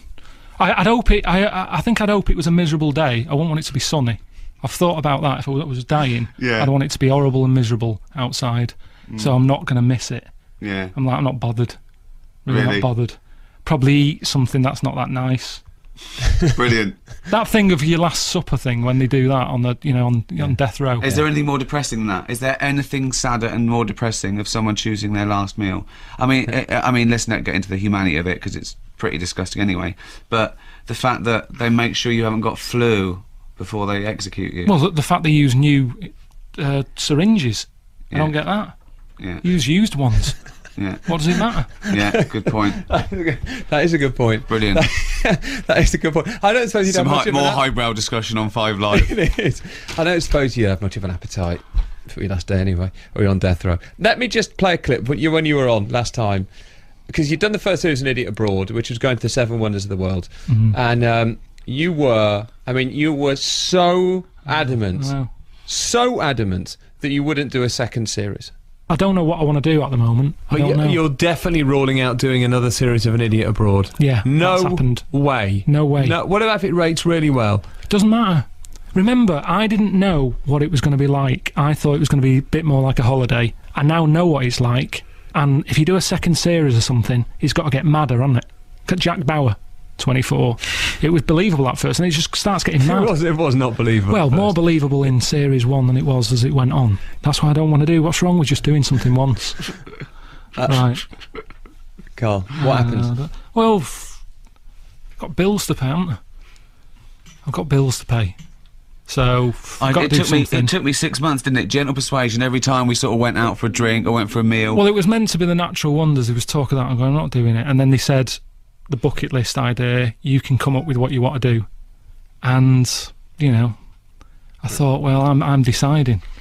So I'll do it. Plus, I was in a program called Idiot Abroad. Options aren't flying in work wise, Richard, when, when you've got that on your CV. When the idiot in the, it refers to you, Yeah. and you become known as an idiot. But mainly money. That's why does anyone do anything? well- Attenborough messing about in the jungle at his age. He doesn't want to be in there, neck high in mud. He's doing it because it's a job, isn't it? Why? Why are you sat here? Well, that's not true, is it? Because you could do something else. So it has to be a passion as well. Um, You enjoy, you know. I don't know about that. I think most of us, you don't always, you can't always pick what you want to do. You do it because money. I bet you- you're proud of the show, though, aren't you? But you are picking. I'm what you happy wanna with do. it now. It's over. I think it looks brilliant. You said to me before. You said, "Oh, you watched the first episode. It looks amazing." it looks beautiful. What do you say to those people that, that think you're whinging? You've been all around the world. You're getting well paid. You're you're on Sky. You you know people are interested in what you say. You, you've written books. You know you're under the wing of Ricky Gervais. I mean, Yeah, well, that's why it's happened. You made it happen. yeah. But what do you say to those people that think you're whinging and that think you should be Oh, grateful? shut up. Because they don't know, do they? They don't know what it's like. Everyone just sees this 45 minutes of telly. They don't know what I've been through, where I've stayed. I'm not even moaning about it anymore. Because people don't listen. Ricky, do you remember a couple of times ago when you were in and, and we rang Karl and he was at home and he was. You were grouting, I think. I was grouting. you yeah. were grouting. Now. How did that go? It's all right. Yeah. Yeah, good. Broke the vac doing it How do you? What do you mean? because when you're grouting, it all comes out. I had a, I had a what's it in a Dremel. That's what I told you about. Yeah. Dremel, yeah. and it was going everywhere, dust. So I used hmm. Henry the Vac at the same time to sort Oh, of I catch see. the Oh, dust. see. Yeah, yeah, yeah. Blew it up. Yeah. Blew up Did a vac. Yeah. You got a new vac? Yeah, I bought a Hetty. Is it a Hetty? I have no idea. The pink one. Okay, Other This, vacs this are isn't actually going out, is It it? is. I think it might. We can edit this bit out, aren't we, to make it a little bit tighter and more exciting. Well, we will do with the podcast. yeah, sure. Uh, Karl, uh, my point was this: when I spoke to you on the phone, you said that you hadn't seen any money from Series One, and you said Ricky keeps talking about this pot of money. Where's the pot? Still haven't Ro- seen it, have you- honestly. Have you, found your- Honest to God. Unless you know. I, I haven't seen the pot. And that's part of why it is. I don't want to go. This is like talking about some sort of pension plan. Look, the point is that when you uh, own the format, it's back end, which which means that they see where the profit is the whole show, the sales abroad, and that takes. We're just. It's only just the, the office, the American office, has only just started showing the syndication rights. It's worth waiting for, Karl, but. It's going to be a while, and you, you've got money to go along. I don't know where you spend your money. I know last time he said, "Oh, this is unbelievable." We're out to dinner, um, me and Jane were out with him and Suzanne, and he was talking about Christmas, and he's moaning about money as well. And I know how much he's got, and uh, and um, he was going, "Well, she's had a flaw." She's had a flaw. He put a flaw in the kitchen, and he was trying to make it that his girlfriend's Christmas present. That she'd had a flaw. It's Unbelievable. And it's the floor she wanted. I know, yes, but you walk on it. You, you, she's not the only one that uses the floor. It's not what you have to. You don't. You don't have to jump to the cooker She because doesn't it's her know floor. what she wants. She's had a floor. She's fine. Brilliant. She's spoiled rotten. Everyone feels sorry for her. You know, she's she she has got it good. Honestly, she gets what she wants. She's already talking about Christmas presents, and I say to I sit down and go, right, what is it that She you keeps want? saying, "Karl, don't forget this year." No, because I just want to know how much she wants something. Right. She sits down. I go, what do you want? And she'll say, and I'll go, right, why do you want that? Okay, let and me I just quiz talk, her on it. Let me talk about two Christmas presents that I know of. Just two Christmas presents. Yeah. One, he gave her the camera that he got at a leaving do, still wrapped up. Said, "There you go. You wanted a camera." But that's Uh, one. re- does it- I hand- it really just handed it straight over to Yes. Okay. okay. Right. Right. Why does that matter? I can top that. Something else you don't know about. Sky, after the last series, Hmm. gave me an iPad. right. She got that for Christmas. But you're saying it like you're proud of this. I'm not proud. I'm just saying there's nothing wrong with it because she wanted one of the. Did you tell her that it was a second-hand gift? Did you take the Sky logo off the wrapping paper? no, I don't think I did. But it's what she wanted, so it doesn't matter where it's come from. I think the I think the, the one she's um, most pleased with was the uh, the uh, bumper family pack of condoms, two for one offer you got from Boots that year. Right. There you go. Did that actually happen? Got used. Let's take the travel. Um, Ricky Gervais and Carl Williams. Not with me. No, I'm joking. I'm joking. 20 past two, Oh. Louise Pepper, Ber- Oh. dig us out. Go on. The West Nothing. Midlands. Cole's got to go at half past. Um, and uh, what, are you going out to do some? Was it like your boiler broken? No, no, just things to do. Okay. I don't like sitting around outstaying me welcome. Uh, you wouldn't be. Um, but we'll talk about life's too short. Karl, what do you say to those people who say that um, it's all planned and scripted, an idiot abroad? That what? What do you say to those people? You've, you've spoken to the people that say that you're whinger. You said shut up. What do you say to the people that think that? I'm not bothered anymore. I'm not bothered. Uh, d- uh, a lot of people do think that. A lot Yeah, of people think that what you do is an act, don't Yeah, forget it. whatever, whatever they want to think. Because what can you do when people are like that? One, I don't understand why they think it is sort of a scripted thing. I don't know why they think I'm an idiot. That's the first one. Because I'm not an idiot. You wouldn't say that, would you? No, you're not. Of course, you're not an idiot. Right. So we can agree on You that. say not- you s- you say you say funny things because you have a different outlook on the world. Uh, Karl's one of the smartest people I know. He's not the most educated, and so he's got gaps in his his knowledge, and that's what's funny. He's also very opinionated, and he's different, right? But there's no way he's he's honestly one of the sharpest people I know, and also. We put him in that situation to get the best out of him. I know exactly how to get this funny Karl out. He's not like all the time. When we go out for a drink, I'm not. I'm not making him do stuff. Wow. I'm not. I'm not. Wow. So What so were you doing the other night? Tying a napkin around my head. I- that was an experiment. That was an experiment because I wanted to show him the tourniquet. How uh, if you put that tire and then put a, a, a simple lever in it and turn it, you can get so much pressure in it. You nearly burst, didn't you? Your head nearly yeah, burst. yeah. So and you learned something. It's like it's sort of like Blue Peter. I don't want to bring up Blue Peter again. those, those days are gone. Those there a long time ago. Yeah, yeah, yeah, yeah. Um, Too soon for those jokes. yeah, but you know, I, I feel that um, it, it's I, I love this ten-year experience I've had with sort of educating Karl. Is not in a long it's been? patronising way. Yeah, um, it's fascinating. It's fascinating. He's also he's also my best mate. I can't get enough of him. We are mates. We do this, and he knows he knows why I do this, and it, it but it doesn't mean. He doesn't still get angry and annoyed when he's stitched up somewhere um, on a shelf on uh, on a Trans-Siberian Railway and they thought he was in first class, and um, I changed the ticket to third at the last minute. You know, so there's still fun things, but you do it like mates do it. You do it like mates do it. I, I, I think some of the things you say are really wise sometimes, but then I you do. agree. I agree. Uh, but at the same time, some of the stories you tell do seem fanciful. So I, He's I- having a go now. no, I'm not. I'm not having a go. I'm not. Having, I'm not saying they're not true. It's just that they seem. Uh, Yeah. implausible, but they, I, mean, I, I don't think you're. A, I don't think you're a liar. I don't think you even have the capacity to lie. But it, there's that story. This might be from your old XFM podcast where did a mate of yours or a neighbour keep a horse in the house? Look, What? yeah, but what? So, hang on, I've just got back from Africa, where someone's got a hippo in the house. Do you don't believe me? What, what? What do you want? What can I do? It's not my house. It wasn't my horse. I'm just telling you. Where did you? Where was this? In Manchester. Yeah, yeah, on the estate. Someone that kept a horse in the house. horse in the house, and but you know they didn't. They didn't have much. They didn't have that much money. They couldn't afford a stable. So it's in the house. They and kids, kids on estates get spoilt sometimes more than people with money. Mm. So they'd spoilt the kid and got it a horse, but nowhere to keep it. Exactly. So it was in the house. No Uh, carpet in the house. Massive telly. They always have big tellies, don't they, in these houses when they got now? The horse like Coronation Street. It was just that one wandering around. I went round because I was flogging um, Dead horse. plants in pots, Right, yeah. raising money for uh, me. and there was a horse in the lounge. Was it sitting on the couch? It was just wandering around. Did it go? Hello, can I help you? But that isn't that unbelievable, Richard. I mean, Uh, I no, it's weird. It is It is strange. It is weird. Yeah, but then there's this weird thing, you know, that there are weird things on estates, you know, and also people have uh, heard the podcast, which is, you know, like 40 hours of Karl talking about his childhood, but he's got, you know, 35 years to tell.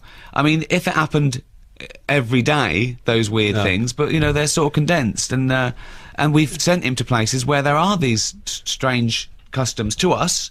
Um, uh, and there's no better man to do it. Could I just say in defence of Idiot Abroad as well? Yeah. Um, it's not a comedy show.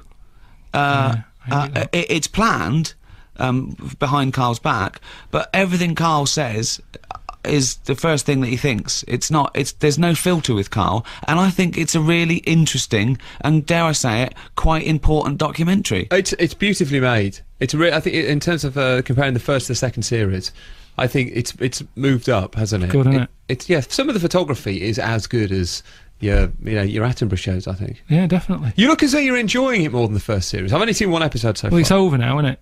And I've done it. I've been everywhere. There can't be any more. So now I can enjoy it. It's what have I got to worry about. But you had some good times on screen this time, didn't you? Yeah, I, I sort of. Um, I don't know. I think I tried to enjoy it more. Last time I moaned a lot and I was trying to get out of it and try to come home. This time I was like, I know this is how it's going to be. Stop moaning. Get on with it. Let- and I, I tried to. Yeah, I tried to enjoy my moments. Let's play a clip here. You don't enjoy this bit. This is you from episode one of An Idiot Abroad, uh, series two, when you attempt, or nearly attempt, a bungee jump. We could have gone straight to the desert island, but instead we've come all the way here for a pointless occasion because it's not going to happen. I said I'm not bungee jumping. When we talked about the whole bucket list thing, and Steve was going, "Oh yeah, bungee jumping. That's that's what people want to do. They might, but I don't. And this is meant to be my bucket list. I've been on the world now for 38 years. I don't need to introduce this now. Oh, I'm just creating a new problem if I do get into bungee jumping. I don't want to change. I don't want to get into this. Karl, let it go. Look up. Bring that chin up. Focus on that mountain. Nah, forget Yes. it. No. And you're going to dive out. No, I don't want now, it. Karl. So No. Honestly. So what was that noise? I just made a noise I've never heard come from me. Yeah. Uh, there's that noise again. You're going to go. for No. Yes, you are. No. You have got it, mate. No. It's all yours. Looking up. No, forget it. Forget it. Come on, Karl. Come on. No, this is cute. I don't want to do it. Karl, Karl, I feel I don't want to do it. For, for anyone watching online on our cameras, which are at bbc.co.uk forward slash five live, it, it, you didn't appear to uh, enjoy reliving that. No, You it took me right back. It's weird. Looks Weird. good on radio, doesn't it? All that HD. Looks wonderful. The scenery. Yeah, on you were just saying how good it looked. I know, Yeah. you were dancing, Yeah. Like, It was a mank bloke talking. Oh, here he is again. Hmm. Just the same. This looks just as good. No, but that's just a small bit of it. I mean, I, I quite like the, uh, you know, meeting people and stuff around the world is quite good because we just. It's all any the same. experiences that he's had that you were jealous of that you've looked back and think I'd, I'd like to do that or I wish I'd done that. Um, well, most of them really, as long as I didn't have to stay in the same rooms as w- that I put him in. Um, but yeah, uh, um, there's some things I agree with him. You know, uh, in fact, you know, I, I do agree with most of the things he says. That, um, but um, uh, I would, uh, I'd love the wildlife experience. Yeah, I'd love to do that one day. He came face to face with a mountain gorilla, and um, uh, the the guy out there with him said, "Karl, you know, I think we wanted an Attenborough moment. We wanted him to say something profound," and uh, Karl came up with, "They've got little ears." Is good, isn't it? No, it's. Have you ever had to do any presenting like that when you've got to sell a, an important moment? You did Obama coming to Yeah, charge. didn't you? yeah, I did. Yeah. Just imagine if you'd have been the first bloke out on the on the moon. They'd, they'd written you a little thing. one But he had jointly. loads of time, didn't he? Armstrong. What would he you was have sat in a rocket what would you have hours. Okay, you've just done it. You've just stepped out on the moon. What's the first thing? It's- No. No, but what I'm saying to you is, he was sat in that rocket doing nothing for ages. Right. He was doing a crossword or something, I read. They Really? came up with a pen that works in space or something, didn't they? Yeah, I think He was uh, doing all that. uh, apparently- Well, no, No, exactly. Russia yeah, did that. Russia yeah, did the pencil. That's right. America spent like hundred grand on getting a pen that works in space, and Russia took a pencil. Whereas when I was sort of trekking for the gorillas, I walked for about eight hours, and the guide kept saying ten minutes, ten minutes, all right, fifteen minutes. Well, hang on a minute, how long are we walking here? And he went on for eight hours, and then I get there. That's because you were going too slow, so the gorilla was getting away. If you'd have gone faster, you'd have got caught up with him. So I get there, and the bloke with the camera's going, right, quick, say something. Look at the camera, say something. This is the moment, you know, it's going to keep moving. So even though I was there, I couldn't enjoy the moment. They're all looking at the gorilla behind me. I've got to come up with something looking at a camera about this special moment. And it wasn't a special moment. My feet were wet. I ate wet socks. But where is Neil Armstrong at ages in the rocket? I didn't. You have- had eight hours. no, Yeah. because it's tricky, Richard. It and was after up and down. after you'd, after you'd pointed out they got little ears, what was your profound statement? Do you remember? I think I, I think I said I say it best when I say nothing at all. So Yeah. just film that. He quoted Ronan Keating. I don't, but He quoted Ronan Keating because after meeting a silverback mountain gorilla. Right, what would you have wild. said then? Come on. What would you have said? That hasn't been said already. I'd have said, because life, did it I'd have said life is a roller coaster. Karl, you're not outside, you're welcome. Do you want to say just like five more minutes after Ten minutes. these? Okay. Right. Great. Ten more minutes. Karl 15. Pilkington's here. eight five. Put your own questions to Karl. Eight five oh five eight. It's uh, two thirty two. Here's Justine Green. Thank you very much, Bob. Bob. But Karl, you look like you're in constant pain. No, I'm just. Um, I'm, I am still jet lagged. Are you okay? There's a text here that Ricky Gervais and Karl Pilkington are here. And when is an Idiot Abroad two on? When did it start, Ricky? Friday. It starts on Friday. Tomorrow, Tomorrow nine night. o'clock. And there's a book out from series one. Yeah, that's Still number one. It's doing all right. That. Mental. I mean, it's. A, I told him that. Uh, uh, uh, I told him the sales, the DVD, the DVD. I mean, the book and the DVD we sold about a million. Right? Nothing. Nothing. I tell him all that these people that. You know, like you, these people that I talk to at the Golden Globes and these award shows, they not impressed with it. The only thing he's impressed with It's being is paid. That is all I want, Richard. That is all I do this for.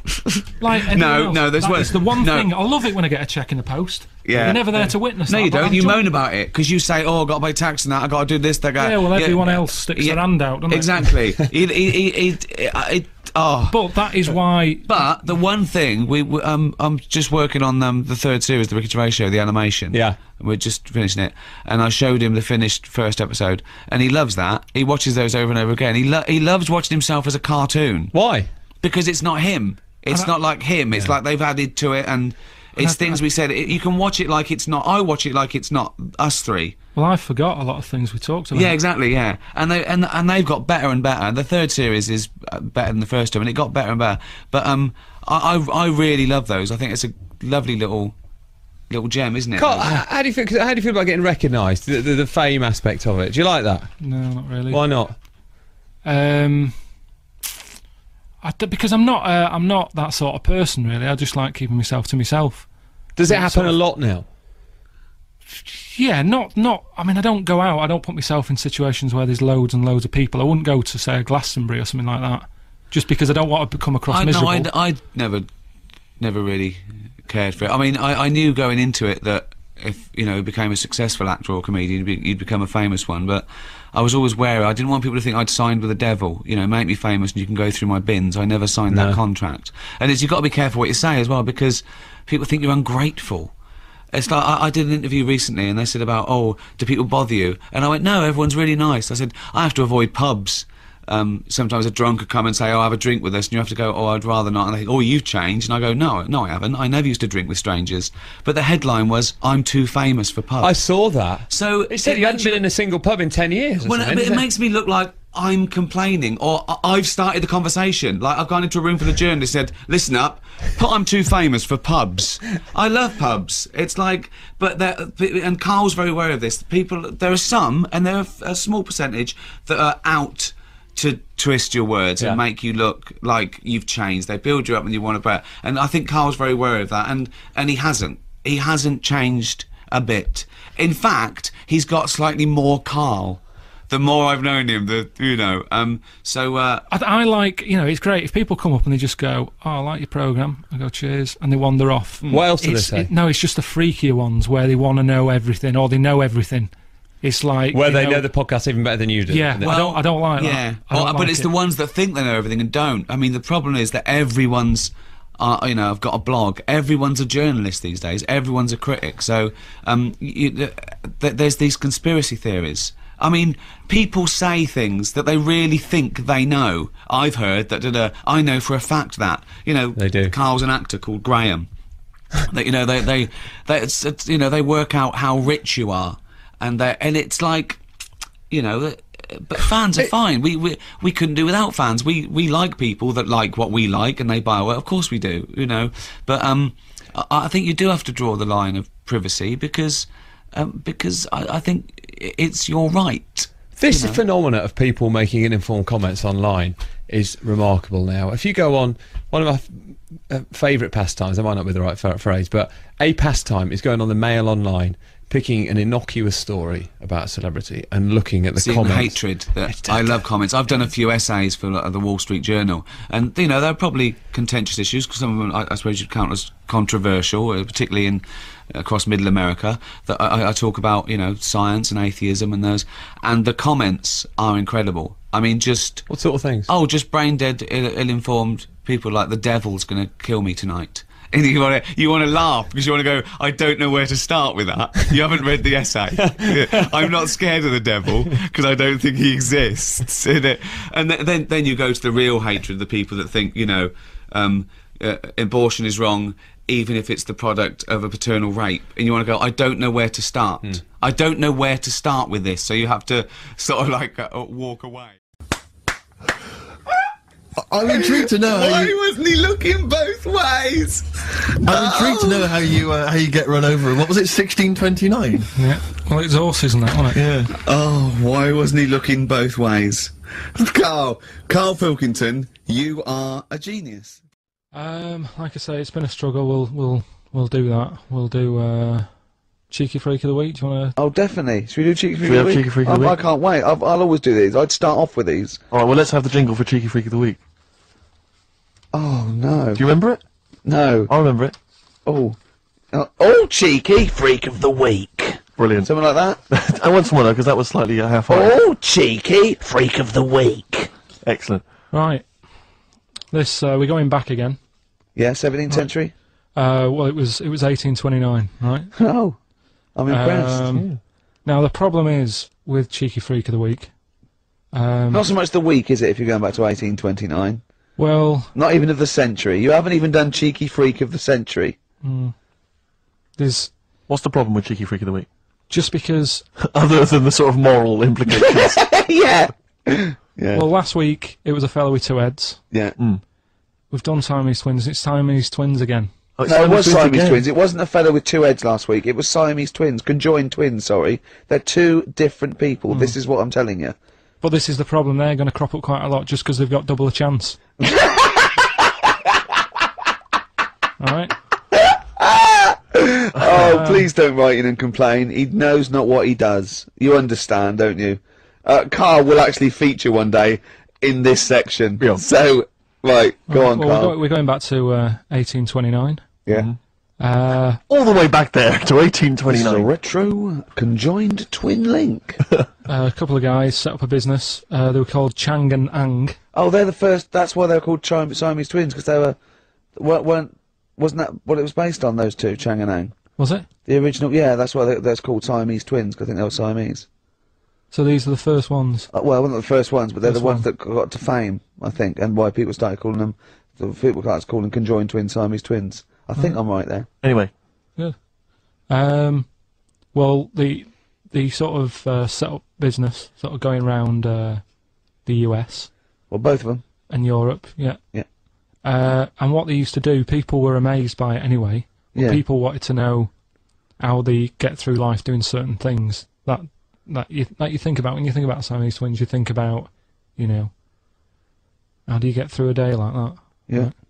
Um, and the thing that cropped up the most with people was how they take a bath. So they used to go on tour around the US and Europe and uh, sit in a bath, have a have a wash and that, and uh, Did they ever wash each other by mistake? They go, oh, oh, oh, oh, that ends there, that ends there, like those things in supermarkets. Oh, they put one of those down. We go, oh, oh, oh, oh, oh, oh. what do You you put mean? that there. What do you mean? You know the things on the conveyor belt, the little, the little dividers. yeah. They wind me up, those dividers. Now it's Chang and Ang. They're in the bath. They're washing their own bits. They got one of those dividers, right? They go, "Well, that's that's definitely yours." I marked mine. Hmm. That's definitely mine. What? Don't wash that, Chang. I won't. I wouldn't, Ang. I wouldn't wash that. Right? So what? What are they doing? They're in the bath. Carry on with the story. Uh, that's about it, really. I mean, that's that's the the fact that people. So two people, two little Oriental fellas joined in the hip, had a bath. no, no, no. That's no. your story. No, they didn't have a bath. They sort of everybody. They must have done some sort of research, right? Who? Changarang, right? And they said, well, what do people want to see? Isn't that basically Roller's song? But it's an idea that people have queued up. They've paid their money. They're in a tent. They're, well, I hear they're going to have a bath. They're going to have a bath. wanna Two, see- two Siamese people have a bath. How would they possibly do it? Well, I've heard they get into a bath. But that, uh, that's I don't know they, what- they what's wanted to see them nude and where, where the join was. no, More than uh, how do you get in the bath. I don't know. They just that's that's what they picked. They said, what what would be good to see? What what, what do you, you know? What do you want to see them do? Having a bath. How'd you get into trousers? Was there, was there exactly. This is all part of it, isn't it? That's why they picked having a bath. this is all part of it. Well, then watch we get dressed afterwards. Yeah. Who was the best out of Chang and Eng? Who was your favourite? Uh, they both look the same, to be honest. There's a surprise! One was a short ginger woman. oh dear. Uh, Is there anything you you know? What what would be better than having a bath for you when you're seeing them? What what would sort of make you go? Oh, I wonder. Oh, one of them pulling and the other one going home alone. Yeah. I go, look, look, oh, she's definitely up for it. I'm taking her home. I go, oh, what am I going to do? Can I watch? Definitely not. Definitely not. Look, you go to bed. I want to. I want to wine and dine her. But if they if they if he's got back to their place and they're going at it hammer and tongs, but only saying one of them. is Hammer and Tongs were their cousins. right. they lived. They lived miles away. Yeah. Um, if one of them gets knackered, can the other one take over? God, I think we could But play a the- record. That annoys me. What? That that sort of being at it all night. what do you mean? Let's put a song and I'll come back. What to do you it. mean?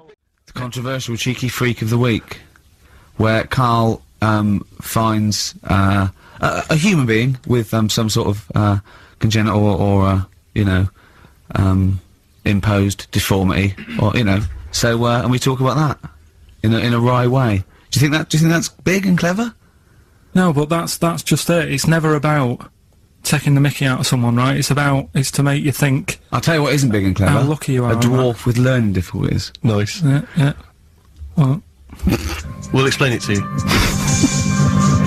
Nick Cave and the Bad Seeds. He wants you. Brilliant. Yeah. So, Karl, off you go. well, we we we're not going to do uh, freak of the week here, Okay. right? Because we've we've done quite a bit of that in the last twenty minutes. We've right, so we'll on that. freaks. You think? Yeah, Sure. we'll just shift it a little bit. Okay. Uh, and I don't like I keep saying, don't want people to be thinking we're sort of taking the mick out of anyone, No. right? Because we're not about that. I feel that, like I can do a little bit of it because I work with with you, Steve. Yeah. sure. It, it gives me that right. It's like a care worker. Yeah, I understand. Well, it's like, it's like that thing of you can't be homophobic because I've got a couple of gay mates and Sure, stuff. sure. It, I think it sort of gives me that edge. Yeah. Right. So, So you're not freakophobic because you work with Steve. no, that's right. Yeah. So uh, yeah. Okay, Well, well, I that, think- they, by, by, by that token, I should be able to sort of slag off, you know, the mentally ill. What do you Or mean? at least mentally handicapped. Now there's a term you don't hear very often. In, in 2003, there was a, the mentally handicapped. the mentally handicapped. Isn't that what it Oh, was? I don't know where to start. But I- I would mean, like to apologise for the Lady Diana stuff, uh, the term mentally handicapped, um, and any inadvertent racism that we may have stumbled What's over. the actual term then? Is it retarded? right, are we So, having uh, cheeky freak of the week? Do you want to do it? What Yeah. time have you got to shoot off? Could do with shooting off sort of soonish. Okay. To be honest. this is not radio. Have you ever heard that on a radio show? Chris Tarrant going, I got a shoot off right now. I really, I, I didn't, I couldn't get a later train. I know. Get, why did you get a later train? isn't any, there isn't isn't a later train, so I couldn't get to Cornwall tonight if I had to. If I had to finish this show, I couldn't possibly get to Cornwall. Rubbish. Of course there's a later train. Oh, I've, I've, I've booked it now anyway. Right, well that's the point, isn't it? Yeah. You're not following Right, through. whatever, whatever. I don't think the show's lost anything. I think we've still had the, you know, freak of the week's coming up now. Oh, cheeky freak of the week. right. Well, uh, we've had some uh, interesting things we've been looking at. Uh, this week, it's uh, it's about the strangest couple that ever got married.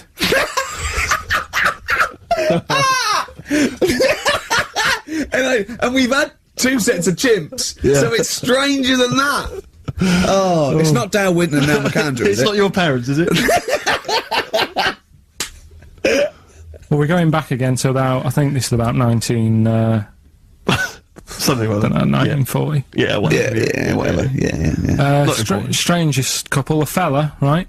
He had skin of a lizard, Yeah, the skin of a lizard, okay.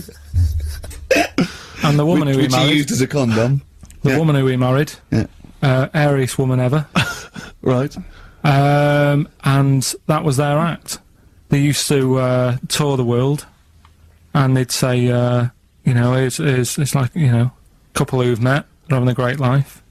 Uh, let's get them out on stage. Here they are. And they'd, uh, they'd What do you mean out. he had a skin of a lizard, first of all? That's what that's what it said. He he had some sort of uh, some illness.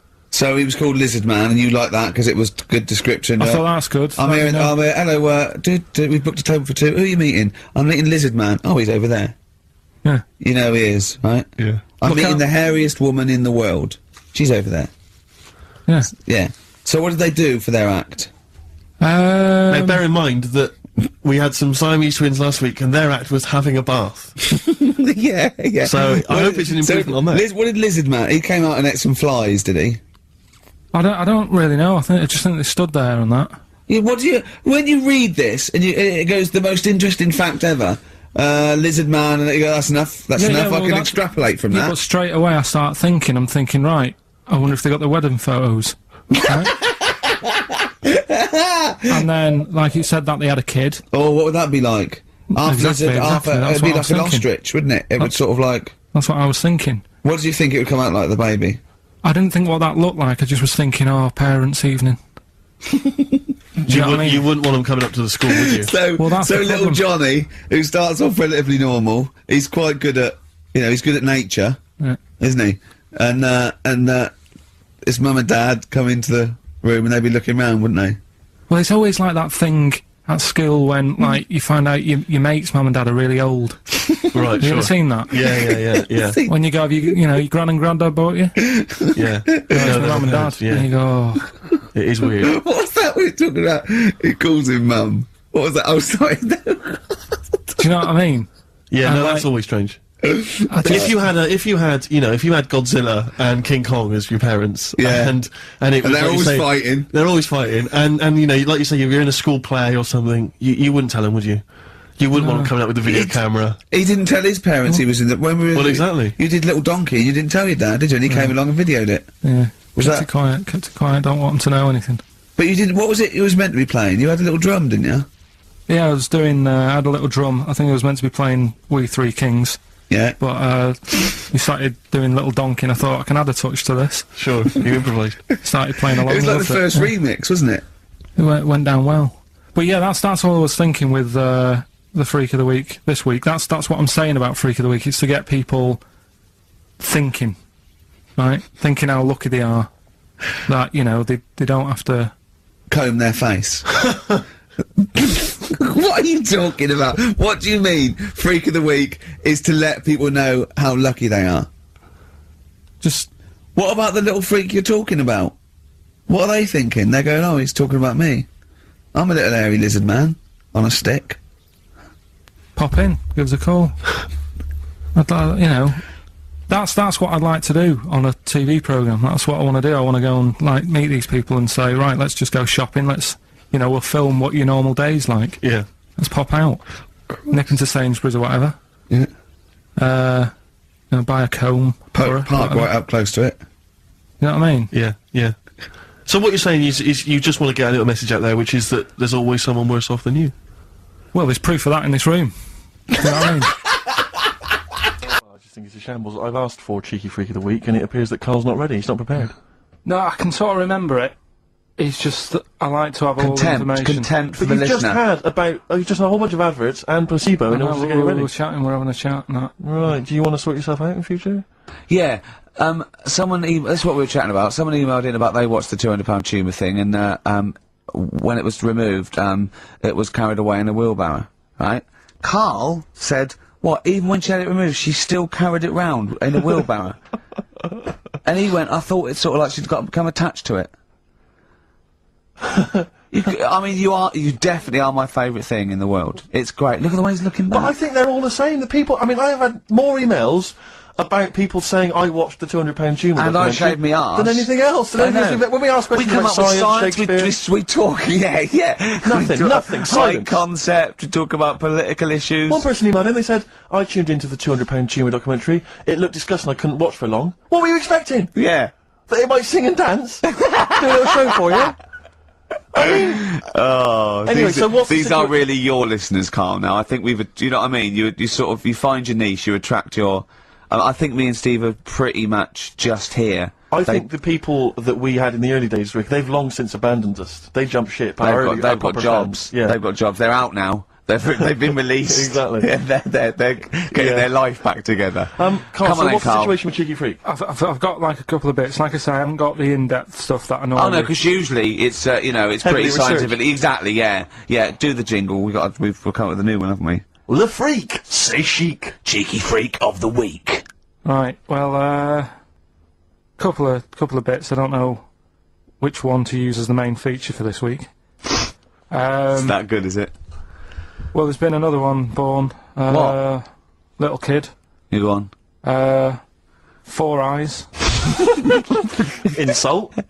Just a guy who wears glasses, come on. Four eye, uh, four eyes. Uh, two noses. Two mouths. That's weird. isn't it? This bloke did he also have two heads, two bodies, sort of born sort of slightly separately? He wasn't stood next to a mirror. No, no. It's weird, that isn't it? That's all you've got, is it? I love that. That's weird. That imagine the doctor said that.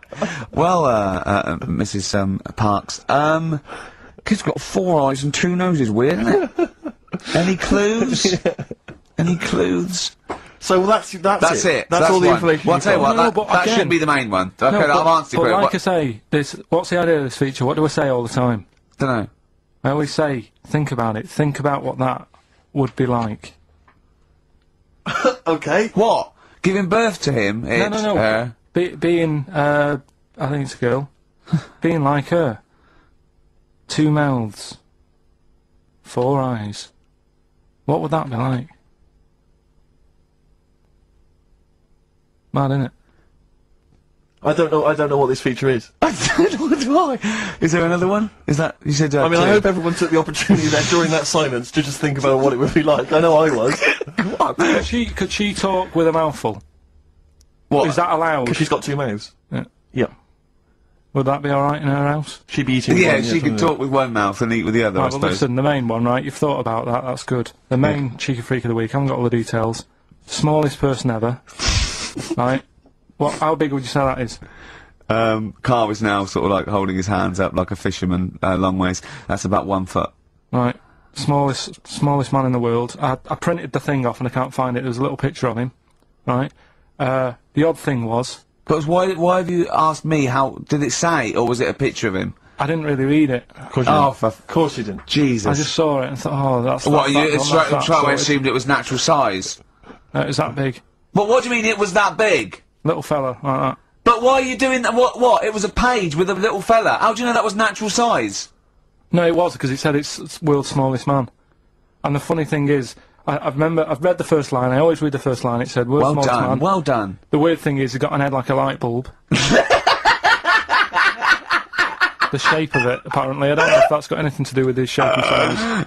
Oh, um, God. That that big. His name's Mr. Watts. And uh, the the annoying thing is, what got me is, if you're that big, Yeah. right, don't have your picture taken next to a fruit bowl. Why was he having his photo taken next to a fruit bowl? Don't know. Whoever the photographer was, obviously having a bit of a laugh Yeah. at his expense. Because you you would just stand in the middle of nowhere, you'd look normal and that, but he was he was stood there, just leaning on an apple.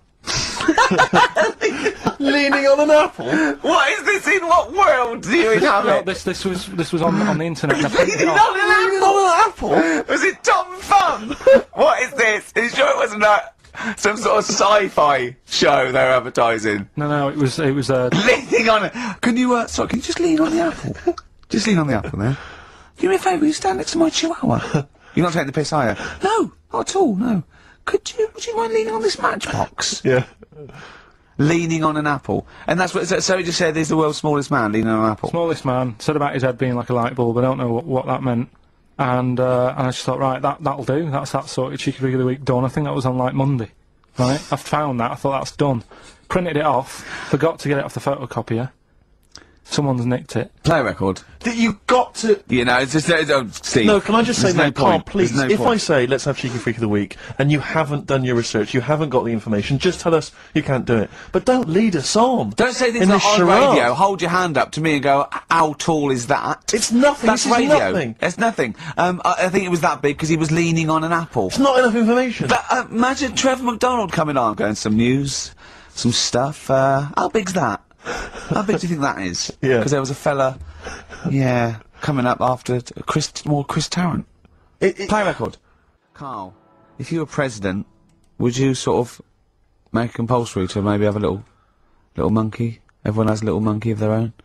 Little chimps out and out, old age pensioners. It's not a bad little. Uh... It's funny, you know, because there was um, a, s- a story the other day uh, when I was looking for Monkey News. right? um, There's a story about a couple who, who couldn't have any kids, right? There's something wrong with them, but they really wanted a kid. And they got some uh, dodgy email address where they could buy a baby online, right? It was someone who would have a kid, and you could buy it for three grand or something, right? Yeah. So anyway, they got one, they got picked, and like, brilliant, there's the money. Got the baby and everything, they were loving it. Um, you know, playing with it and stuff. As it got older, Feeding it. it got area. oh, shut the f- Oh, car! Turned out they've been sold a chimp. You, you maniac, you stupid mank twat. How Don't on earth? talk shit. That is as if. They, uh, uh, what? didn't know it. Oh, don't talk. Are you, are you mental? You I love the fact that stupid. that didn't make it into Monkey News. I know, yeah.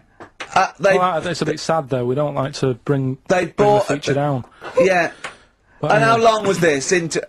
It got hairy. They're born hairy! no. They're not born like humans, then develop hair because they go. Hold on, we better we better get the chimp stuff kicking in now because we're in the jungle. School photograph. They were like, hang on a minute.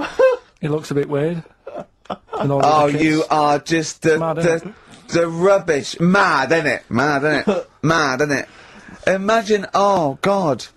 But Just anyway. imagine if he was in charge. We did put him in charge of the country. Terrifying. Wouldn't that be amazing? Let him run the country. Just for a week. Or, or the mayor. What would you do if you were the uh, the president or the Lord Mayor of London or the Prime? Prime Minister Karl. I don't wouldn't do it like he's going to be offered it. It's a hypothetical question, Karl. No, but Su- Suzanne was, uh, alright, my, my missus, if you're a new listener. Your keeper, sure. yeah, help her. she was she was watching the news trying to follow some heavy stuff, and I'm like, The oh. weather? Do you know what I, mean? That- I just was like bored and I was reading about that mouse that had an ear on its back and stuff like that. so she said, "Well, you take notice of this. Should be, you know, you know what Ricky and Steve are like. They, you know, they try to teach you stuff and you don't even want to learn. Hmm. So to try and get She's me a good woman. interested in it, she was like saying, "What would you do if you're president and stuff?" Yeah. And I, I can't be doing with any of it. What did you come up with? You must would have. your you- slogan be? what, what would you? What did you come up with? Did you come up with anything? I had a little um, the design of it, right? I said I'd, I'd, I'd, I'd have like red and blue, sort of. Do you know what I mean? Both sort of major sides into one. to kind of Yeah. Well, bit- that's broken the back of it. That's that's a pretty good manifesto so far. Uh, um, anything else? What's on the second page? I had like uh, KP looks after me. that would be the badges, would it? Yeah. That's good. I'm a Um, KP nut. Um, KP looks after me. Yeah, brilliant. That's about as far as I went with it. What would you do? What about you know policies, transport, um, crime? Uh, uh, you know, just just law and order. Um, Yeah, how would you? What would you do? How would you deal with crime? What would your initial approach be? Would you introduce guns? Should police carry guns? Nah. No. Nah. Um, would I have to worry about that? okay. Uh, no, good point. Minister. Good point. No, what Um, I'm saying is, though, I mean, Tony Blair isn't sorting everything out, is he? No, but he has a say in most things. Does he? well, go on then. What What are the problems at the moment? That need sorting out. Well, generally, how would you? How would? What's the best way to combat? Would you? Uh, would you bolster up the prison system? Would you uh, introduce more community service? Would you make? Would you bodies make? on the Would, would you go harsher for say for say um uh I don't know uh uh drugs? Would you go harsher or or less harsh? There's there's pros and cons Higher of both, isn't it? Because of course you ca- you can't see to condone it, but some people you know you don't want to go through the court system and cost taxpayers thousands of pounds of money for someone I don't know the difference between smoking a spliff and dealing crack. Hmm. Do you know what I mean? You have to all these things. Have, to, have I lost you? Yeah, I'd, I'd just think about it for a bit. Do you know what I mean? Brilliant. you think about it for a bit. uh, yeah. yeah. Probably ask Suzanne. Do you know what I? This is amazing. Get her help on it. Yeah. Can Now, what about the foreign situation? Would you? Uh, would you have supported Bush in his war on, against- on terrorism? Um. You're aware of this war that we had recently. Yeah, yeah, yeah, yeah. yeah. I mean, if I was new though, couldn't I just say, look, new slate? Do you know what I mean? Let's start again. Yeah, Right. of course you can. I'm in charge now. Let's, you know, let's see if we can sort this out. What would you do then? Then see what happens. Just leave it. Brilliant. Just leave it. Suck it and see. Brilliant. Brilliant. This, yeah, this is excellent. Now So this is uh, this is not really your jurisdiction. This is not really your area, but you, I imagine you'd have some powerful friends You might Go have on, a say go in on, it. go on. Yeah. Would you? Uh, what would you do about uh, single-sex marriages, same-sex marriages? See, this you- got Ca- this Cameron. I thought Cameron had blown it on Big Brother because they said, um, you know, what do you think about um, uh, gay fellas getting married? And he went, uh, no. In the Bible it says, you know, a man and a woman. And I thought, oh, he's put off a lot of. Yeah. I don't really think many Christians tune into Big Brother, but we know the gays love it. Yeah. They love Big Brother, don't they? The gays. Yeah, so interesting. But uh, So, uh, what, would yeah. you, what would your take be on that? Same-sex marriages. Um. And then what? Having a kid? Well, just let's start off with, you Well, know, that's all right, isn't it? Do you know what I mean? Just let them get on with it. It's Sure. not affecting anyone else, Sure. Yeah. Sure. right? But it starts getting tricky Right. when you get a kid. Okay. go on. Why? Well, it's it's just tricky, innit? Do you know what I mean? Well, you could be right. I'm not giving any. I mean, you know, uh, we're not. There's no right or wrong it's answer. all right if you were in like if you lived in the jungle, right, with no one else, Yeah. right, and you just had these two fellas, right, yeah. looking after you, but because you got no one else looking in on that, saying, "Oh, you're a bit weird, aren't you?" Do you know what I mean? But Right. as soon as you come So, to what, what, why, the, why have they got married? Do you think the gay people turned to a bloke because they couldn't get a woman? Um, If it, if you live, if, if there's two fellas go away and they're in the jungle, they go, "We're definitely not going to find a woman here. We might as well bum." That's not how homosexuality starts. People don't. it makes don't- you wonder. No, no, it does make you wonder. Gays don't go, well, I'll tell you what, I haven't seen a woman I fancy yet, I'll try a bit of knob. no, no, no. But what I'm saying is, right, if you're brought up in like a little jungle, right, yeah. uh, you How are you brought up? someone just puts you there. I don't know what, explain. I don't know I what can't be this is bothered, about. Steve. I can't be bothered. Go running on, the mate. I'm country. listening. I'm fascinated. I can't be bothered running the country. Like, I'm too much trouble for you. KP takes care of me. All right, then Yeah, fair yeah, enough. What okay. I'm saying is, right, if you're brought up in a jungle, Right. right, Bro- your what do you mean brought up? Just let him finish. What does he mean You brought- understand brought what up, he means? though? Like Tarzan. You've got to tell me what you mean by brought up. Wolves, chimps. What? Right, well, there's a good example of what I'm saying to you. Right. Right, what I'm saying is, there's a fella, right, he's brought up in the jungle. Shut up. Just let him finish. Let him finish. There's no women about, he doesn't know about women, he doesn't understand what women are, Right. right? But another fella walks in, in the scene, Yeah. and he gets pally with him. What does he talk about? Then they've both got needs. this scenario is ridiculous. How has he lived? Or, or do you know what's his reference Can't, I can't be bothered with this. Honestly, Saturday should be, you know, day off and that, not worrying me about problems. So, uh, there we go. Karl as president. He's still, he's still confused, aren't you, Karl? Just a little bit, just a little bit sort of amazed Yeah. by the body. Yeah. You're Just in awe the- of it, aren't you? Just the way I'm amazed how two people can buy a baby on the internet for £3,000 and not realise it's a chimp till it goes to school. No, no, no. But seriously, what would you know talking about there during Elbow and Fallen Angel? uh, we were talking about that. I think Yeah. if you're locked up, well, not locked up in a room, you've got a normal life, except there's no women in it. Yeah. Right. But how would that happen? What would this point of reference be? How would you bring Right, up hang a on a minute, person can I just ask you something totally go on? How can infinite monkeys and a typewriter? Right, again, I've told you before, right? That is not. You don't actually have to test that model. It's it's um, basically a model for the that, that explains the nature of infinity. Okay, Yeah, but I've told you before. It it works because of the definition of infinity. There's no there's nowhere in the world you'll ever be able to get an infinite amount of monkeys and typewriters to com- but anyway, all I'm saying Yeah. is, I think if if you don't know about women, would you crave for a woman even though you, don't know her you- when you hit sort of puberty, your hormones will kick in, and you'd you'd start getting urges. But for what? If you don't know about it. You don't have to know about it. You don't. When if you grew up and you started feeling hunger, you wouldn't go, "I wonder what that is." You'd go, "Get me a sandwich. I'm starving." It's different though. It's different. But I'm not. Um, but but we're not saying it's uh, it's all hardwired or people are you can't change their their natural state. We do it all the time. We fight nature all the time with conditioning. God is weird, isn't it? Yeah, well that's that I- one. I I'll was- tick I that. was- It's weird, isn't it? No, I'll the tick- body is. There was something. Yeah. Did, you, did you read that thing the other week about? Um, Man with two penises. no, no, no, no. We don't need that. We don't. Need that. Uh, lawyer who got in office realised he was actually an orangutan and they just shaved him, put a suit on him from Hugo Boss. And the funny thing is, he won the case and the judge said, well, don't send him back to uh, jungle. Let him set off on his own. Budget, wibble and podge. You'd make the best judge in the world. No, there's a fella. Here's a banana. I remember. Um, and I think all kids go through a phase of shoplifting. Well. and, and I, I, when I was going through it, um, I used to just just little things, just like magic markers and uh, magazines, Mars bars, that sort of thing. Yeah. And Cigars uh, and dildos. and one day, right, Same thing. uh, that my, my mate Anthony, his mum called up my mum and said, "I've got to, uh, I've got to meet up with you. I've got to have a word with you." And uh, she said, "What about?" She said, "I don't want to talk about it over the phone." So she goes, "Oh right, well, yeah, come round tonight then."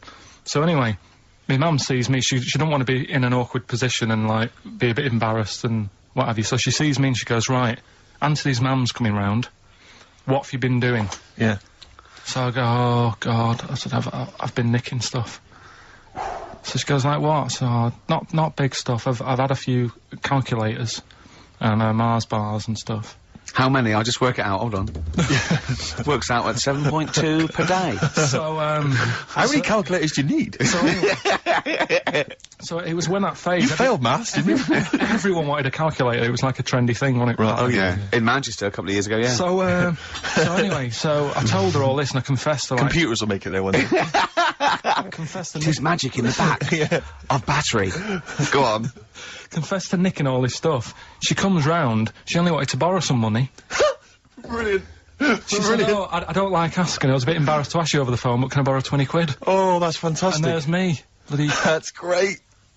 And it's similar Oh. sort of thing to yours. And did you? and um, he- he went, hold on, mum, let's just work out the interest on that. uh, uh, uh, bank ten percent. She'll owe you four pounds forty. Yeah. Oh, did, so, so your mum was a loan shark, yeah, yeah. and um, And, what- uh, did did did uh, did she mention? She went, "I just- I just- with your with that other because what I'm saying is presumably you got No, your no, mate in no, trouble. no, no, no, Right, you didn't. no. She went, no worries, I'll just go and get my purse. It's on the dressing table. exactly. Yeah. Karl, Do you want a cigar? what are the things you used to give away at your disco then that you'd find on the dressing table? You used to go into your parents' room and go, what can I give it away was, tonight? it was stuff like cigars. Yeah. Yeah. Dad cigars. Yeah. Uh, I had a pair of tights, what do you mean? unopened. You know, you get them in like a long. Who did you give that to? just whoever did the prize. It was stuff like you know, we we did like a little raffle. Just imagine Karl going, this is for a pair Who's of going joyriding this Pretty week? Polly, sheer. Exactly. Yeah, who's doing a bank job this week? Exactly, that's what it was used for, yeah. Just little bits, of, you know, unopened makeup, just stuff like that. And did Right. their parents not notice? No, because it's stuff that you're not that bothered about. And If a telly went missing, they'd notice it. they would, wouldn't they? They'd be staring at a wall for three days. but a pair of tights and a cigar and that, you Yeah. get away with it. yeah. But it's it's funny as well because like uh, you had you had two names. I just like remembered. I started off as um, Dazzling Darren's Disco, just because the first lights I could afford belonged to someone who had their name put in lights. Right. So I went along with you that had to name for pretend you were called Darren. That's lovely. That's great. Is it worth it? Brilliant. And then it went on to Pilkins making music. yeah. Jeez. That's great. Anyway, should we have some more music? Yeah, uh, we've been on. waiting for What, what, what are you going to play, Karl? We've got the Cooper Temple Clause Oh, lined up. brilliant. You and your father have probably come across this sort of dilemma in the past, and I'd be interested to know what your take is on it. Uh, let me see, this is from Lee Matthews by the look of it. He says, uh, he lives in a suburban area where the local teenagers uh, also live on the same road, and they're running riot. They're smashing wing mirrors off the cars, they're crashing into parked cars on their skateboards, and they're just generally making hay- mayhem, you know, night and day. Uh, what can he do to stop this going on? Uh, the parents of the kids don't seem to give a damn. Anyone who complains to them, they just say, "I'll piss off." You know, the police are useless because they never catch them in the actual act of violence, which is what they got to do to uh, apparently convict them. So uh, they, they don't know who to turn to, really. it's rather like when a, a little old a lady problem. went and got the A team, you know. the It's a, of it's a, you know, and he was dressed as an elderly Chinaman. exactly. She knew, she knew who he was. Colonel Decker didn't have a clue. Yeah. You see, it's weird because now, now it has got out of hand. Do you know what I mean? Like years ago when I was growing up on the estate, um, yeah, you had problems, but not like you have now. Do you know what I mean? Um, you know, Summers were nice as well, weren't they? well, it did seem that way, didn't it? Yeah. Right, and Police are getting shorter and But younger. you yourself kind of admitted in the past that you were something of a tearaway. Did, you didn't do anything Yeah, but like these never- kids I mean, here, the but thing is, I was I was scared that if I got caught doing it, my dad would go mad. yes. And I remember smashing a car window by accident and legging it in the lounge and sort of pretending to go asleep on the settee. Genius. And I heard a knock at the door. and I Chloroformed himself, just to be unconscious when his dad came home. And there was a knock on the door, and I thought, oh god, this is the fella who saw me. I was chucking a stone in the air, seeing how high I could throw it. Of course you were. It came, Did it keep landing on your head? that would explain a lot. and, uh, it, it came down. Chucking a, a stone in the air, love to it! see how far I could It's throw. it. brilliant. So, you know, I wasn't bothering anyone. Did you invent that game? Right, Did you so get the stone for your birthday? go and play with your stone. he gave one to Suzanne. Karl, go and play with your stone. the thing is, right, and it came down at a fun, funny angle, and it, it, course it did. it ate the back of this uh, car, and the and the back window is the most expensive because it has that heating thing in it. for Yeah. In case you got a frosty window. Yeah. So I thought, oh god. so I legged it in, got on the settee, went to sleep, knocked at the door. Genius. This is a brilliant plan. It's a brilliant plan. I couldn't be guilty. I'm asleep. So so I love the idea. So the thing is, our lounge used to sort of you could you could see in from the door, right? So this family who uh, who think saw me do it. Let, saw me asleep on the settee, and my mum said, "Go and get the door." And I sort of went, "What?" as if I'd been asleep. Yeah. I went to the door, like rubbing my eyes, and uh, the fella said, "What did you run off for? I saw you." I was like, "Oh no," and I didn't see my dad. I went out. It was when he was working sort of evenings, so I went out so I didn't have to see my dad. And then the next day I came fr- I came home from school, and my dad said, 45 quid." That's all he said. That's all he he said. looked at me. And then you fell asleep when he went, wake up, wake up. You know what I said? No, 45 quid. Now the thing, Karl. he, he- Right. he didn't have to do Forty-five anything. pounds, Karl. Now I know you were saving up for a brick, but you can't have it. yeah. But do you know what I mean? It's like I knew I did wrong. Uh, and I was scared that my dad was going to belt me. Yeah. Yeah. So I was like, oh, wh- you know, I'll be more careful next time. But that was clearly good parenting on the part of your father, because these young tykes, That- clearly they that's- don't have the, uh, what the, do you the, do? the father I support. don't do even. they? I, I- I don't know if. If I you were can living in that street, very quickly, what would you do? What, what, would, what would your approach be? If you were living in his street. What if what if they'd come over and they they just vandalised all your pebbles, right?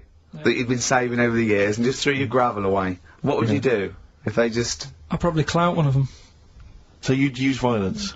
I think it's the only way sometimes. Sometimes the only way. And I don't, I don't mean, you know, really bad, but I'd, I'd show them that I'm not putting up with this. Right. And then, then the problem is you've got their family coming round and they're probably quite. Go out. sleep. If you hit a kid and the dad comes down, just go to sleep.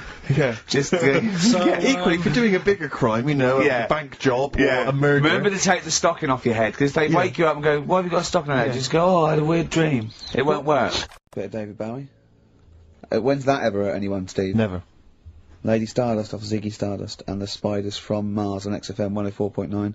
I'm Ricky Gervais, Steve Merchant. Karl Pilkington is in the middle of educating me. Colon then, educate me.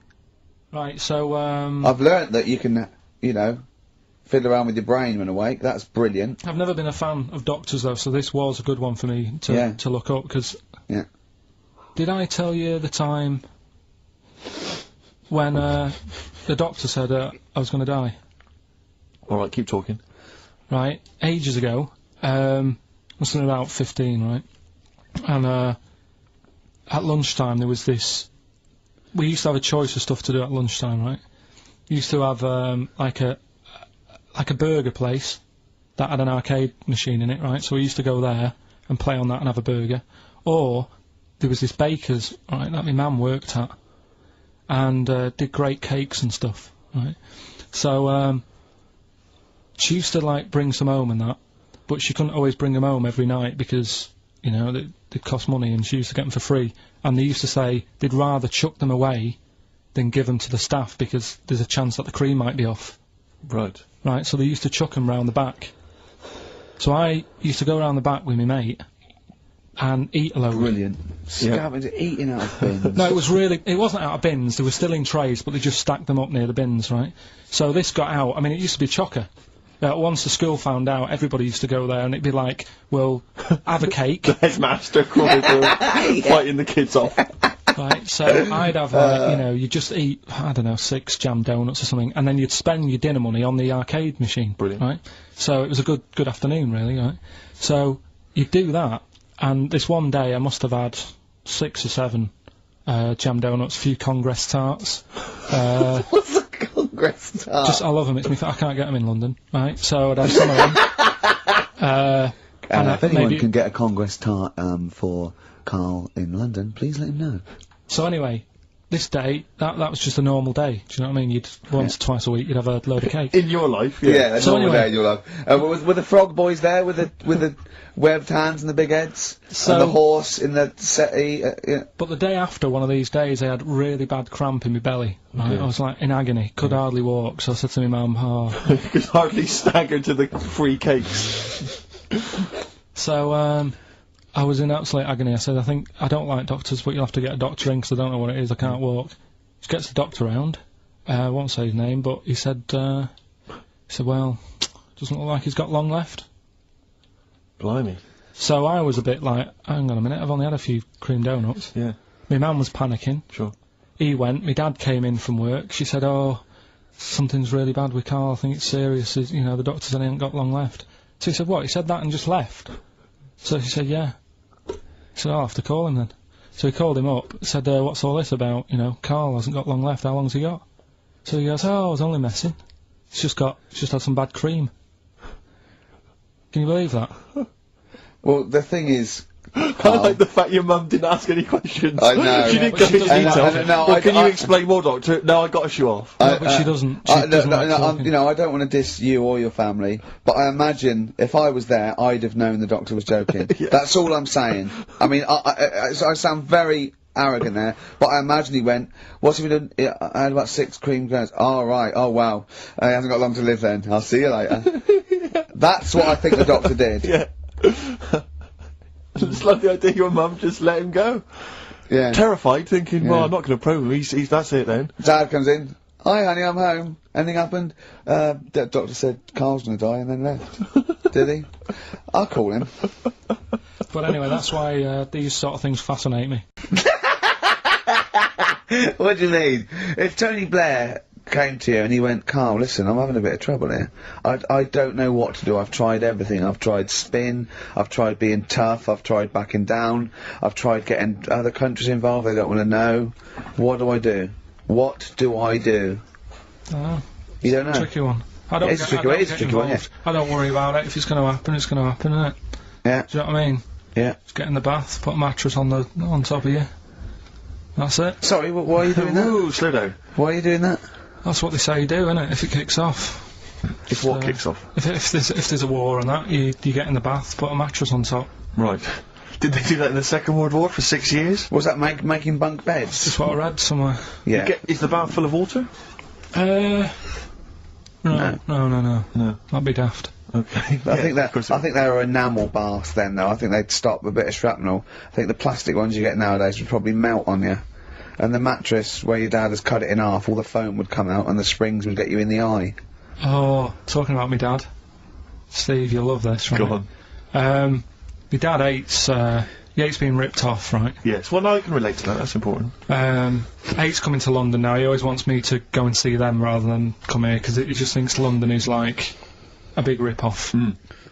Uh, last time he came, he got annoyed because I bought him a scone and a cup of tea for like three of us, and it was fourteen pounds, and he just was livid. And then uh, we had an argument about that. And then we went to the Millennium Wheel, and I said, "Do you fancy going on this?" He said, "Oh, all right." And then he saw the price, and it was something like twenty quid or something. And he said, 20 quid to go up in the air to look at stuff that's on the ground. Said, I might as well stay on the ground, Brilliant. right? Thought, good point. His logic is impeccable. So anyway, this is going on. Anyway, he spoke to me the other day. I said, how are things? Are you alright now? He said, oh, being ripped off. I said, why? He said he ordered, do you know the place where he got a new bed from because he cut the other one Of course, half, yeah. right? He, uh, he got this bed out of a catalogue. So, uh, so he sorted out a payment on the phone. He said, look, you're ripping me off a bit here on the interest thing, but, um, well, let's do a deal. We'll sort out a new monthly payment. That's different to the, what it says in the catalogue. And he said, yeah, we'll go along with that. Anyway, so he sorted that out. He was happy. The bed arrived. It's a nice bed. He said, that's great. So anyway, uh, he got the bill for it, and it was the original price. Oh, I thought it might be the case, yeah. Right? So he called up and said, I'm not happy with this. He said, we, we said a deal, and uh, oh, no, I don't know what you're talking about. He said, right, don't send me your catalogues anymore. He said, I'm not, I'm not buying anything from you, you're a rip-off merchant. Uh-huh. Right? Um, so anyway, a few, few weeks go by, post comes, only another catalogue Oh, in the post. he's livid. Right, so he was well annoyed. Yeah. So he looked on the back, and it said on it, "This catalogue will always be property of you know the company that that does it." Um, if w- so, you can't throw it away. If if we request to have it back, we've got the permission to to get it back off you. Right. So he thought, right, well, they're out of order. I told them not to send me one, and they have done, and they're saying I can't chuck it away. So he called them up and said, uh, all right, Mr. Pilkington here, bought a bed off you, you conned me, and that. But, you know, forget that. We've, Yeah. we've dealt with that. You've sent me a catalogue, I told you not to. It says on the back here that this will always be yours. Yeah? So, in a way, you're using my house as a warehouse. I'll be charging you 26 pence or something uh, a day. Brilliant. He said, you already owe me £6.28. something like that. Genius. And, uh, yeah, sorted it out. So again, you know, it's, it's So hang on, but are they going along with this? I don't know what happened. He said they sounded annoyed and said they'd get back to him, and they haven't. But he said, I'm not bothered. They can take as long as they want because the money just keeps going up. Yeah, yeah. Yeah, what sort of profit has he made so far? Well, when I spoke to him in the week, it was like six pound odd. Yeah. That was, I think, that was on Tuesday. So, So he's, he's, you know, he's just leaving it. It's like an investment. Yeah. it's like an antique he's It's just, yeah, Yeah. it's just going up every day. So, uh, Well, keep us posted on that. That's Yeah, dynamite. I, I, one day we need to speak to your father. Yeah, I think so. So many questions I think need to be do. asked of him. In fact, I might set and give you a letter to take home. yeah. Dear Mr. Pilkington, your son Karl. New single from uh, Nick Cave, I think. you'll I'm looking enjoy forward to it. Yeah. Can Karl do something to prove you are on live and not recorded? I'm sure that will tax his little bald head to bursting point. um, what's his name? Jason, How can you prove that we're live on air? come on, how could you prove that we're live on air? Happy Christmas Eve, Jason. No, we could have recorded this a week ago. Yeah, but then it wouldn't be Christmas Eve. No, but Happy Christmas Eve, isn't it? No, but we no, recorded Karl, it and pre- think, think. Alright, it's, uh, it's, it's nearly quarter to twelve. Yeah, but we could have we could have started with the clock, knowing that we were going to record it as live. We could have done this last Alright, Wednesday. All right, all right. Uh, it's Radio 2. It's a nice day out there. Sun's out. Well, that's a guess. And and and do you think? Oh, it is sunny. Yeah, it is. It is sunny. But, yeah. generally but it's been but, but hold on, wait a minute. We're in London. Someone listening in in Manchester, it might be raining. it probably is raining. Um, Look, he can't work out how to make sure it's live. Look at him looking up in the sky. Look at him. His head is going to burst. There's a little bit of blood coming from his ear. How can we prove we're live? my mum's budgie died last night. But that. Don't laugh about it. Don't It's laugh. only your mum that can confirm that. yeah. No one knows whether your uh, the budgie died or not. Was he was he was he pictured holding a copy of today's paper? Uh, What are you talking about, Karl? I Karl? can't, I can't prove anything then. You're so right. Next question. Oh, that's amazing! Oh God, you you gave us the uh, devastating news last week that just before Christmas, your mum's budgie died. How was Christmas in your household? Was it? Um, little bit down. Little bit down, you know, with, with any death, it's always sad, isn't it, no matter what it is. Yeah. Yeah. Particularly Um, budgie. Well, I mean, how long she had it? Uh, probably lasted about eight years or something, which is pretty good in it for a budgie. Right. Yeah, I think so. Um, came unexpected. Wasn't ill. Um, right. And uh, what she, what I spoke to her the other day, and I said, you know, how's it going? Because on Christmas Day she was down. Yeah. Been calling her up every day. And I spoke to her the other day and said, you know, how are things? And she said, uh, she said, well, the other bird that's in the cage, she's got uh, some sort of parrot that's in the same cage as it. Right. It's been a bit down. Sure. It's missing its mate. So what she did, she kept a few feathers from the budgie that died, right?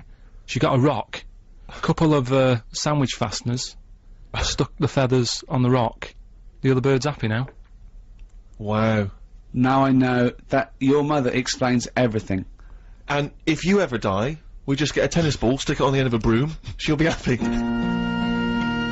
Steve, Yes. I think uh, Karl's going to put most people to shame. We were talking about generosity earlier. 'cause Karl is a nice, generous bloke when it when it really comes to it.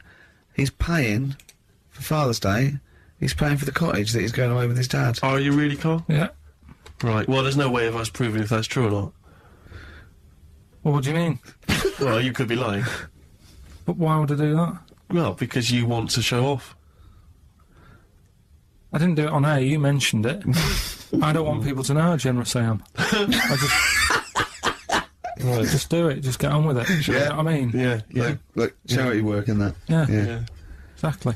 Do you, do you, do, but I, I'd have thought that you wouldn't have fallen for Father's Day. I'd have thought you'd have known it was like. Well, we don't. I mean, to be honest, it's a bit of a coincidence because I paid Yeah. for it anyway, and it's happened to fall on on Right. Father's Day, Mm. But right? don't and my buy a card. Don't, don't, don't fall for it. It- it- I mean, obviously that and Mother's Day, and a plethora of other things were, I mean, literally invented by card companies to make more money.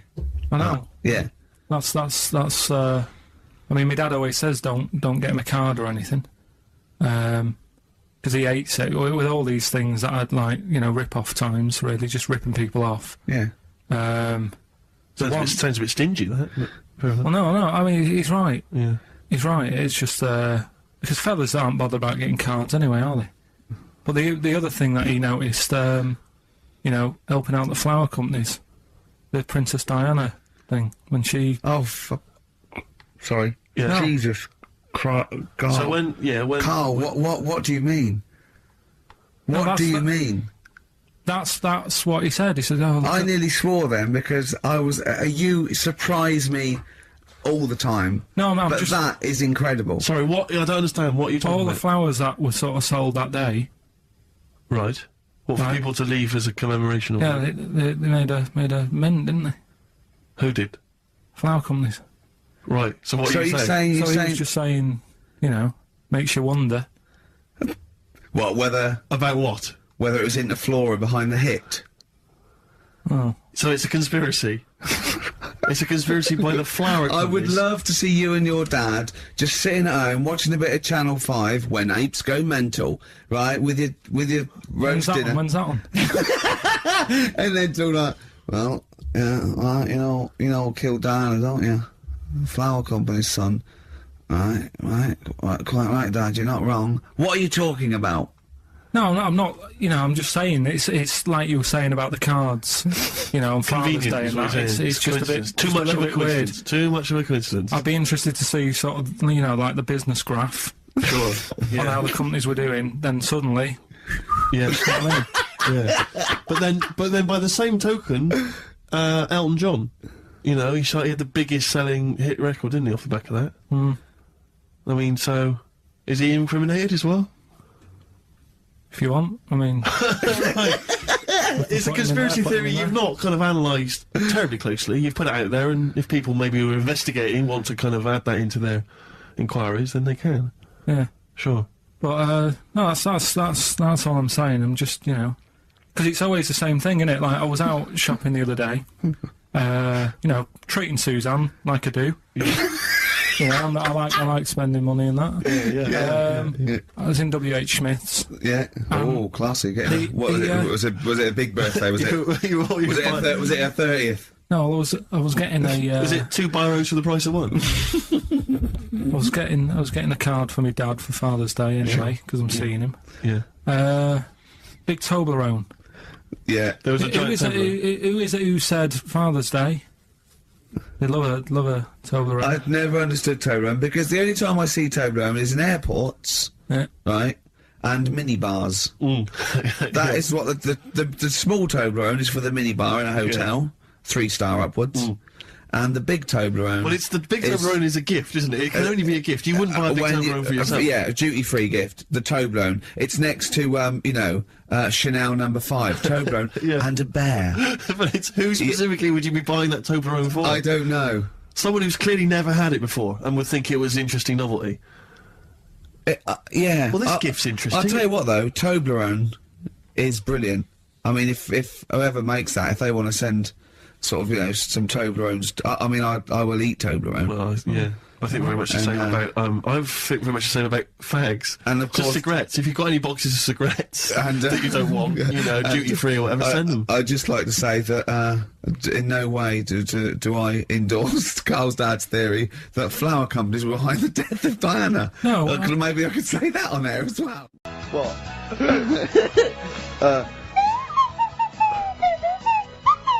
Someone's left one of those little things in here. It's brilliant, isn't it? amazing. What are they called? Those things? I just I imagine that just then I was thinking of being in the front row at a Morrissey concert and going, oh, oh, just can I just play along?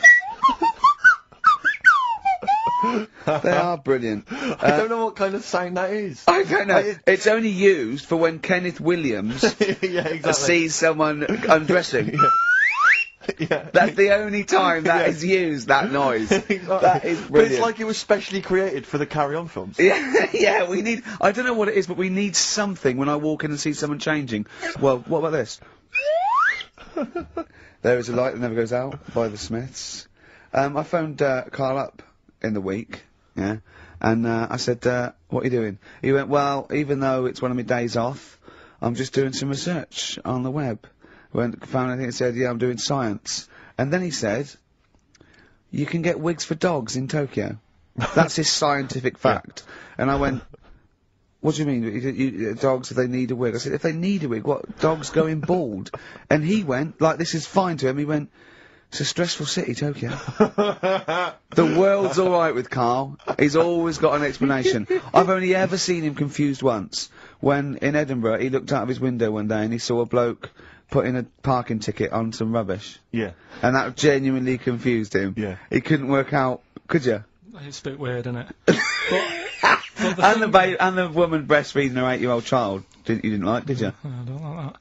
But um, the what's the name? Animals with wigs. I kind of thought after I put the phone down to you, I kind of thought about it. Thought, yeah, it's a bit daft that. Are you sure it's not the, the aging pop group? No, The but, animals. But when you think, have you ever seen like a bald pet? No. Th th- it's weird. What do you mean? Because my mum, um, we had a cat. We used to get through loads of cats because we lived in a. Oh God! It started early today, isn't it? What do you mean? It's only ten past Just 'cause- one. 'cause What we are lived you doing? No, we Running a restaurant? We lived on. Oh God! What do you mean? No, we lived on like a main road. Oh, yeah. Right. So Yeah. we used to get through a lot of them. My dad It kept their saying, risk. you know, stop wasting money. You know, with- it's it's not Stop good. wasting money, not wasting cats. Right. So um, anyway, we had this cat that was ill all the time, and uh, It's just bag of nerves, probably. yeah, Malingra. yeah, I'm terrified. I'm going to which house? Rome. Oh God, bloody hell. Rome. Don't, So- don't let me go to the Pilkingtons. and it, it, it, for some reason it kept being sick all the time. right? yeah, that is nerves. That's definitely nerves. So my mum thought, kind of thought, "Oh, I've had enough of this, and she shaved it. What? Whoa, whoa, whoa.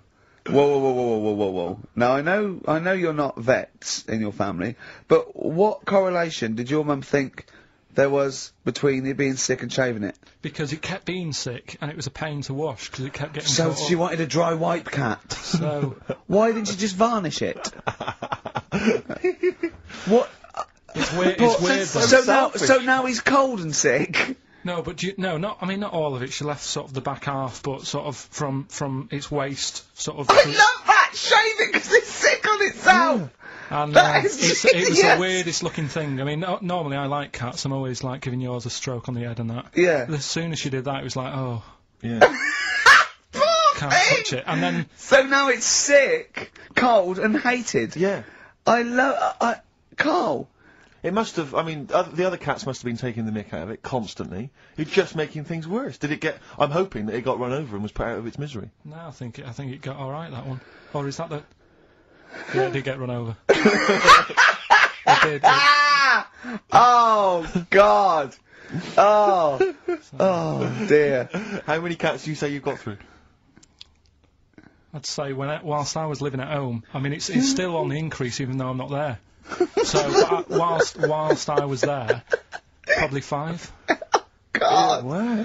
Oh. Yeah. And were you upset each time or you just got used to it? It's it's one of them things, isn't it? Like I've said before, when you first see something, it's a bit of a shock. Do you know what mm. I mean? It's like the Elephant Man or whatever. Yeah. First time you see him, it's that sort of oh look at that. Do you remember the first time you saw Steve? No, I'm not being funny. Do you remember the the, the, the first? Yeah, but I've said this before. It's always then you get used to how people look, and you don't.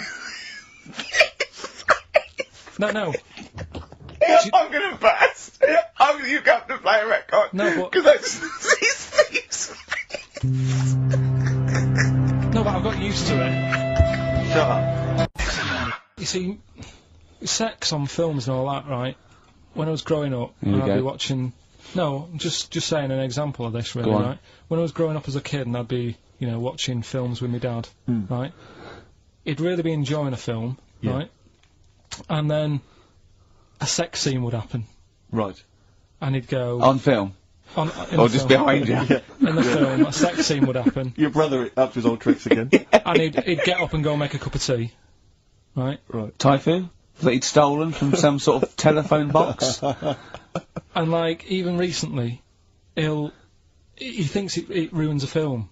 Do you know what I mean? Because there's no need for it to happen, is there? Really? yes. Why? Sometimes it's it, wa- it's warranted. If the film itself is Yeah, no, some about- films it isn't though. Some uh, some No, films not, it of isn't. some films it's arbitrary. I think I think the films that um, him and his dad watched together on Channel Five. Yeah. Um, probably not. Is it only on Channel No, Five in your house? But let's put it, yeah, if you're watching, you know, I don't know, a late night Friday night, you know, From erotic thriller. 1983. Yeah, illegal briefs. a beautiful lawyer has to defend a man who may be a killer. She falls in love with him, but does she does she know a real man? Oh, oh dear. You know, you know what I mean, though. Lest you forget, of course, that I uh, Love Heat. With the bloke that is now in. Go on. You know, of course, that I, according to the uh, Internet Movie Database, I um, once appeared in one of those films, in the film Killer Image, a Canadian film, I believe, from 1989. According to that computer, uh, It's all wrong, it? It's all wrong. It's, It's all, all completely wrong. Of course it is. Yeah. Ap- apparently, I was in that, and I played the role of Kirk. Was it a porn thing? Uh, no, no, no. I think it's just an erotic thriller. Oh, right. That I suppose. You only had a very small part though, didn't you? Indeed. Yeah. Yeah. But no, do, do you know what I mean? Sometimes you don't need to go that far. Say, like in this Jesus program, right? Film. What's it called? The Last Temptation of Christ. just like talking. You know what? What's his name? Is it Ralph in The Simpsons? Yes. I draw the kitty cat. It's like talking to that. Yeah. No, but right, this temptation thing, right? do Do you know, the, you know, often we don't get that many complaints on this show. We don't get very many complaints, and I think that's either because there's no listeners, or B, it's because most people agree with Karl, and that I terrifies know. me. Or they let him off because it's like you know you can plead insanity, you can go mental and Yeah. kill a few people. They go, oh, he's he's he's a bit backward. No, but was, was it because like they're saying that he was having it away, or is it because you saw it? it what got the complaints? The complaint was the very suggestion. It's a that suggestion. It was it was a blasphemous sex. thing, not the fact that you saw an actor's knob. So what about if they just cut it down a bit and you you like saw the little stable door closing? It wasn't the baby Jesus having sex. it was the grown man. the stable door shutting. No, but do you know Oh, what it's they the do? nativity scene. Ah, that is brilliant. That but is- then- The wise men saying, "I can't believe we brought myrrh. We should have brought condoms." It's like, no, yeah, yeah. There's two for one offering, yeah, I don't know what we were thinking. With Oh, frankincense. It's just that it's always awful. Should we apologise now to the Christian, Christian, church as yeah. well? So Sorry, we- the little Chinese fellas, uh, little Welsh fellas, and the little Christian We fellas. haven't said anything wrong. No, no. It's like you see when I when I was growing up. stable door. I love the idea that in Karl's world, he was born in a stable, just thought, well, I Yeah. love this place. Yeah. I'm just going to stay here the rest of my days. this is good here. Oh, brilliant. But when I was watching telly with my mum and dad, I mean, it still happens now, right? My dad will sort of go, "Oh, ruined. Good film ruined." Right? Yeah. If if some sex scene happens. But why doesn't he But what are we talking it? about sex scene? Are we talking about kissing or are we talking about um, uh, penetration and looking at the camera? Going, just- just- are you enjoying this, Pilkingtons? what are we talking about? What is sort of extreme levels are we talking about? Right, last time I was down there, right? Yeah. Um, what was it? Uh, meet meet Joe meet Joe Black. Meet Joe Black. Meet, Meet, Meet Joe Black is a terrible film. yeah. yeah. yeah. Uh, there was good film, and then you know it's going to happen because like the music comes in. Brad Yeah. Pitt's keeping quiet. A woman's eyeing, eyeing him up. Sure. So my mum, I love that. My mum's my mum's worked it out already, and she's going. Uh, anything on the other side, love? She knows. She, She knows. knows it's you know something's. Uh, Uh, well, and so you could be enjoying a film and you can be an hour and ten in, and then some spidey senses of one of them can go, should we turn it over? And the other one goes, yeah, all right. Are you sure it's not them protecting you from scenes of sex? So that they're, what they're thinking is, what if Karl gets the idea to have sex? Yeah. That could lead to procreation. We don't want any more like him. We've Yeah. got to. We've got to end the line here. You here. sure it's not the doctor? Keep calling out, going, you are keeping away from Yeah, exactly. women, aren't you? He must never find out. Are you how sure it's they're not done. embarrassed because they're watching a sex scene with their son? It, it happens all, every time, right? There's two things that my mum does, right? It's that if there's a sex scene on the telly, she'll go, uh, you know, anything on the other side, love. Uh, and the other thing she always says, if ever there's anything on the telly with Elvis in it, Yeah. she goes, oh, I like him, right? And we all know, we sat there, we know what she's going to say next. Yeah. So you don't even bother saying why, right? And she goes, uh, he likes fat, ugly people. He what? He liked fat, ugly people. He didn't always go for like the good-looking fans in the crowd. What Elvis did? Yeah, Right. that was always the thing. And I'm like- sorry, no, hold on. I, I don't know what we're doing now with our lives, Steve. Right, wait, wait a minute, right. So, your mum says two things, right? She either says... uh, Is there what- anything else on the is other side? anything- Or, I like Elvis. There's a pause, because you know what she's going to say next. She says, he liked fat, ugly people. How often does this occur? Well, th- because they've got like you know Sky, there's a lot of those channels on. They like the music channels, so Elvis always comes on. There's either an Elvis film, there's like you know a classic hit by him on. And she'll go, I like Elvis, he likes fat, ugly people. And what do you mean he liked fat, ugly people? Is she a fat ugly person? because there's that special Vegas show, isn't there, where he's dancing about, right, mm. and he's got loads of scarves around his neck, Towels. yeah, and like he always hands them down to the fat ugly ones. And I always say it's because they're the fat, you know, they've got a sweaty face because they, they can't, you know what I mean? I don't know what world they I live don't in. know how we've got onto this What subject. is- what sort of world are you got when you're watching his face? And what do you mean fat, ugly ones? You mean they're in the front, they're sweating a lot because they're a bit Yeah, so chubby? she thinks, you know, is giving them a towel because but it's like, he's really well, going, wipe your face, you're putting me off, you Yeah. fat cow. Stop sweating near me. There's another one. What? So, hairy Chinese kids, yeah. Jesus. We haven't slagged off hairy Chinese kids. We, we, we slagged off Chinese. We didn't slag anyone off. We just said they really haven't got a town as such and they wear shoes. What did we say? Yeah, little wooden shoes. And what did the I just don't know how we got onto Elvis and big fat ugly women. I don't know where we. I don't know how we Did you sidestepped from the last see? Temptation of Christ. Did you see that fat um, girls and feeders Go there a program? minute. Eh?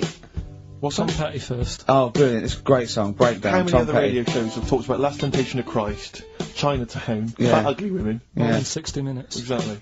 Incredible. Sony Award winning.